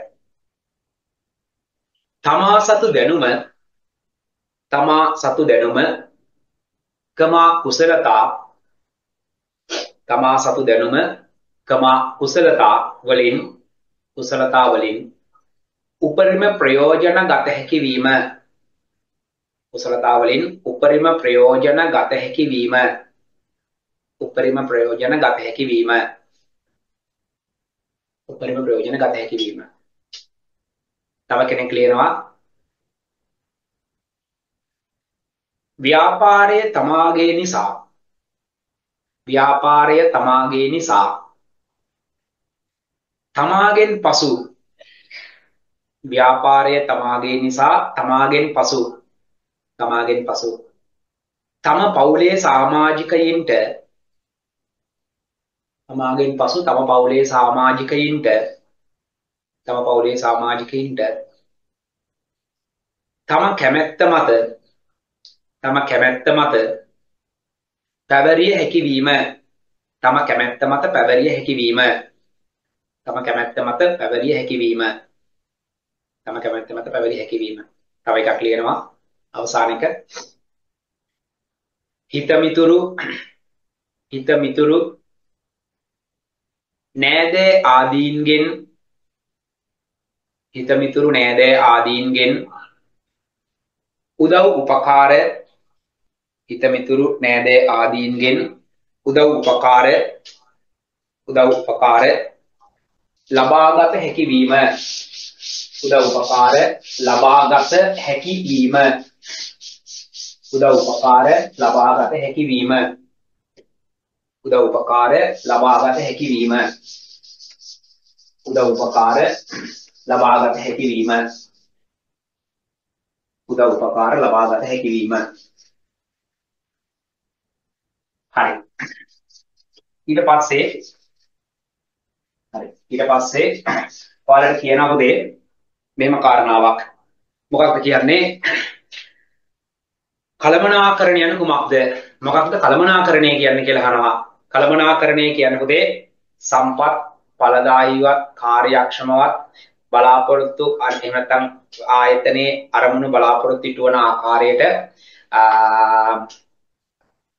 ඒ සැලසුමක් අදව වැඩ කටයුතු සිදු කිරීම. විශේෂයෙන්ම දැන් කළමනාකරණය ගැන කතා කරද්දී අපිට කතා කරන්න වෙනවා ආයතනයක නිර්මාණකරණය ගැන. නැත්නම් sorry සැලසුම්කරණය ගැන කතා කරන්න වෙනවා. ඒ කියන්නේ ආයතනයක අනාගත අරමුණු අභිලාෂෙන් නැත්නම් අනාගත අරමුණු බලාපොරොත්තුෙන් සැලසුම් කිරීම, පාලනය කිරීම, මෙහෙයවීම සහ සංවිධානය කියන කටයුතු සියල්ලක්ම ඇතුළත් ක්‍රියාව තමයි කළමනාකරණය කියලා අපි කියන්නේ. ඒක අපි වෙන්නේ මෙහෙම කෙටියෙන් කියමු. කියනකො මෙහෙම සම්පත් කාර්යක්ෂමවත් සම්පත් කාර්යක්ෂමවත් ඵලදායීවත් යොදා ගනිමින්. සම්පත් කාර්යක්ෂමවත් ඵලදායීවත් යොදා ගනිමින්. සම්පත් ඵල කාර්යක්ෂමවත් ඵලදායීවත් යොදා ගනිමින් යොදා ගනිමින්. සංවිධානයක අරමුණු සංවිධානයක අරමුණු හා පරමාර්ථ සංවිධානයක අරමුණු හා පරමාර්ථ සංවිධානයක අරමුණු හා පරමාර්ථ ඉටු කර ගැනීම සඳහා සංවිධානයක අරමුණු හා පරමාර්ථ ඉටු කර ගැනීම සඳහා ඉටු කර ගැනීම සඳහා සැලසුම් කිරීම සැලසුම් කිරීම සංවිධානය කිරීම සැලසුම් කිරීම සංවිධානය කිරීම සංවිධානය කිරීම මෙහෙයවීම හා පාලනය මෙහෙයවීම හා පාලනය සිදු කිරීම. මෙහෙයවීම හා පාලනය සිදු කිරීම කලමනාකරණයයි මෙහෙයවීම හා පාලනය සිදු කිරීම කලමනාකරණයයි කලමනාකරණයයි කලමනාකරණයයි හරි. ඊට පස්සේ පොතේ අපෙන් අහනවා? හරි. එතනින් පස්සේ අහනවා අපෙන්. 5m යනුවෙන් හඳුන්වන්නේ මොකක්ද? B වල පළවෙනි කොටස 5m හරි අපි දැන් අද උදේත් ඔබ කතා කළා පහන්දර 5m m. අකුරෙන් පටන් ගන්න ඩියුටි පහක් තියෙනවා. හරිද?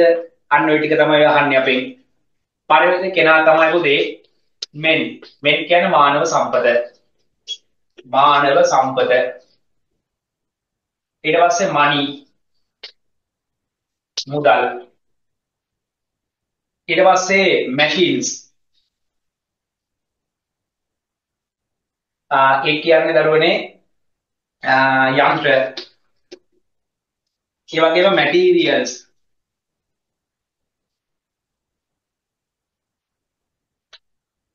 ඒ මැටීරියල්ස් කියලා කියන දරුවනේ උප මොනවද අමුද්‍රව්‍ය. අමුද්‍රව්‍ය කියන කට්ටිය. ඒ වගේම methods. methods කියන්නේ උපක්‍රම. හරි. ඔය විදිහට දරුවනේ අපිට sorry machines. M A C H I N E S machines. හරි. ඔන්න ඔය M අපරින් පටන් ගන්න සෙට් එක ඔය ටික තමයි 5M කියලා අපි කියන්නේ. හරි. එතකොට දරුවනේ ඔන්න ඔය ටික ටක් ගාලා නෝට් කරගෙන අපෙන් අහන්නේ ඒ කට්ටියනේ. ඔව්. රයිට් මේ තමයි අපෙන් අහන්නේ දරුවනේ. රයිට් එච්චරයි. RILS RIALS නේ. Materials. හරි. ඔය ටික ටක් ගාලා දාගන්න. men money machines materials methods. මානව සම්පත මුදල් යන්ත්‍ර ද්‍රව්‍ය නැත්නම් අමුද්‍රව්‍ය උපක්‍රම ඔය ටික තමයි 5M කියලා කියන්නේ. හරි. ඉක්මන් කරමු අපි.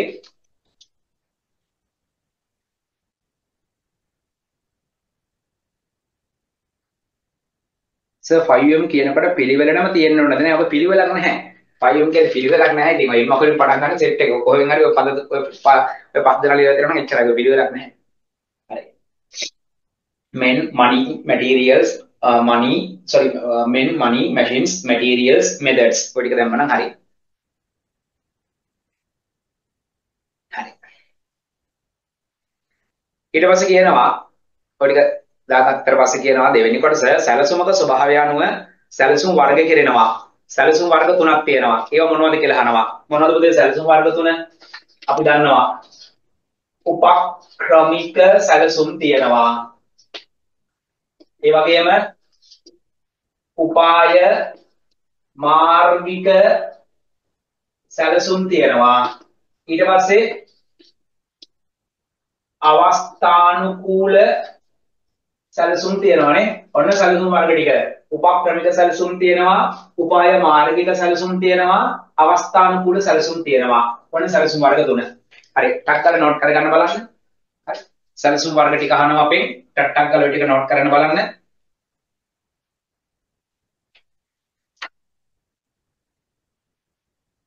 හරි ඉක්මන් කරමු.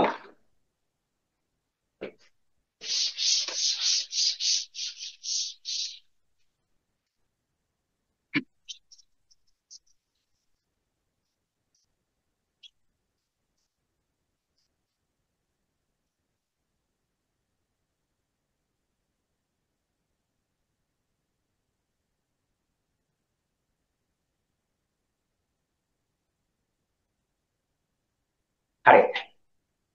ඊට පස්සේ දෙවෙනි කොටස B වල එක හරි දෙක හරි C වලට එනවා. C වල පළවෙනි කොටස නිෂ්පාදන සාධක යන කුමක්ද කියලා අහනවා. නිෂ්පාදන සාධක කියලා මොනවද මොනවද කියලා අහනවා. පොතේ දැන් භාණ්ඩ හෝ සේවා නිෂ්පාදනය සඳහා අවශ්‍ය වන මූලික සාධක තමයි නිෂ්පාදන සාධක කියලා කියන්නේ. දැන් නිෂ්පාදන සාධක ගත්තට පස්සේ නිෂ්පාදන සාධක අපි හතරක් දකිනවානේ. මොනවද නිෂ්පාදන සාධක? භූමිය ශ්‍රමය ප්‍රාග්ධනය ව්‍යවසායකත්වය කියලා අපි දකිනවනේ. ඔය ටිකනේ අපි දකින නිෂ්පාදන සාධක වෙන්නේ. ඒතකොට අපෙන් අහන්නේ ඔය හතර දෙනා නෙමෙයි. අපෙන් අහන්නේ නිෂ්පාදන සාධක කියන්නේ මොනවද කියලා අහන්නේ. ඒක ලියන්න මෙහෙම. භාණ්ඩ හෝ සේවා භාණ්ඩ හෝ සේවා භාණ්ඩ හෝ සේවා නිෂ්පාදනය සඳහා භාණ්ඩ හෝ සේවා නිෂ්පාදනය සඳහා අවශ්‍ය භාණ්ඩ හෝ සේවා නිෂ්පාදනය සඳහා අවශ්‍ය වන භාණ්ඩ හෝ සේවා නිෂ්පාදනය සඳහා අවශ්‍ය වන භාණ්ඩ හෝ සේවා නිෂ්පාදනය සඳහා අවශ්‍ය වන සම්පත් සම්පත් අවශ්‍ය වන සම්පත් නිෂ්පාදන සාධක නම් වේ. නිෂ්පාදන සාධක නම් වේ. නිෂ්පාදන සාධක නම් වේ නිෂ්පාදන සාධක නම් වේ ඊට පස්සේ දෙවෙනි කොටස අහනවා යාගේ නිෂ්පාදනයක් සඳහා අවශ්‍ය වෙන ප්‍රධාන සම්පත් හතරක් ලියන්න. වෙන හතර ලියන්න පොතේ. භූමිය, ශ්‍රමය, ප්‍රාග්ධනය, ව්‍යවසායකත්වය. භූමිය, ශ්‍රමය, ප්‍රාග්ධනය, ව්‍යවසායකත්වය. ඔය ටික තමයි නිෂ්පාදන සාධක වෙන්නේ. හරි. ඒකත් හරි. C කොටස හරි D කිසියම් භාණ්ඩයක් සඳහා ඉල්ලුම කෙරෙහි බලපාන සාධක හතරක්. ඉල්ලුම සඳහා බලපාන සාධක හතරක් දන්නවනේ. භාණ්ඩයේ මිල, පාරිභෝගික රුචිය, පාරිභෝගික ආදායම, ආදේශක හෝ අනුපූරක භාණ්ඩවල මිල. ඔන්න ඉල්ලුම සඳහා බලපාන සාධක හතර. ලියන්න පුතා. භාණ්ඩයේ මිල. භාණ්ඩයේ මිල. පාරිභෝගික ආදායම. පාරිභෝගික ආදායම. ඊට පස්සේ පාරිභෝගික රුචිකත්වය. පාරිභෝගික රුචිකත්වය. පාරිභෝගික රුචිකත්වය. ඊට පස්සේ ලියන්න ආදේශක හෝ අනුපූරක ආදේශක හෝ අනුපූරක භාණ්ඩවල මිල ආදේශක හෝ අනුපූරක භාණ්ඩවල මිල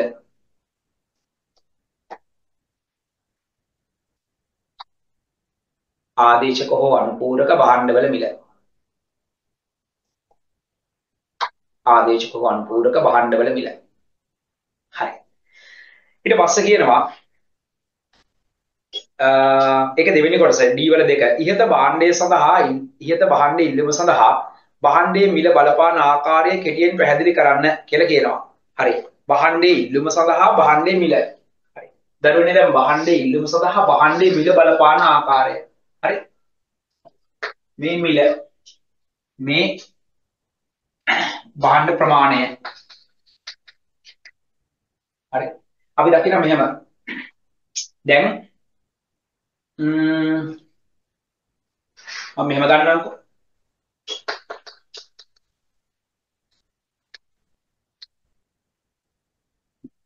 ප්‍රමාණය කියන්නේ quantity එක. මෙයා Q එක, මෙයා Q2. මෙයා P1, මෙයා P2. දැන් බලන්න මේ තියෙන්නේ ප්‍රමාණය. කියන්නේ ඉල්ලුම් ප්‍රමාණය මේ තියෙන්නේ. ඉල්ලුම් ප්‍රමාණය. මේ වක්‍රයට කියන ඉල්ලුම් වක්‍රය කියලා. මතකයිනේ මේක නේද? බලන්න චුට්ටක්. ඔයාලට දැන් පේනවා P1 මිල වැඩි වෙනකොට ඉල්ලුම අඩු වෙලා තියෙනවා. යම් කිසි භාණ්ඩයක ඉල්ලුම දැන් ලංකාවේ වාහන මාකට් එක ගැන හිතන්නකෝ. වර්තමානයේ වාහන මාකට් එකේ වාහන වල ඉල්ලුම අඩු වෙනවා. මිල වැඩිනේ. මිල වැඩි වෙනවා ඉල්ලුම අඩු වෙලා තියෙනවා. හැබැයි යම් කාලයක වාහන ආනයනය ලිහිල් කරලා වාහන ලංකාවට ගෙන්නන්න ගත්තොත් මිල අඩු වුණොත් ඉල්ලුම වැඩි වෙනකොට මිල අඩු වෙනවා. බලන්න මිල අඩු වෙනකොට P1 ඉඳලා P2 යද්දී Q එකේ ඉඳලා Q2 දක්වා යනවා. ඔයාලට දැන් පේනවා මේ දැන් මෙතනදී ඔයාලට පේනවා මිල අඩු වෙනවා. මිල අඩු වෙනකොට වහන්න ප්‍රමාණය අපිට දරුවනේ වැඩි වැඩි වැඩි වෙනවා. ඒ කියන්නේ වහන්න අපිට ඒ කියන්නේ අපිට දැන් ගන්න පුළුවන් වෙන වහන්න ප්‍රමාණය ගත්තාම මෙතනදී ඔයාලට පේන පැහැදිලි කාරණාව තමයි ඉල්ලුම වැඩි වෙනකොට මිල අඩු වෙන්නට ඕනේ. මිල අඩු වෙනකොට ඒ කියන්නේ මම මේ කියන්නේ මිල අඩු විට ඉල්ලුම වැඩි වෙනවා. ඉල්ලුම වැඩි වෙනකොට මිල අඩු වෙන්න ඕනේ. ඔක අනිත් පැත්තට ගත්තොත් මිල වැඩි වෙනකොට ඉල්ලුම අඩු වෙනවා. පැහැදිලිද? ඒ කියන්නේ යම් කිසි භාණ්ඩයක මිල සහ ඉල්ලුම අතර තියෙන්නේ පරස්පර සම්බන්ධතාවයක්. ඒ කියන්නේ ප්‍රතිලෝම සම්බන්ධතාවයක් තියෙන්නේ. මිල අඩු වෙනකොට ඉල්ලුම වැඩි වෙනවා. මිල වැඩි වෙනකොට ඉල්ලුම අඩු වෙනවා. ලංකාවේ දැන් වෙලා තියෙන වාහන මාකට් එකේ මිල වැඩි මිල වැඩි වෙලා ඉල්ලුම එතකොට අඩු වෙලා තියෙන්නේ. මම මේ කාරණාව කියන්න කලින් මෙන්න මේ ප්‍රස්තාන අඳගත්තා නම් මට තේරෙයි ලස්සනට. අපිට මේක අඳගමද? ඉල්ලුම් ප්‍රමාණයට ඉදිරියෙන් මිල ප්‍රස්තාරගත කරන්නකො. මේක ඉල්ලුම් වක්‍රය කියලා දාලා P1 P2 Q1 Q2 මේ ටික නෝට් කරන්නකො. ඔය ටික ටක් කරලා නෝට් කරගන්න බලන්න. ඉක්පන් කරන්නකො හැමෝම.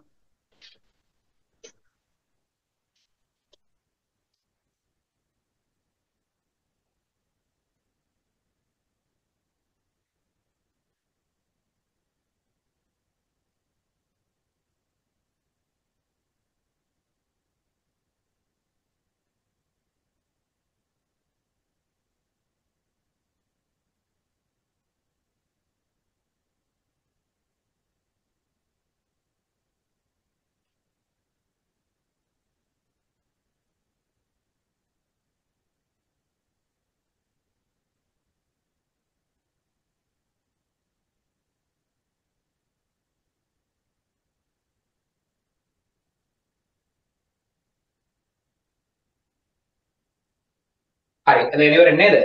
හරි ලියන්න යටි මෙන්න මෙහෙම. භාණ්ඩයේ මිල භාණ්ඩයේ මිල භාණ්ඩයේ මිල අඩුවන විට භාණ්ඩයේ මිල අඩුවන විට අඩුවන විට ඉල්ලුම වැඩි වේ. භාණ්ඩයේ මිල අඩුවන විට ඉල්ලුම වැඩි වේ. ඉල්ලුම වැඩි වේ. ඉල්ලුම වැඩි වේ. එසේම එසේම එසේම මිල ඉහළ යන විට එසේම මිල ඉහළ යන විට ඉල්ලුම අඩු වේ. එසේම මිල ඉහළ යන විට ඉල්ලුම අඩු වේ. ඉල්ලුම අඩු වේ. ඉල්ලුම අඩු වේ. මිල හා ඉල්ලුම අතර මිල හා ඉල්ලුම අතර පවතින්නේ මිල හා ඉල්ලුම අතර පවතින්නේ පවතින්නේ. ප්‍රතිලෝම සම්බන්ධතාවයකි. ප්‍රතිලෝම සම්බන්ධතාවයකි. ප්‍රතිලෝම සම්බන්ධතාවයකි. ප්‍රතිලෝම සම්බන්ධතාවයකි. ප්‍රතිලෝම සම්බන්ධතාවයකි. හරි. ඊට පස්සේ කියනවා D වල එක හරි දෙක හරි. E වලට එනවා. හතරේ E කොටසට එනවා. ඒක පළවෙනි කොටස. ව්‍යාපාරයක ප්‍රමාණය අනුව වර්ගීකරණය කර දක්වන්න කියලා කියනවා. ව්‍යාපාරයක ප්‍රමාණය අනුව වර්ගීකරණය කරන්න කියලා කියනවා. දැන් ව්‍යාපාර ප්‍රමාණය අනුව වර්ග කරද්දී අපිට හම්බ වෙනවා දරුවනේ ක්ෂුද්‍ර පරිමාණ ව්‍යාපාර, ඒ වගේම සුළු පරිමාණ ව්‍යාපාර, මධ්‍ය පරිමාණ සහ මහා පරිමාණ ව්‍යාපාර කියලා ව්‍යාපාර අපිට ආකාර කීපයක් හම්බ වෙනවා. පැහැදිලිනේ? හරි. එතකොට ව්‍යාපාර ගත්තට පස්සේ අපිට හම්බ වෙනවා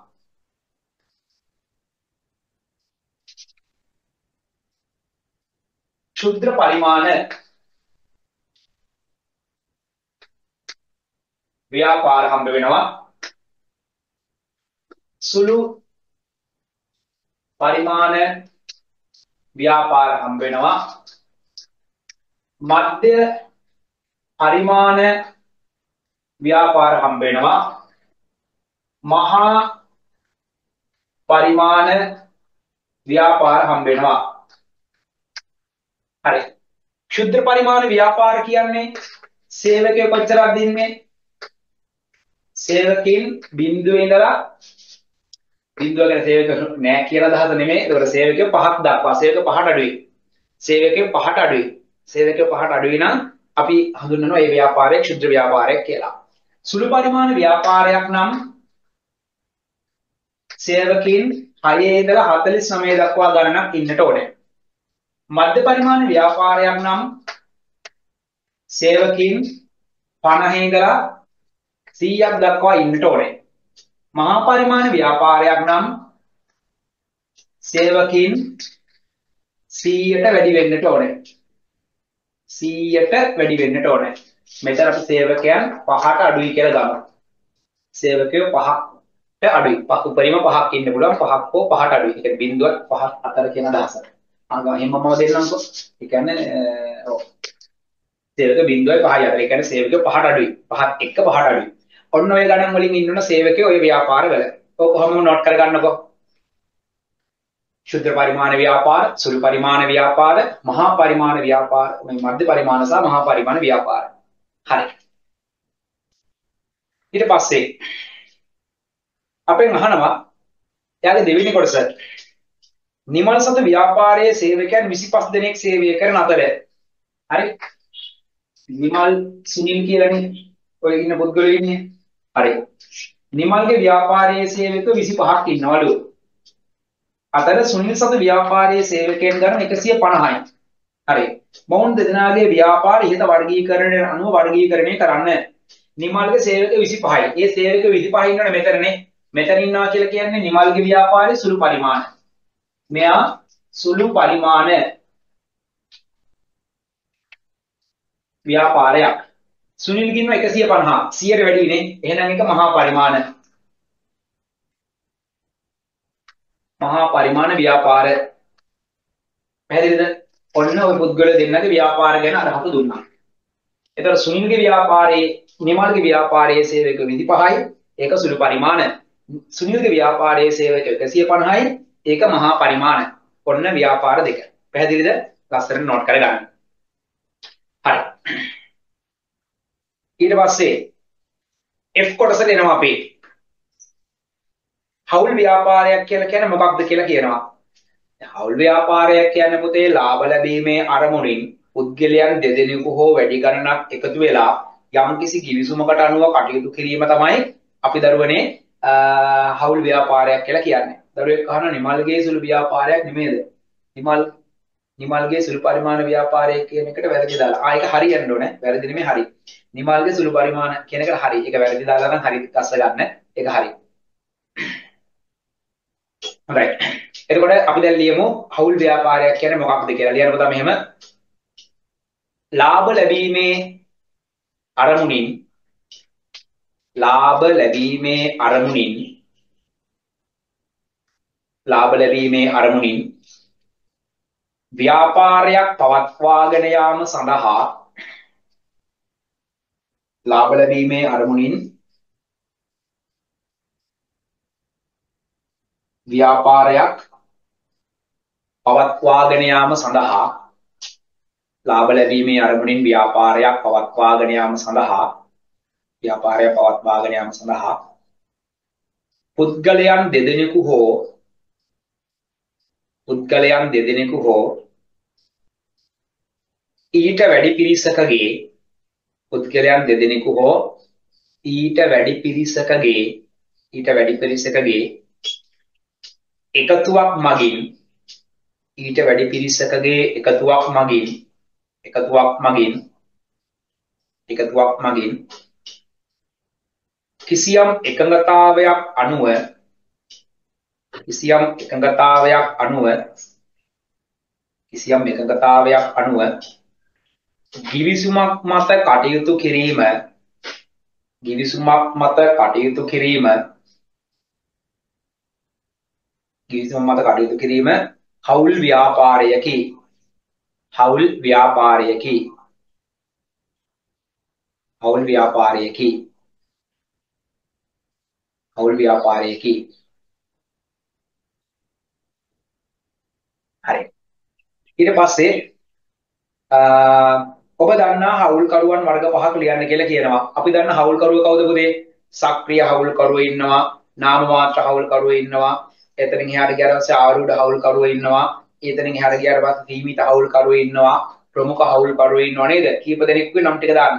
හවුල්කරුවෝ වර්ග කීපයක්. කියනකොද සක්‍රීය හවුල්කරුවෝ සක්‍රීය හවුල්කරුවෝ සක්‍රීය හවුල්කරුවෝ රහස්‍ය හවුල්කරුවෝ සක්‍රීය හවුල්කරුවෝ ඒ වගේම රහස්‍ය හවුල්කරුවෝ රහස්‍ය හවුල්කරුවෝ ඒ වගේම ප්‍රමුඛ හවුල්කරුවෝ ප්‍රමුඛ හවුල්කරුවෝ ප්‍රමුඛ හවුල්කරුවෝ ප්‍රමුඛ හවුල්කරුවෝ ඒ වගේම සීමිත හවුල්කරුවෝ සීමිත හවුල්කරුවෝ ඊට පස්සේ නාම මාත්‍ර හවුල්කරුවෝ නාම මාත්‍ර හවුල්කරුවෝ නාම මාත්‍ර හවුල්කරුවෝ ඒ වගේම නිදහස් හවුල්කරුවෝ නිදහස් හවුල්කරුවෝ නිදහස් හවුල්කරුවෝ නිදහස් හවුල්කරුවෝ. හරි. ඊට පස්සේ ඔන්න දරුවනේ එතනින් අපේ ව්‍යුහගත පේපර් එකේ ප්‍රශ්න හතර නම් අහවරයි. හරිද? ඊට පස්සේ එනවා අපි කතා කරන්න රචනා පේපර් එකට. රචනා පේපර් එකේ පුතේ පළවෙනි ප්‍රශ්නය. ඒ කියන්නේ පස්වෙනි ප්‍රශ්නයට අපි එනවා. ඒකේ ඒ කොටස තරප්පු පෙළක් අපිට දීලා තියෙනවා. අපෙන් අහනවා මේ තරප්පු පෙළේ තියෙන ABC කියන කොටස් ටික නම් කරන්න කියලා කියනවා. ABC කොටස් ටික නම් කරන්න. කැපිටල් A කියලා කියන්නේ මොකක්ද? ඔව් කැපිටල් A කියන්නේ ওই තරප්පු පෙළේ දරුවනේ තරප්පු තරප්පුවක පළල. එහෙම නැත්නම් අපි ඔකට කියනවා ගමන කියලා කියනවා හරිද B කියලා කියන්නේ අපි ඔකට කියනවා මේ සරපාව එහෙම නැත්නම් නැක්ම කියලා කියනවා. ඊට පස්සේ ABC C කියලා කියන දරුවනේ අප ලෑන්ඩින් ඒරියා එකක්. ඒ කියන්නේ නැවතුම කියලා අපි කියනවා. ලෑන්ඩින් ඒරියා එක. ඒ කියන්නේ නැවතුම. එතකොට මෙතනදී ඔය කැපිටල් A B C කියන කොටස් ටික ගත්තාම A කියන්නේ තරප්පුවක තරප්පුවක ඒ කියන්නේ තරප්පුවේ පඩියක පඩියක පළල. හරි? තරපු පඩියක පළල. එතකොට කැපිටල් B කියලා කියන්නේ දරුවනේ සරපාව. සරපාව එහෙම නැත්නම් නැග්ම කියලා අපි කියනවා. නැග්ම. මේක පඩියක පළල එහෙම නැත්නම් ගමන කියලා කියනවා. ගමන කියලා කියනවා. C කියලා කියන්නේ ලෑන්ඩින් ඒරියා එක. ඒ කියන්නේ අපි කියනවා එතෙන්ට නැවතුම කියලා. ඔය පද සමහරට දන්නේ නැතුව ඇති. ඒ ටික නෝට් කරගන්න හරියට. ඔය කැපිටල් A කියන්නේ පඩියක පළල. තරප්පුවක පළල නෙමෙයි තරප්පුවක කියන්නේ පඩි පෙළේ පළලනේ. ඒක නෙමෙයි පඩියක පළල. කැපිටල් A කියන්නේ පඩියක පළල. එහෙම නැත්නම් ගමන කියලා අපි කියනවා. කැපිටල් B කියන්නේ සරපාව. එහෙම නැත්නම් නැක්ම කියලා කියනවා. එහෙනම් පඩියක උස කිව්වත් හරි. යම් කෙනෙක් පඩියක උස කියලා දාලා තියෙනවා නම් ඒත් හරි. පඩියක උස කිව්වත් ඒත් හරි. පඩියක උස C කියලා කියන්නේ ලෑන්ඩින් ඒරියා එක ඒ කියන්නේ නැවතුම ද නැග්ම සරපාව දෙකම එකක්ද? ඔව්. සරපාව කියන්නේ පඩියක අර පඩි දෙකක් අතර ગેප් එක. ඒක තමයි සරපාව කියලා කියන්නේ. සරපාව කියන්නේ ඒක. හරි. එතකොට හරි පළවෙනි කොටස හරි දෙක C කොටසෙහි අවශ්‍යතාවය කුමක්ද? C කොටස තියෙන මොකටද කියලා අහනවා. දැන් C කොටස තියෙන පුතේ දැන් ওই පඩිපෙළ දැන් ලෑන්ඩින් ඒරියා එකනේ. අර පඩිපෙළ උඩ කොටසනේ. දැන් ඔතනින් පුළුවන් පඩිපෙළ හරවන්න. දැන් ඔය කොටස පාවිච්චි කරන පඩිපෙළ හරවන්න. හරි දැන් පඩිපෙළ දැන් හිතන්න දැන් ඔය පැත්තට ගිහලා ආයෙ වෙන පැත්තකට යනවා කියලා. එතකොට එතනින් තමයි පඩිපෙළ හැරෙන්නේ. එතකොට ඔය C කියන කොටසේ අර අවශ්‍යතාවය තමයි පඩිපෙළේ දිශාව හරවන්න එහෙම නැත්නම් ඒකාකාරී බව නැති කරන්න. ඔය වගේ වැඩ වලට තමයි ඔය ලෑන්ඩින් ඒරියා එකක් තියෙන්නේ. ලියන්න මෙන්න මෙහෙම C කොටසේ අවශ්‍යතාවය මොකක්ද කියලා අහන්න ලියන්න. පඩිපෙළෙහි දිශාව හැරවීම. පඩිපෙළෙහි දිශාව හැරවීම. පඩිපෙළෙහි දිශාව හැරවීම. හැරවීමට හා පඩිපෙළෙහි දිශාව හැරවීමට හා ඒකාකාරී බව නැති කිරීම. ඒකාකාරී බව නැති කිරීම. ඒකාකාරී බව නැති කිරීම. ඒකාකාරී බව නැති කිරීම. හරි. ඊට පස්සේ කියන තුන්වෙනි කොටස පඩිපෙළක ගමන් කරන්නන්ගේ ආරක්ෂාවට කළ හැක්කේ කුමක්ද එකක් තමයි පඩිපෙළට අත්තටක් දාන්න ඕනේ වැඩෙන එක නතර කර හැකි පඩිපෙලේ පළල වැඩි කර හැකි. ඒ කියන්නේ තරප්පුවේ පළල වැඩි කර හැකි. නැත්නම් අර පටු වුණාමත් ගැටලුවක්නේ. තරප්පුවේ පළල වැඩි කරා නම් ඒත් හරි. හරි. ඒ වගේම ඔය තරප්පු පෙළ ලිස්සන්න පුළුවන් සමහර විට ඒ නිසා ගොරෝසු බව ඇති වෙන විදිහට පඩිපෙලේ පඩිවල ගැට්ට හැදුවා නම් ලෙස්සන එකක් නතර වෙයි. අපිට මේ වගේ කීපයක් හිතලා කියන්න පුළුවන්. ලියන්න පඩිපෙලේ යන අයගේ ආරක්ෂාව වෙනුවෙන් මොකද කරන්න ඕන? කීපයක් යටි යටට ලියන්නකො. පළවෙනි කෙනා. පඩිපෙළ සඳහා අත්වැටක් යෙදීම පඩිපෙළ සඳහා අත්වැටක් යෙදීම පඩිපෙළ සඳහා අත්වැටක් යෙදීම පඩිපෙළ සඳහා අත්වැටක් යෙදීම තව එකක් ලියනවා පඩියේ පළල වැඩි කිරීම පඩියේ පළල වැඩි කිරීම පඩියේ පළල වැඩි කිරීම තව එකක් පඩිපෙළ නිමහම් කිරීමේදී පඩිපෙළ නිමහම් කිරීමේදී පඩිපෙළ නිමහම් කිරීමේදී රළු මත පිටක්සේ රළු මත පිටක්සේ නිමා කිරීම රළු මත පිටක්සේ නිමා කිරීම නිමා කිරීම. නිමා කිරීම හරි. ඊට පස්සේ කියනවා කැපිටල් B B වල උස අහනවා කීයද කියලා. හරි. කැපිටල් B වල උස B කියලා කියන්නේ ඔය පඩියක නැග්ම. ඔය තරප්පුවේ පඩි දෙකක් අතර පරතරය කීයක්ද? ඒ කියන්නේ තරප්පුවේ ඔය ඔය දෙන්න අතර තියෙන ස්පේස් එකයි අහන්නේ. ඇත්තටම දැන් ආ මට පොඩ්ඩි පොඩ්ඩක් එක මට හොයලා දෙන්න බලන්න. ඔය පඩියේ B වල උස කීයද කියලා මට හොයලා දෙන්න ටක් ගාලා බලන්න. ඒක ලේසි ටක් ගාලා හොයන්න පුළුවන්. බලන්න ටක් ගාලා ගන්න පොඩි ගණනය කිරීමක් තියෙන ඉක්මන් කරන්න බලන්න.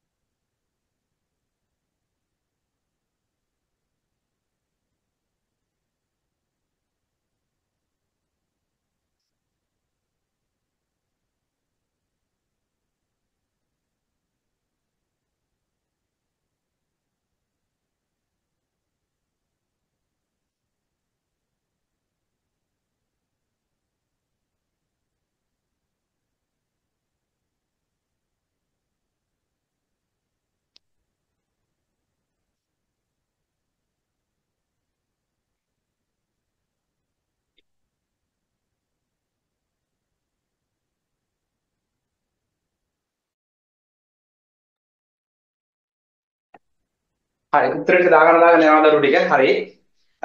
එතකොට දැන් මේ මුළු උස දීලා තියෙනවා 750ක් කියලා මේකේ තියෙනවා දරුවනේ. මේ අතර කොටස් තියෙනවා දරුවනේ. මේ දරුවෙක් කහනවා සර් සරපාවයි නැග්මයි කියන්නේ දෙකක් නෙමෙයිද? ඔය කැපිටල් B ආ සරපාව පොඩි වැරද්දීමක් වෙලා තියෙනවා තමයි. මගෙන් දරුවෙක් ඇහුවා නේද කලින් ඔක තව එකෙක් අහලා තියෙනවා. ආ රිද්මික් අහලා තියෙනවා. මේ ඔය පඩි පෙළේ මෙහෙම තියෙනකොට තරප්පු පෙළක මෙන්න මේකට මේ තමයි නැග්ම. මේ නැග්ම තමයි අපිට දීලා තියෙන්නේ කැපිටල් B කියලා. තරප්පුවක මෙන්න මේ කොටස. පඩියක වෙන්නේ මේ කොටස තමයි පළල. පඩි පෙරේ කියන්නේ පඩියක පළල තමයි සරපාව කියලා කියන්නේ. එතකොට සරපාව කියන්නේ කැපිටල් A. මම ලියුවේ මොකද්ද? A. ඒකනේ සීනියර් කියන්නේ කැපිටල් B කියලා කියන්නේ නැග්ම නැත්තම් පඩියක උස සරපාව කියන්නේ ඒක නෙමෙයි.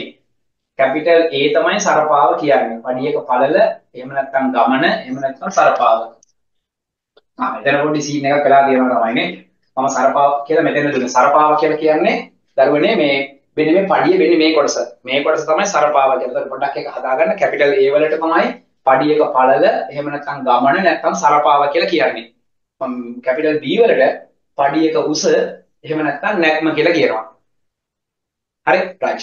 ඊට පස්සේ ඔය B වල උස ගණනය කරද්දී සිරස් 4 1 2 3 4 5ක් තියෙනවා 750 බෙදන්න පහෙන්. 4 5 1යි 2ක් දෙද්දී විතිපාට 5 5යි බිඳුවයි. උත්තරේ මිලිමීටර වලින් එනවා B වල උස 150ක් කියලා. B වල උස 150යි. හරි එතකොට මෙන්න මෙතන හදාගන්න පොතේ කැපිටල් A කියලා කියන්නේ A කියලා කියන්නේ සරපාව එහෙම නැත්නම් පඩියක පළල එහෙම නැත්නම් ගමන කියලා තව වචනයකුත් කියනවා. එතකොට කැපිටල් B වලට කියනවා නැග්ම එහෙම නැත්නම් පඩියක උස. ඒක හදාගමු මේ. හරි. ඊට පස්සේ ඔන්න B හරි.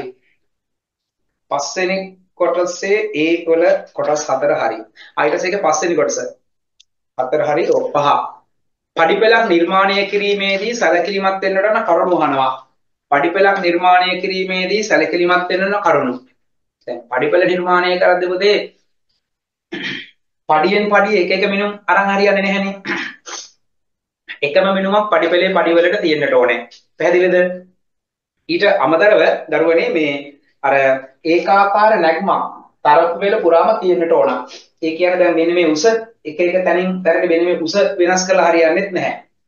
ඒ වගේම අපි ඊට අමතරව දරුවනේ අර නිවසක් සඳහා කාර්යාලයක් සඳහා යොදනකොට පඩියක පළල සහ ඒ කියන්නේ සරපාව සහ නැග්ම සඳහා වෙන වෙනම අගයන් තියෙනවා. අපි ඒක ගැන සැලකිලිමත් වෙන්නට වෙනවා. ඒ නිසා ලියමු අපි පඩිපෙළක් නිර්මාණය කරද්දී සැලකිලිමත් වෙන කරුණු විදිහට කීපයක්. ලියන්නක මෙහෙම ලියන්න. පඩිපෙළ ඒකාකාරී විය යුතුය. ලියන්න.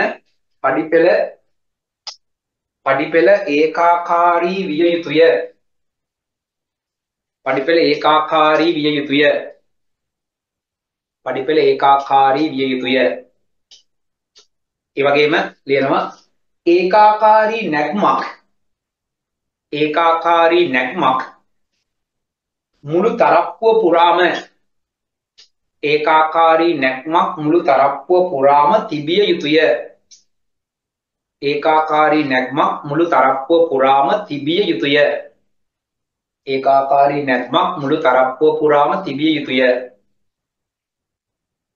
ඊට පස්සේ පඩිපෙළට හොඳින් පඩිපෙළට හොඳින් ආලෝකය තිබිය යුතුය. පඩිපෙළට හොඳින් ආලෝකය තිබිය යුතුය.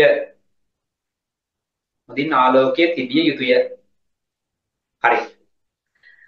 ඇති. ඊට පස්සේ 6 වෙනි කොටස කියනවා. හැඩයමක් නිර්මාණය කිරීමේදී සැලකිලිමත් විය යුතු කරුණු. දැන් හැඩයමක් නිර්මාණය කරද්දී පුතේ අපි සැලකිලිමත් වෙන කරුණු ගත්තට පස්සේ හැඩයමක් නිර්මාණය කරද්දී දරුවනේ විශේෂයෙන්ම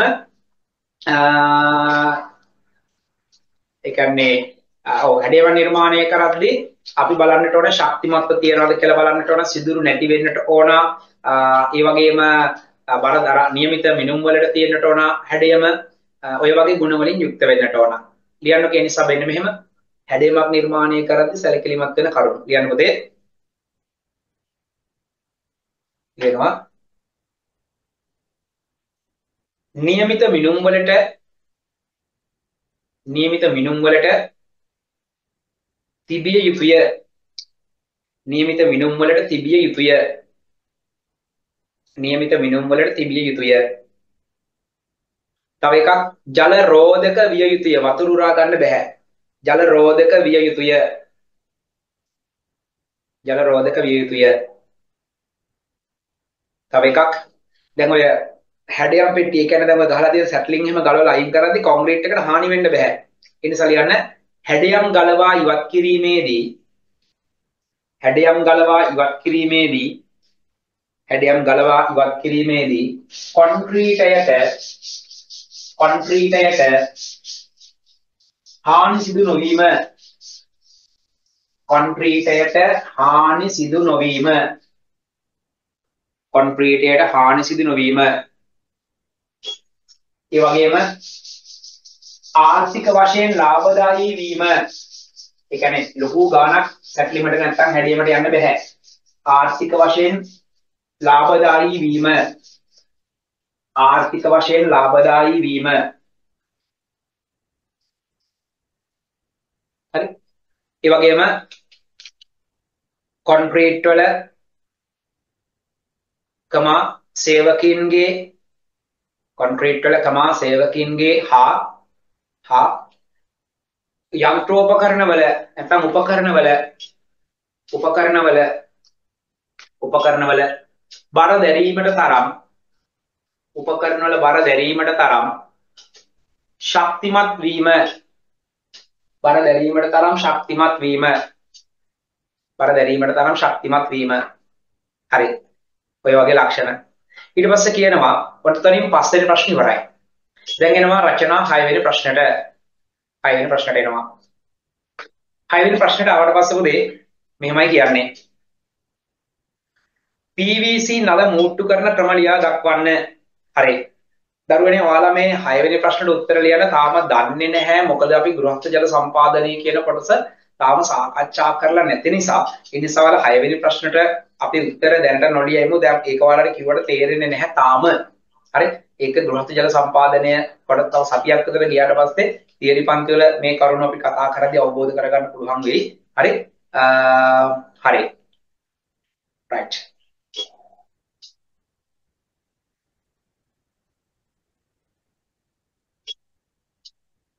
Right. හයවෙනි ප්‍රශ්නේ අපි ටුට්ටක් ස්කිප් කරලා යන්නේ නිසා හත්වෙනි ප්‍රශ්නට එනවා. හත්වෙනි ප්‍රශ්නට ආවට පස්සේ කියනවාද මෙහෙම. හත්වෙනි ප්‍රශ්නේදී කියනවාද රුසිරුගේ මෝටර රථය ඉහළ වේගවලදී මිස් කිරීමට ලක් වෙනවා. මම හයවෙනි ප්‍රශ්නේ ස්කිප් කරනවා. හයවෙනි ප්‍රශ්නේ ඔයාලට කරන්න තාම ප්‍රමාණවත් මදි වෙලා තියෙන නිසා. හරි? Right.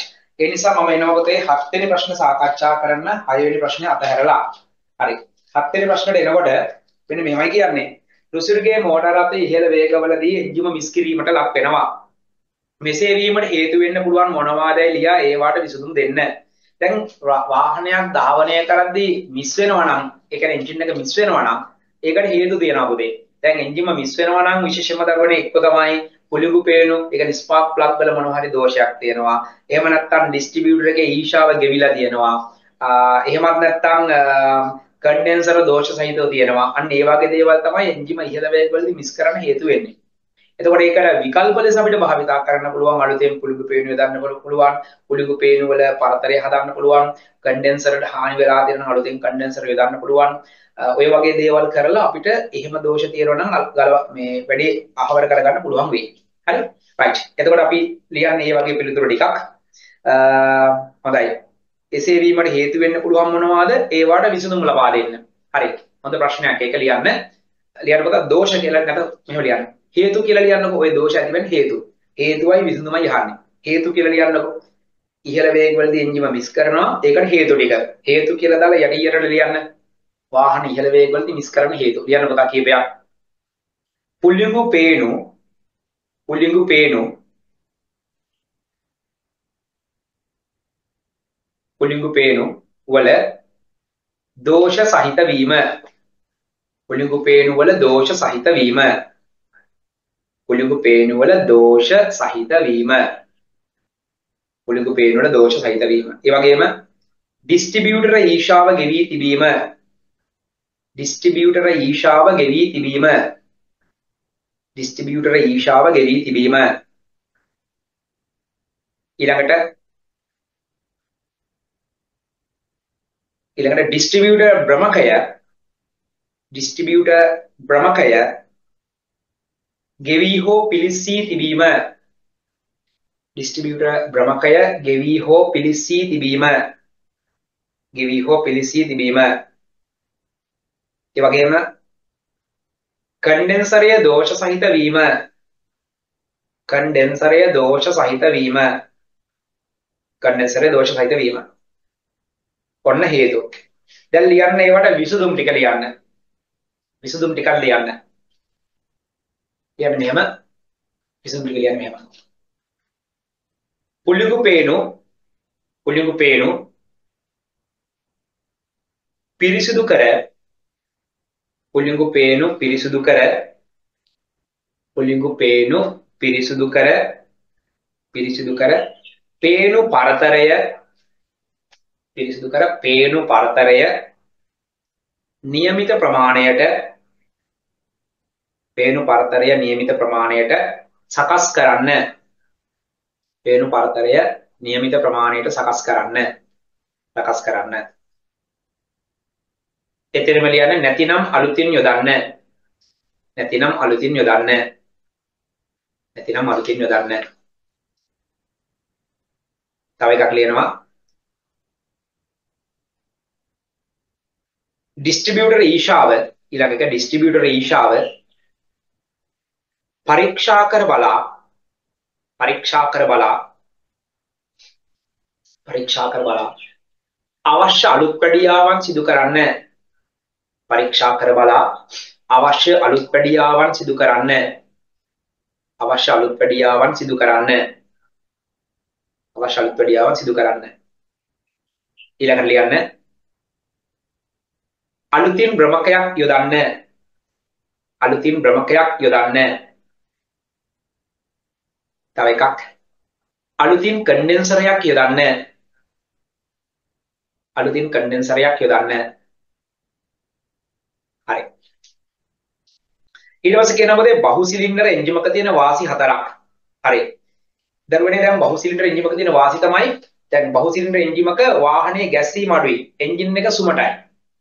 ඒ වගේම ප්‍රමාණයෙන් කුඩා ෆ්ලයිවීල් එකක් ජවරෝධයක් බෙදා ගන්න පුළුවන්. ලොකු ජවරෝධය දාන්න ඕන වෙන්නේ නැහැ.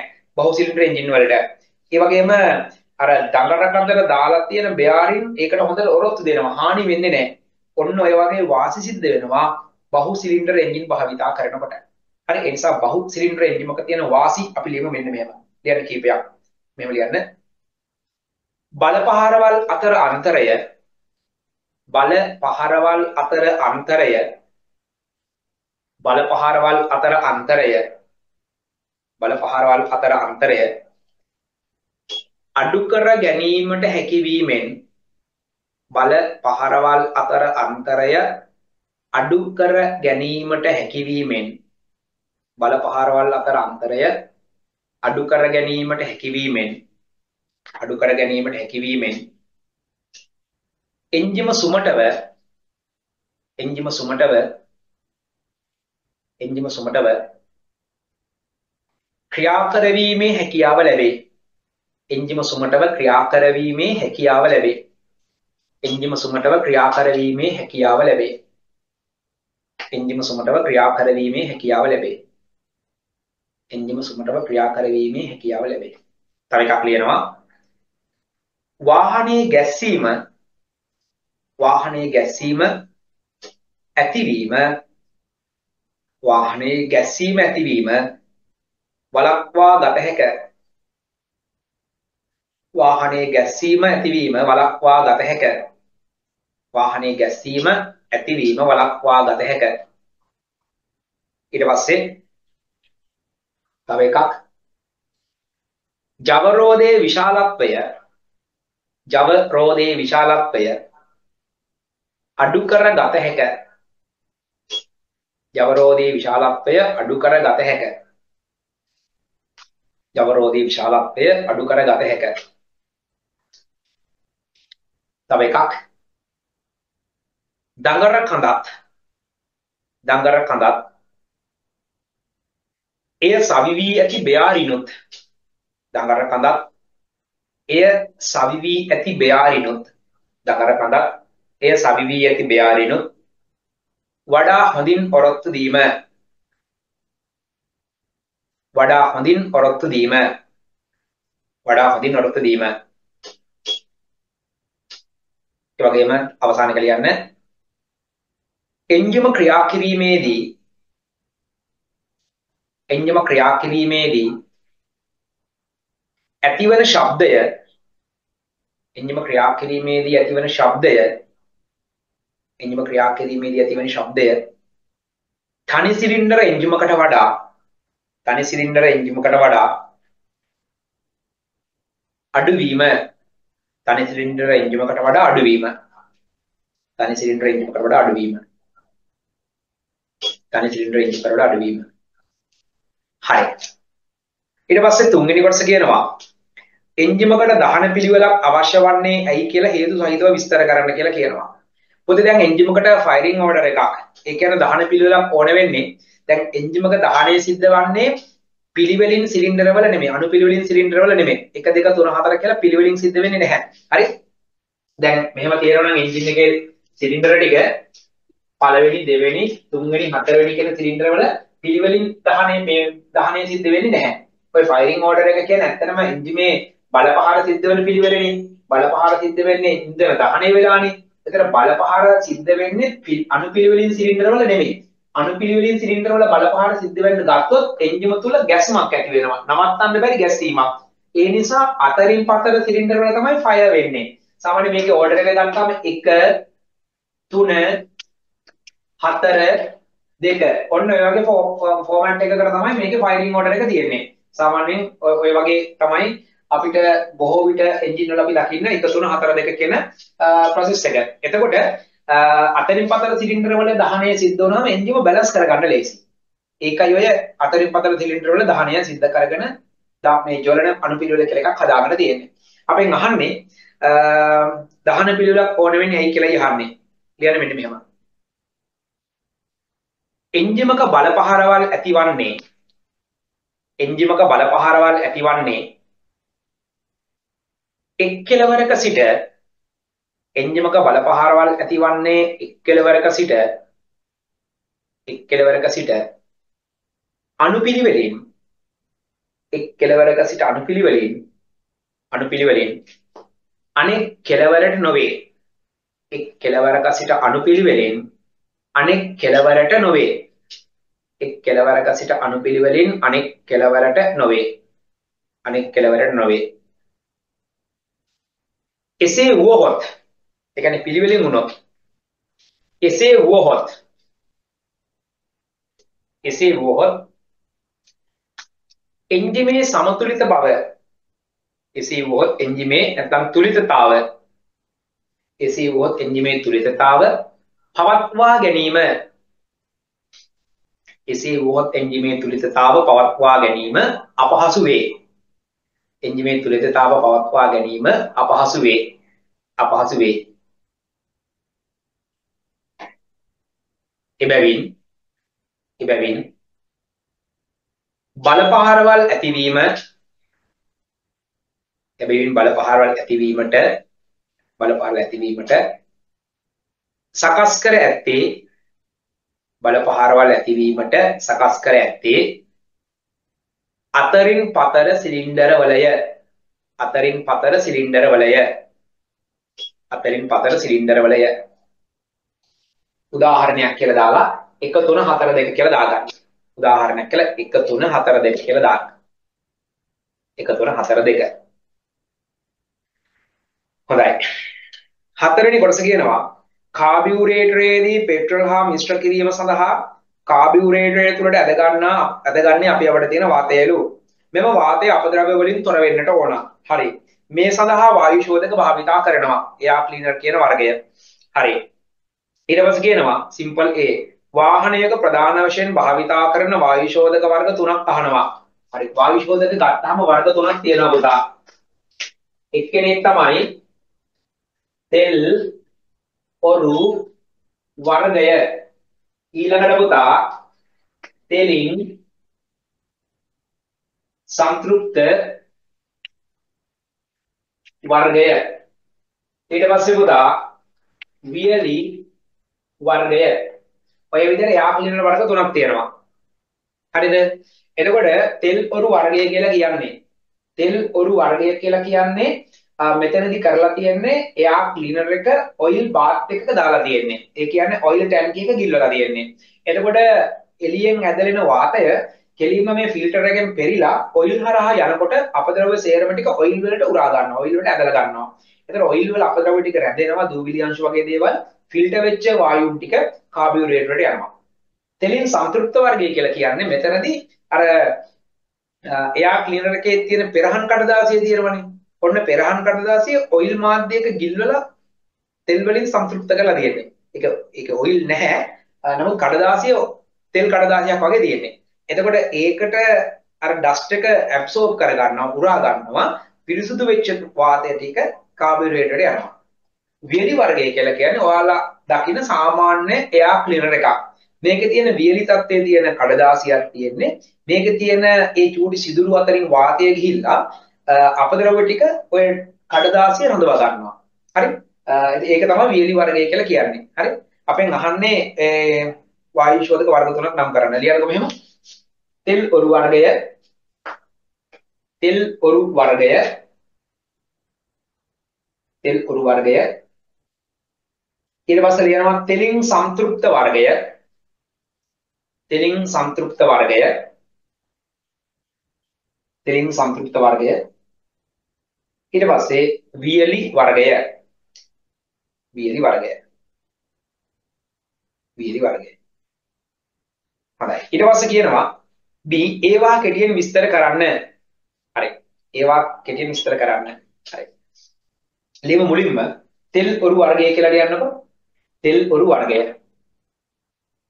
තෙල් ඔරු වර්ගය. තෙල් ඔරු වර්ගය කියලා දාලා පුංචි කැලලක් ගහලා මෙහෙම ලියන්න. කියන මෙහෙම.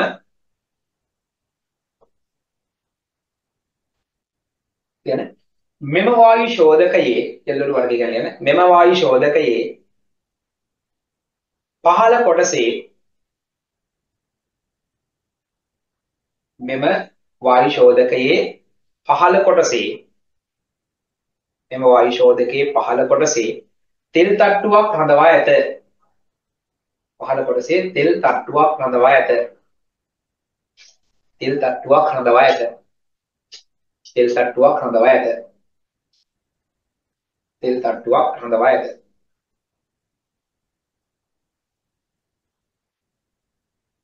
ඇදී එන වාත ධාරාව ඇදී එන වාත ධාරාව තෙල් පෘෂ්ඨය මත වැඩි තෙල් පෘෂ්ඨය මත වැඩි. තෙල් පෘෂ්ඨය මත වැඩි. අපද්‍රව්‍ය ඇතොත් අපද්‍රව්‍ය ඇතොත් ඒවා ඒවා තෙල් මත රැඳේ. ඒවා තෙල් මත රැඳේ. තෙල් මත රැඳේ. තෙල් මත රැඳේ. දෙවන එක ලියනවා. තෙලින් සම්තෘප්ත වර්ගය. දෙවන එක ලියනවා තෙලින් සම්තෘප්ත වර්ගය. තෙලින් සම්තෘප්ත වර්ගය. ලියන මෙහෙම. මෙහි ඇත්තේ මෙහි ඇත්තේ තෙල් වලින් පොඟවා ඇති මෙහි ඇත්තේ තෙල් වලින් පොඟවා ඇති තෙල් වලින් පොඟවා ඇති පෙරහණයක් පමණි. තෙල් වලින් පොඟවා ඇති පෙරහණයක් පමණි. පෙරහණයක් පමණි. වාතය.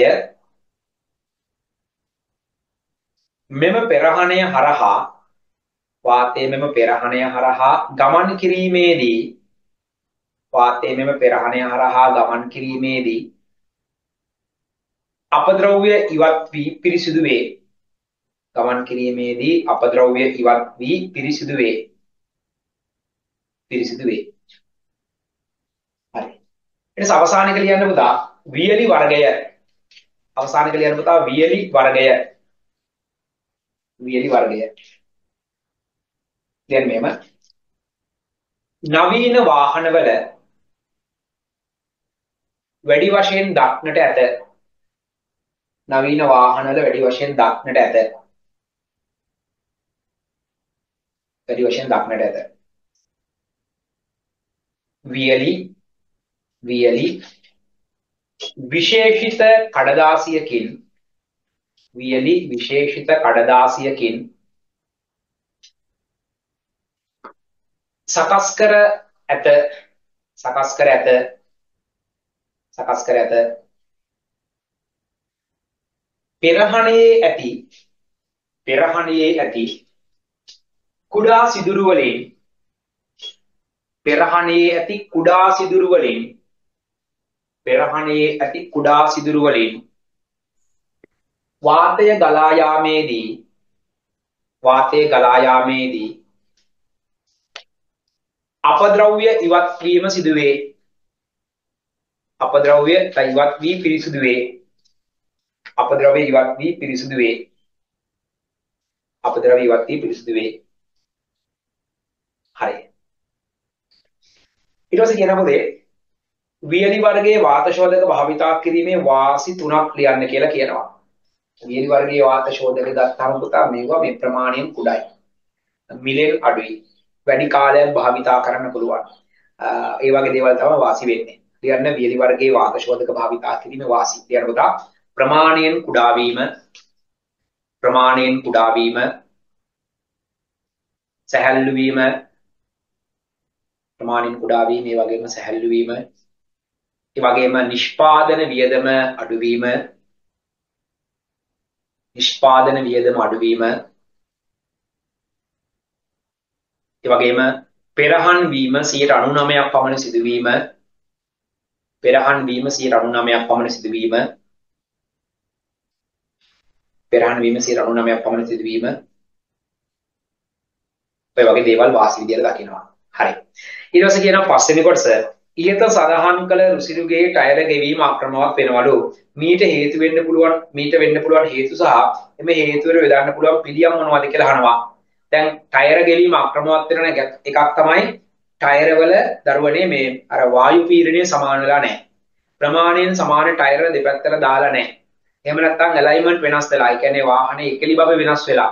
ඔය වගේ දේවල් වෙන්න පුළුවන්. එතකොට කරන්න පිළියම් තමයි ටයර් වල ගුලන් හරියට ගහ ගන්න ඕනේ, එක්කලි බව හදා ගන්න ඕනේ, ප්‍රමාණයෙන් සහ හැඩයෙන් තරමින් සමාන ටයර් දෙපැත්තට දාන්න ඕනේ. ඒ වගේ දේවල් කිව්වොත් ඔක බැලන්ස් කරගන්න පුළුවන් වෙයි. හරි. ලියපු දරුවනේ හේතු සහ පිළියම් ලියන්නේ. ලියන්න හේතු. හේතු කියලා දාන්න. වාහනේ පැත්තකට අදිනවා. ඒකට හේතු. ලියන්න කීපයක්. ලියන්න. ටයර් වල වායු පීඩනය ටයර් වල වායු පීඩනය අඩුවීම ටයර් වල වායු පීඩනය අඩුවීම උලන් අඩුයි. එතකොට ටයර් ගෙවෙනවා. ඕක එකක්. තව එකක් ලියන්න. තව එකක් ලියන්න.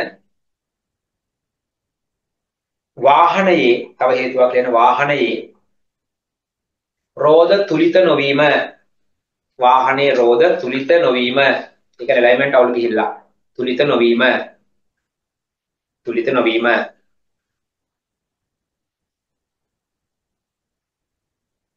එහෙම නැත්නම් ටයර් වල යාන්ත්‍රික දෝෂ සිද්ධ වෙලා ඒ කියන්නේ නිෂ්පාදන දෝෂ සිද්ධ වෙලා ටයර් වල සමහරට ඔය කම්බි කැඩිලා තැන් තැන් වලින් ගෙඩි ගැහිලා ඒ තැන් වැඩිපුර ගෙවිලා.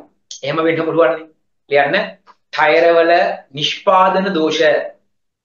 ටයර් වල නිෂ්පාදන දෝෂ. ටයර් වල නිෂ්පාදන දෝෂ. ඔන්න හේතු ටික.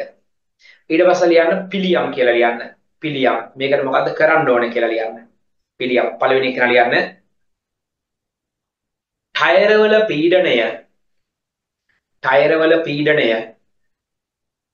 નિયમિત ප්‍රමාණයට සැකසීම ටයරවල පීඩනය નિયમિત ප්‍රමාණයට සැකසීම ටයරවල පීඩනය નિયમિત ප්‍රමාණයට සැකසීම තව එකක් ලියනවා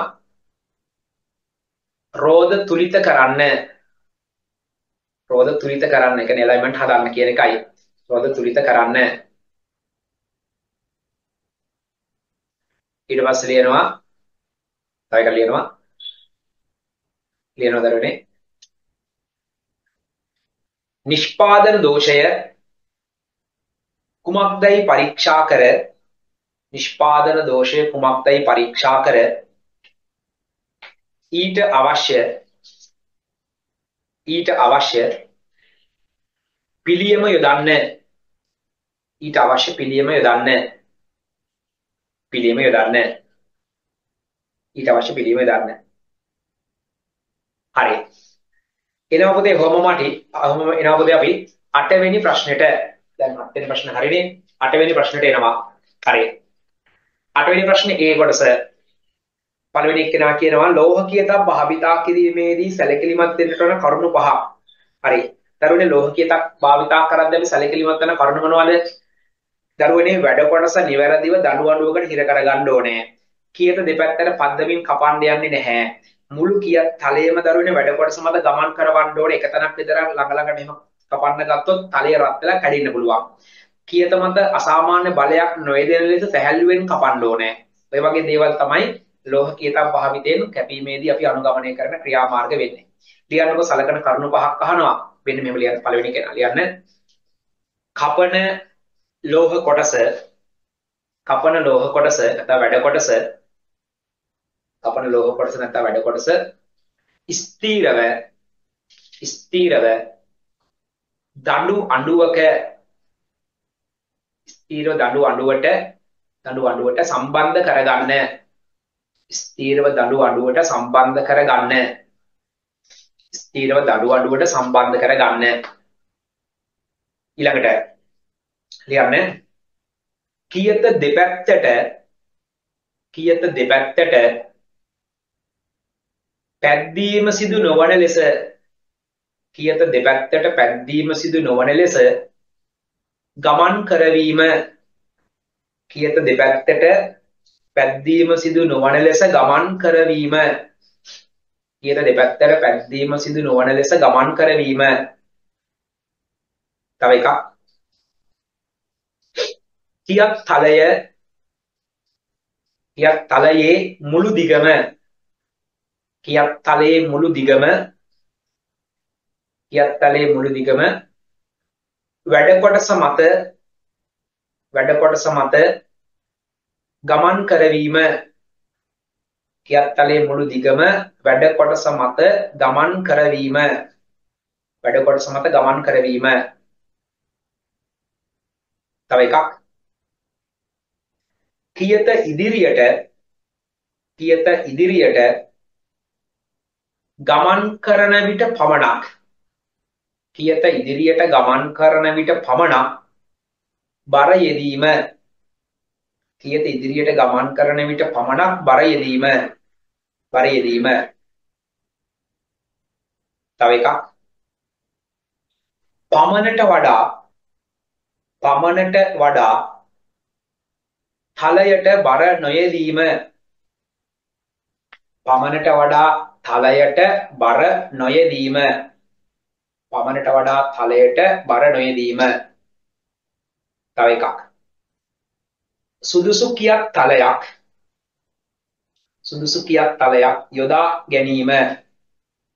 සුදුසු කියක් තලයක් යොදා ගැනීම. තව එකක්. තලය නිසි පරිදි තලය නිසි පරිදි රාමුවට සවි කර ගැනීම. තලය නිසි පරිදි රාමුවට සවි කර ගැනීම. සවි කර ගැනීම. හරි. ඊට පස්සේ කියනවා පුතේ දෙවෙනි කොටස අත්කතුරු වර්ග හතරක් ලියා ඒවා භාවිතා කරන්නේ මොන වගේ වැඩවලටද කියලා අපෙන් අහනවා. හරි. දරුවනේ දැන් අපි ගත්තාම ඔය තහඩු කපන කතුරු ගැන මේ අහන්නේ. අපිට දැන් හම්බෙනවා තහඩු වර්ග කීපයක්. එකක් තමයි පුතේ වක්තල තහඩු කතුරක් හම්බෙනවා. වක්තල තහඩු කතුරක්. වක්තල. ඊට පස්සේ අපිට හම්බෙනවා පුතේ උඳුතල තහඩු කතුර. ඒ වගේම අපිට තව හම්බෙනවා පුතේ ස්කොච්. තහඩු කතරක් හම්බෙනවා. ඊට පස්සේ පොදු අත් තහඩු කතරක් හම්බෙනවා. හරි. දැන් වක්තල තහඩු කතරක් ගත්තාම වෘත්තාකාර හැඩ තහඩු වල කපන්න වක්තල තහඩු කතරක් අපි පාවිච්චි කරනවා. ඒ කියන්නේ වෘත්තාකාර කියන්නේ අවතල ඒ කියන්නේ අතුල් පැත්තට. හරි. අතුල් පැත්තට තියෙන කොටස් කපන්න. හුඳුතල තහඩු කතුර අපි පාවිච්චි කරනවා සරල රේඛා දිගේ කපා ගන්න. ස්කොච් තහඩු කතුර ගන්නවා පුතේ අර මදක් ඝනකමින් වැඩි තහඩු වගේ දේවල් තියෙනවනම් කපා ගන්න. පොදු අත් තහඩු කතුරු වක්‍ර රේඛා දිගේ සරල රේඛා දිගේ ඕනෑම රේඛාවක කපන්න පොදු අත් තහඩු කතුරු ගන්නවා. කියන්න වක්තල තහඩු කතුර වක්තල තහඩු කතුර පළවෙනි කෙනා. වක්තල තහඩු කතුර ලියන්න පුංචි කෑල්ලක් ගහලා අවතල හැඩයේ පුංචි කැලක් ගහලා අවතල හැඩයේ අවතල හැඩයේ මුල්තාකාර හැඩ කැපීමට අවතල හැඩයේ වෘත්තාකාර හැඩ කැපීමට අවතල හැඩයේ වෘත්තාකාර හැඩ කැපීමට.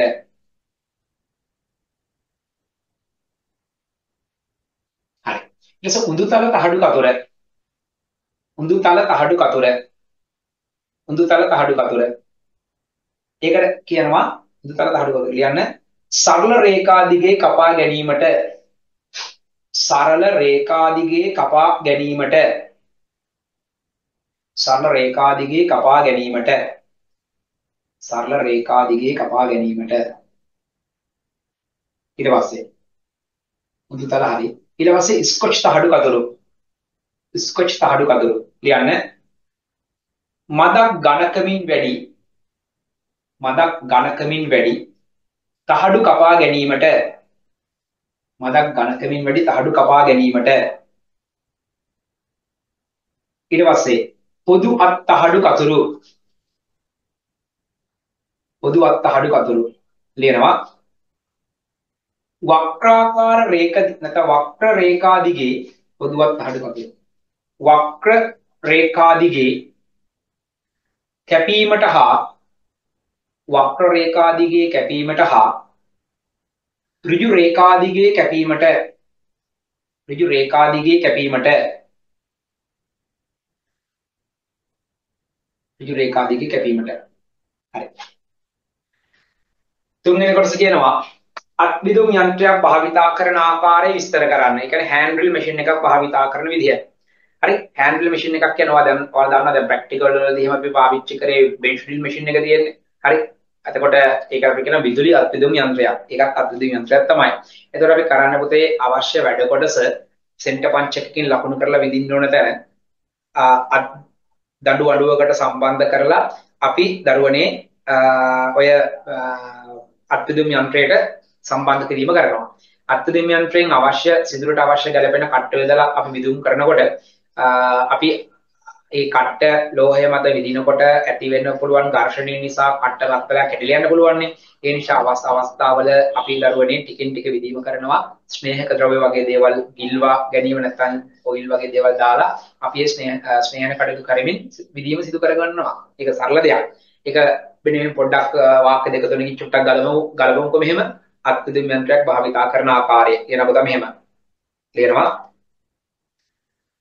විදුම් යන්ත්‍රයට විදුම් යන්ත්‍රයට කටුව සවි කර විදුම් යන්ත්‍රයට කටුව සවි කර කටුව සවි කර කටුව සවි කර කටුව සවි කර ගැනීම කටුව සවි කර ගැනීම කටුව සවි කර ගැනීම කටුව සවි කර ගැනීම. ඊට පස්සේ ලියනවා අදාළ උපරිම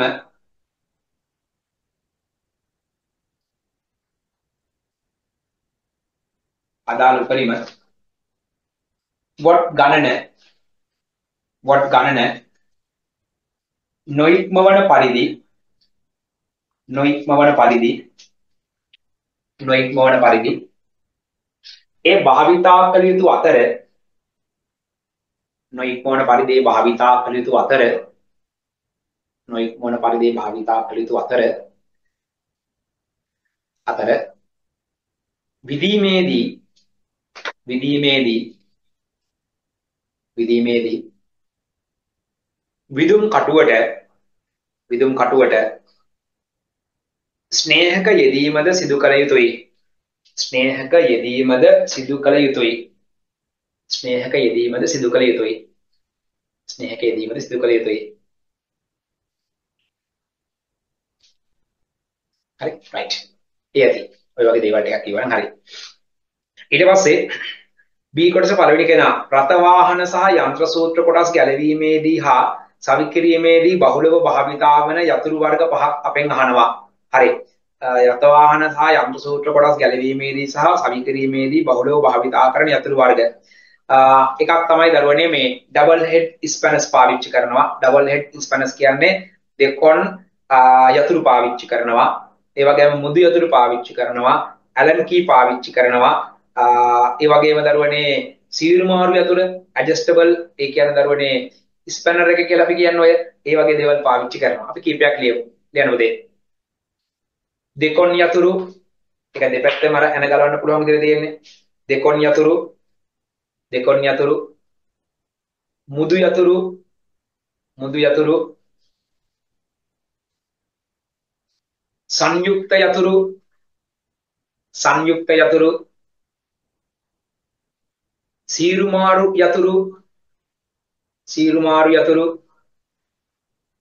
ඒ වගේම කෙවෙනි යතුරු කෙවෙනි යතුරු කෙවෙනි යතුරු ඒ වගේම ඇලන් යතුරු ඇලන් කී කියලා කියන්නේ? ඇලන් කී කියලා කියන්නේ ඇලන් යතුරු ඇලන් යතුරු ඔය වගේ දේවල්. හරි. Right. හොඳයි. ඊට පස්සේ right.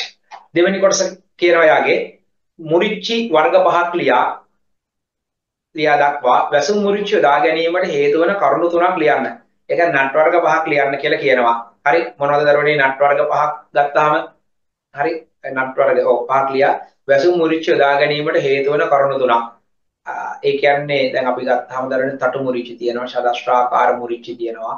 ඒ වගේම දරුවනේ හතරස් මුරිච්චි තියෙනවා. ඔය මුරිච්චි වර්ග තියෙනවා. ඒවා කියන ඒවා අහන්නේ. ඒ වගේම තව අහනවනේ මේ right මුරි right වැසුම් මුරිච්චිය. ඔයාලා දැකලා තියෙනවා දරුවනේ ඔය වැසුම් මුරිච්චිය ගත්තාම අර ඇනවල කෙලවර වහින විදියට දරුවනේ යොදලා තියෙන මුරිච්චිය තියෙන්නේ. ඒක ගන්න හේතුව දැන් ඒක ගන්න හේතුව තමයි එකක් මල කන එක වළක්වන එක, අපද්‍රව්‍ය ඇතුළු වෙන එක වළක්වන එක. එකක් අලංකාරයට ඔය වගේ කතන්දර ගොඩක් ඔගේ තියෙනවනේ. හරි. අපි ලියපු දරුවනේ මුරිච්චි වර්ග ටිකක් අහනවනේ ලියන්න.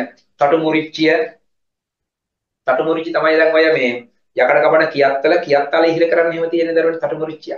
හරි.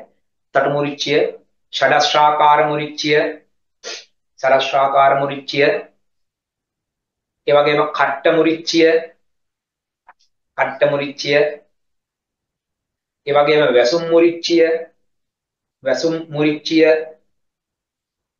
ඒ වගේම හතරස් මුරිච්චිය හතරස් මුරිච්චිය ඒ වගේම යුනියන් මුරිච්චිය යුනියන් මුරිච්චිය යුනියන් මුරිච්චිය ඒ වගේම නයිලෝන් මුරිච්චිය නයිලෝන් මුරිච්චිය. හරි. ඊට පස්සේ දරුවනේ අහනවා ඔතනින්ම අර වැසුම් මුරිච්චිය දාගන්න හේතු? ලියන්න වැසුම් මුරිච්චිය යෙදීමට හේතු කියලා ලියන්න. වැසුම් මුරිච්චිය යෙදීමට හේතු. වැසුම් මුරිච්චිය දීමට හේතුව.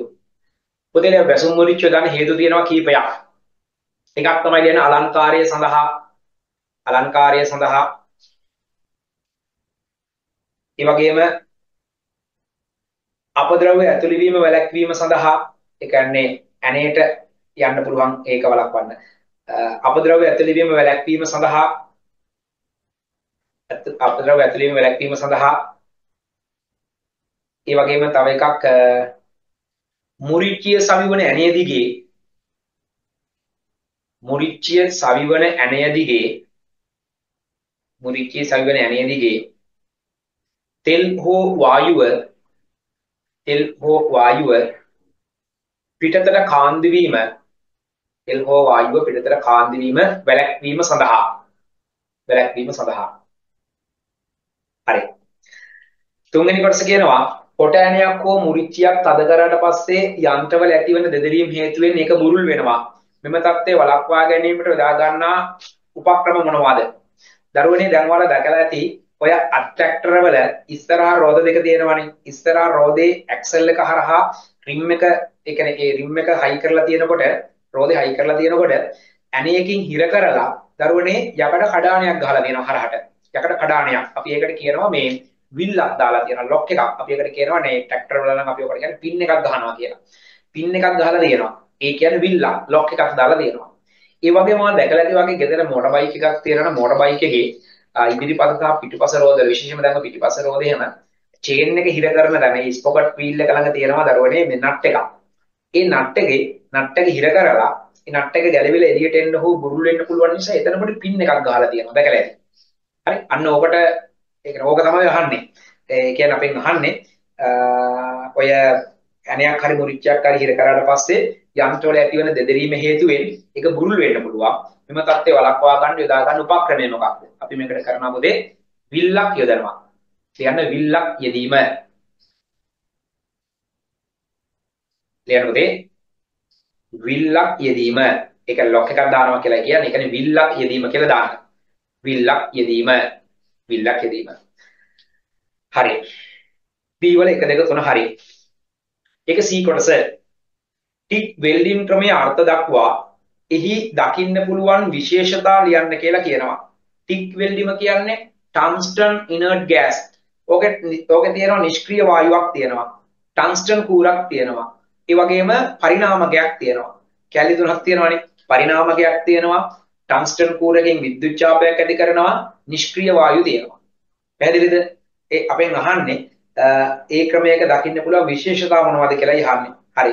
ලියන්න මොදේ ටික් වෙල්ඩින් ක්‍රමය කියලා දාන්න. හරි. ටික් වෙල්ඩින් ක්‍රමය කියලා දාලා එයාගේ දකින්න පුළුවන් විශේෂතා ටික අපි නෝට් කරමුකෝ. ඒකේ ක්‍රමයක් එක්ක. හරි. ලියන පුතා වෙන්නේ මෙහෙම. ලියනවා. ලියනවා.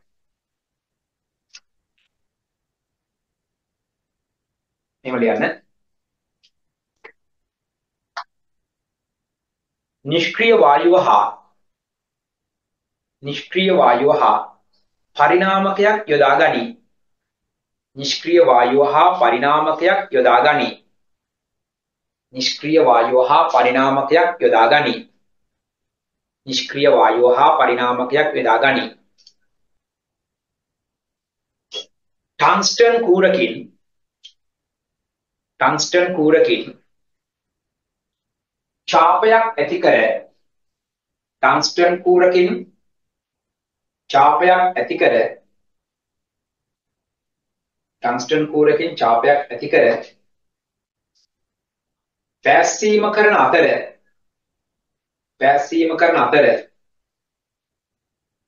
පැස්සීම කරන අතර පෙරස් මෙන්ම පෙරස් මෙන්ම පෙරස් මෙන්ම නිපරස් ලෝහ පෙරස් මෙන්ම නිපරස් ලෝහ කමා මිශ්‍ර ලෝහ මිශ්‍ර ලෝහ ආදිය ආදිය පෑස්සීම සඳහා යොදයි පෑස්සීම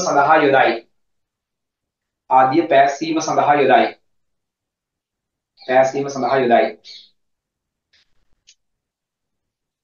බහුල ලෙස බහුල ලෙස සුදු යකඩ බහුල ලෙස සුදු යකඩ පෑස්සීම සඳහා ගනී. පෑස්සීම සඳහා ගනී. පෑස්සීම සඳහා ගනී. හරි. දෙක කොටස මික් සහ මක් වෙල්ඩින් ක්‍රම අතර වෙනස්කම් ලියන්න කියලා කියනවා. මික් වෙල්ඩිම සහ මක් වෙල්ඩිම අතර වෙනස්කම් ලියන්න කියලා කියනවා. හරි. රයිට් දරුවනේ දැන් ඔය මික් වෙල්ඩිම ගත්තාම නිෂ්ක්‍රීය වායුව යදාගන්නේ. මක් වෙල්ඩිම ගත්තාම කාබන් ඩයොක්සයිඩ් වායුව සක්‍රීය වායුව යදා ගන්න ඕන පළවෙනි වෙනස්කම. ලියන්න මෙහෙම. එහෙම ලියන්න. මික් එකයි මක් එකයි අතරනේ. ඔව් ලියන්න. මක් වෙල්ඩින් ක්‍රමයේදී මක් වෙල්ඩින් ක්‍රමයේදී මක් වෙල්ඩින් ක්‍රමයේදී CO2 වායුව භාවිතා කරන අතර වායුව භාවිතා කරන අතර මික් වෙල්ඩින් ක්‍රමයේදී මික් වෙල්ඩින් ක්‍රමයේදී මික් වෙල්ඩින් ක්‍රමයේදී නිෂ්ක්‍රීය වායුව භාවිතා කරයි. නිෂ්ක්‍රීය වායුව භාවිතා කරයි. නිෂ්ක්‍රීය වායුව භාවිතා කරයි. Right. දැන් ඔය මක් වෙල්ඩින් ක්‍රමයේදී පුතා ෆෙරස් ලෝහ වෙල්ඩින් කරනවා. මක් ක්‍රමයේදී ෆෙරස් ලෝහ කරනවා. මික් ක්‍රමයේදී ඇලුමිනියම් හෝ මිශ්‍ර ඇලුමිනියම් වගේ දේවල් තමයි වෙල්ඩින් කරන්නේ. ඒකත් ලියන්න. යටේ ලියන්න දෙවෙනි එක නා. මක් වෙල්ඩින් ක්‍රමයේදී මක් වෙල්ඩින් ක්‍රමයේදී ෆෙරස් ලෝහ මක් වෙල්ඩින් ක්‍රමයේදී ෆෙරස් ලෝහ මක් වෙල්ඩින් ක්‍රමයේදී ෆෙරස් ලෝහ. වෙල්ඩින් කරන අතර ෆෙරස් ලෝහ වෙල්ඩින් කරන අතර ෆෙරස් ලෝහ වෙල්ඩින් කරන අතර මික්‍රමයේදී මික්‍රමයේදී ඇලුමිනියම් හෝ මික්‍රමයේදී ඇලුමිනියම් හෝ ඇලුමිනියම් මිශ්‍ර ලෝහ ඇලුමිනියම් හෝ ඇලුමිනියම් මිශ්‍ර ලෝහ භාවිතා කරයි. ඇලුමිනියම් මිශ්‍ර ලෝහ භාවිතා කරයි. භාවිතා කරයි. හරි. ඊට පස්සේ තුන්වෙනි කොටස. චීන චට්ටි වල අන්තර්ගත මූලද්‍රව්‍ය නිසා දැනට භාවිතයේ තියෙන මූලද්‍රව්‍ය ඒක නිසා කියලා තියෙන්නේ. මූලද්‍රව්‍ය නිසා දැනට භාවිතයේ තියෙන චීන චට්ටි වර්ග හතරක් ලියන්න කියලා කියනවා. හරි. චීන චට්ටි වල අන්තර්ගත මූලද්‍රව්‍ය ලියා කියලා කියන්නේ ලියා නෙමෙයි ලියා ඒක හදාගන්න ලියා කියලා චීන චට්ටි වල අන්තර්ගත මූලද්‍රව්‍ය ලියා දැනට භාවිතයේ තියෙන චීන චට්ටි වර්ග හතරක් දක්වන්න කියලා කියනවා. චීන චට්ටි නිර්මාණයේ මූලිකම කෙනා කවුද? යකඩ තියෙනවා. හරි? යකඩ තියෙනවා. යකඩ තියෙනවා, ගෙන්දකම් තියෙනවා. ඒ වගේම මොනවද සිලිකන්, ෆොස්ෆරස් ඔය වගේ දේවල් තියෙනවනේ. හරි. අපි ලියමුක කීපයක් අන්තර්ගත දේවල්. චීන චට්ටි වල අන්තර්ගත දේවල් ලියන්න පුතේ. ලියන්න යකඩ යකඩ කාබන් යකඩ carbon phosphorus phosphorus sulfur sulfur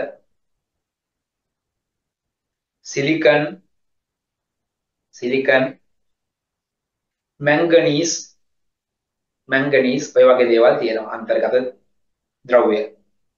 දැනට භාවිතයේ තියෙන චීන චට්ටි වර්ග හතරකුත් අහනවනේ. ලියනවද චීන චට්ටි වර්ග ටික ලියනවා. සුදු චීන චට්ටි යටි යරට ලියන්න කීපයක් සුදු චීන චට්ටි සුදු චීන චට්ටි ශීත චීන චට්ටි ශීත ශීත චීන චට්ටි ශීත චීන චට්ටි අලුවන් චීන චට්ටි අලුවන් අයන්න ලුයන්න වයන්න අල් නයන්න අලුවන්. අලුවන් චීන චට්ටි අලුවන් චීන චට්ටි. අවසාන එක ලියන්න. ආහන්නය චීන චට්ටි. ආහන්නය චීන චට්ටි. ආහන්න චීන චට්ටි. ආහන්න චීන චට්ටි. හරි. ඔතනින් අටවෙනි ප්‍රශ්නේ ඉවරයි. මේ උදේ වෙලාව 8යි මේ හරි. මම හිතනවා ඔයාලට ඉලෙක්ට්‍රිකල් ප්‍රශ්නය සහ ඉලෙක්ට්‍රොනික ප්‍රශ්නය කතා කරන්න අපිට තියෙන කාලය පොඩි හේතුවක් වෙනවා මේ ඡන්දෙ වැඩ පටන් ගන්න තියෙන උදේ 7 වෙද්දි මේ පොඩ්ඩක් අපි ඔළුව දාන්න ඕනේ එතෙන්ට මේ ඒ නිසා මම මෙතනින් අදට වැඩේ අවර කරන්නම්. හරි? ඔයාලා ට්‍රිකල් ටොනික් දෙක ඔයාලට දැන් ඔය අදම අද හෝ හෙට දවස් ඇතුළත ඔයාලගේ දැන් ඔය 55 දක්වා පේපර්ස් වල 46 ඉඳලා මාකින් ටික තව මම දාලා නැහැ ඔයාලගේ ගෲප් වලට.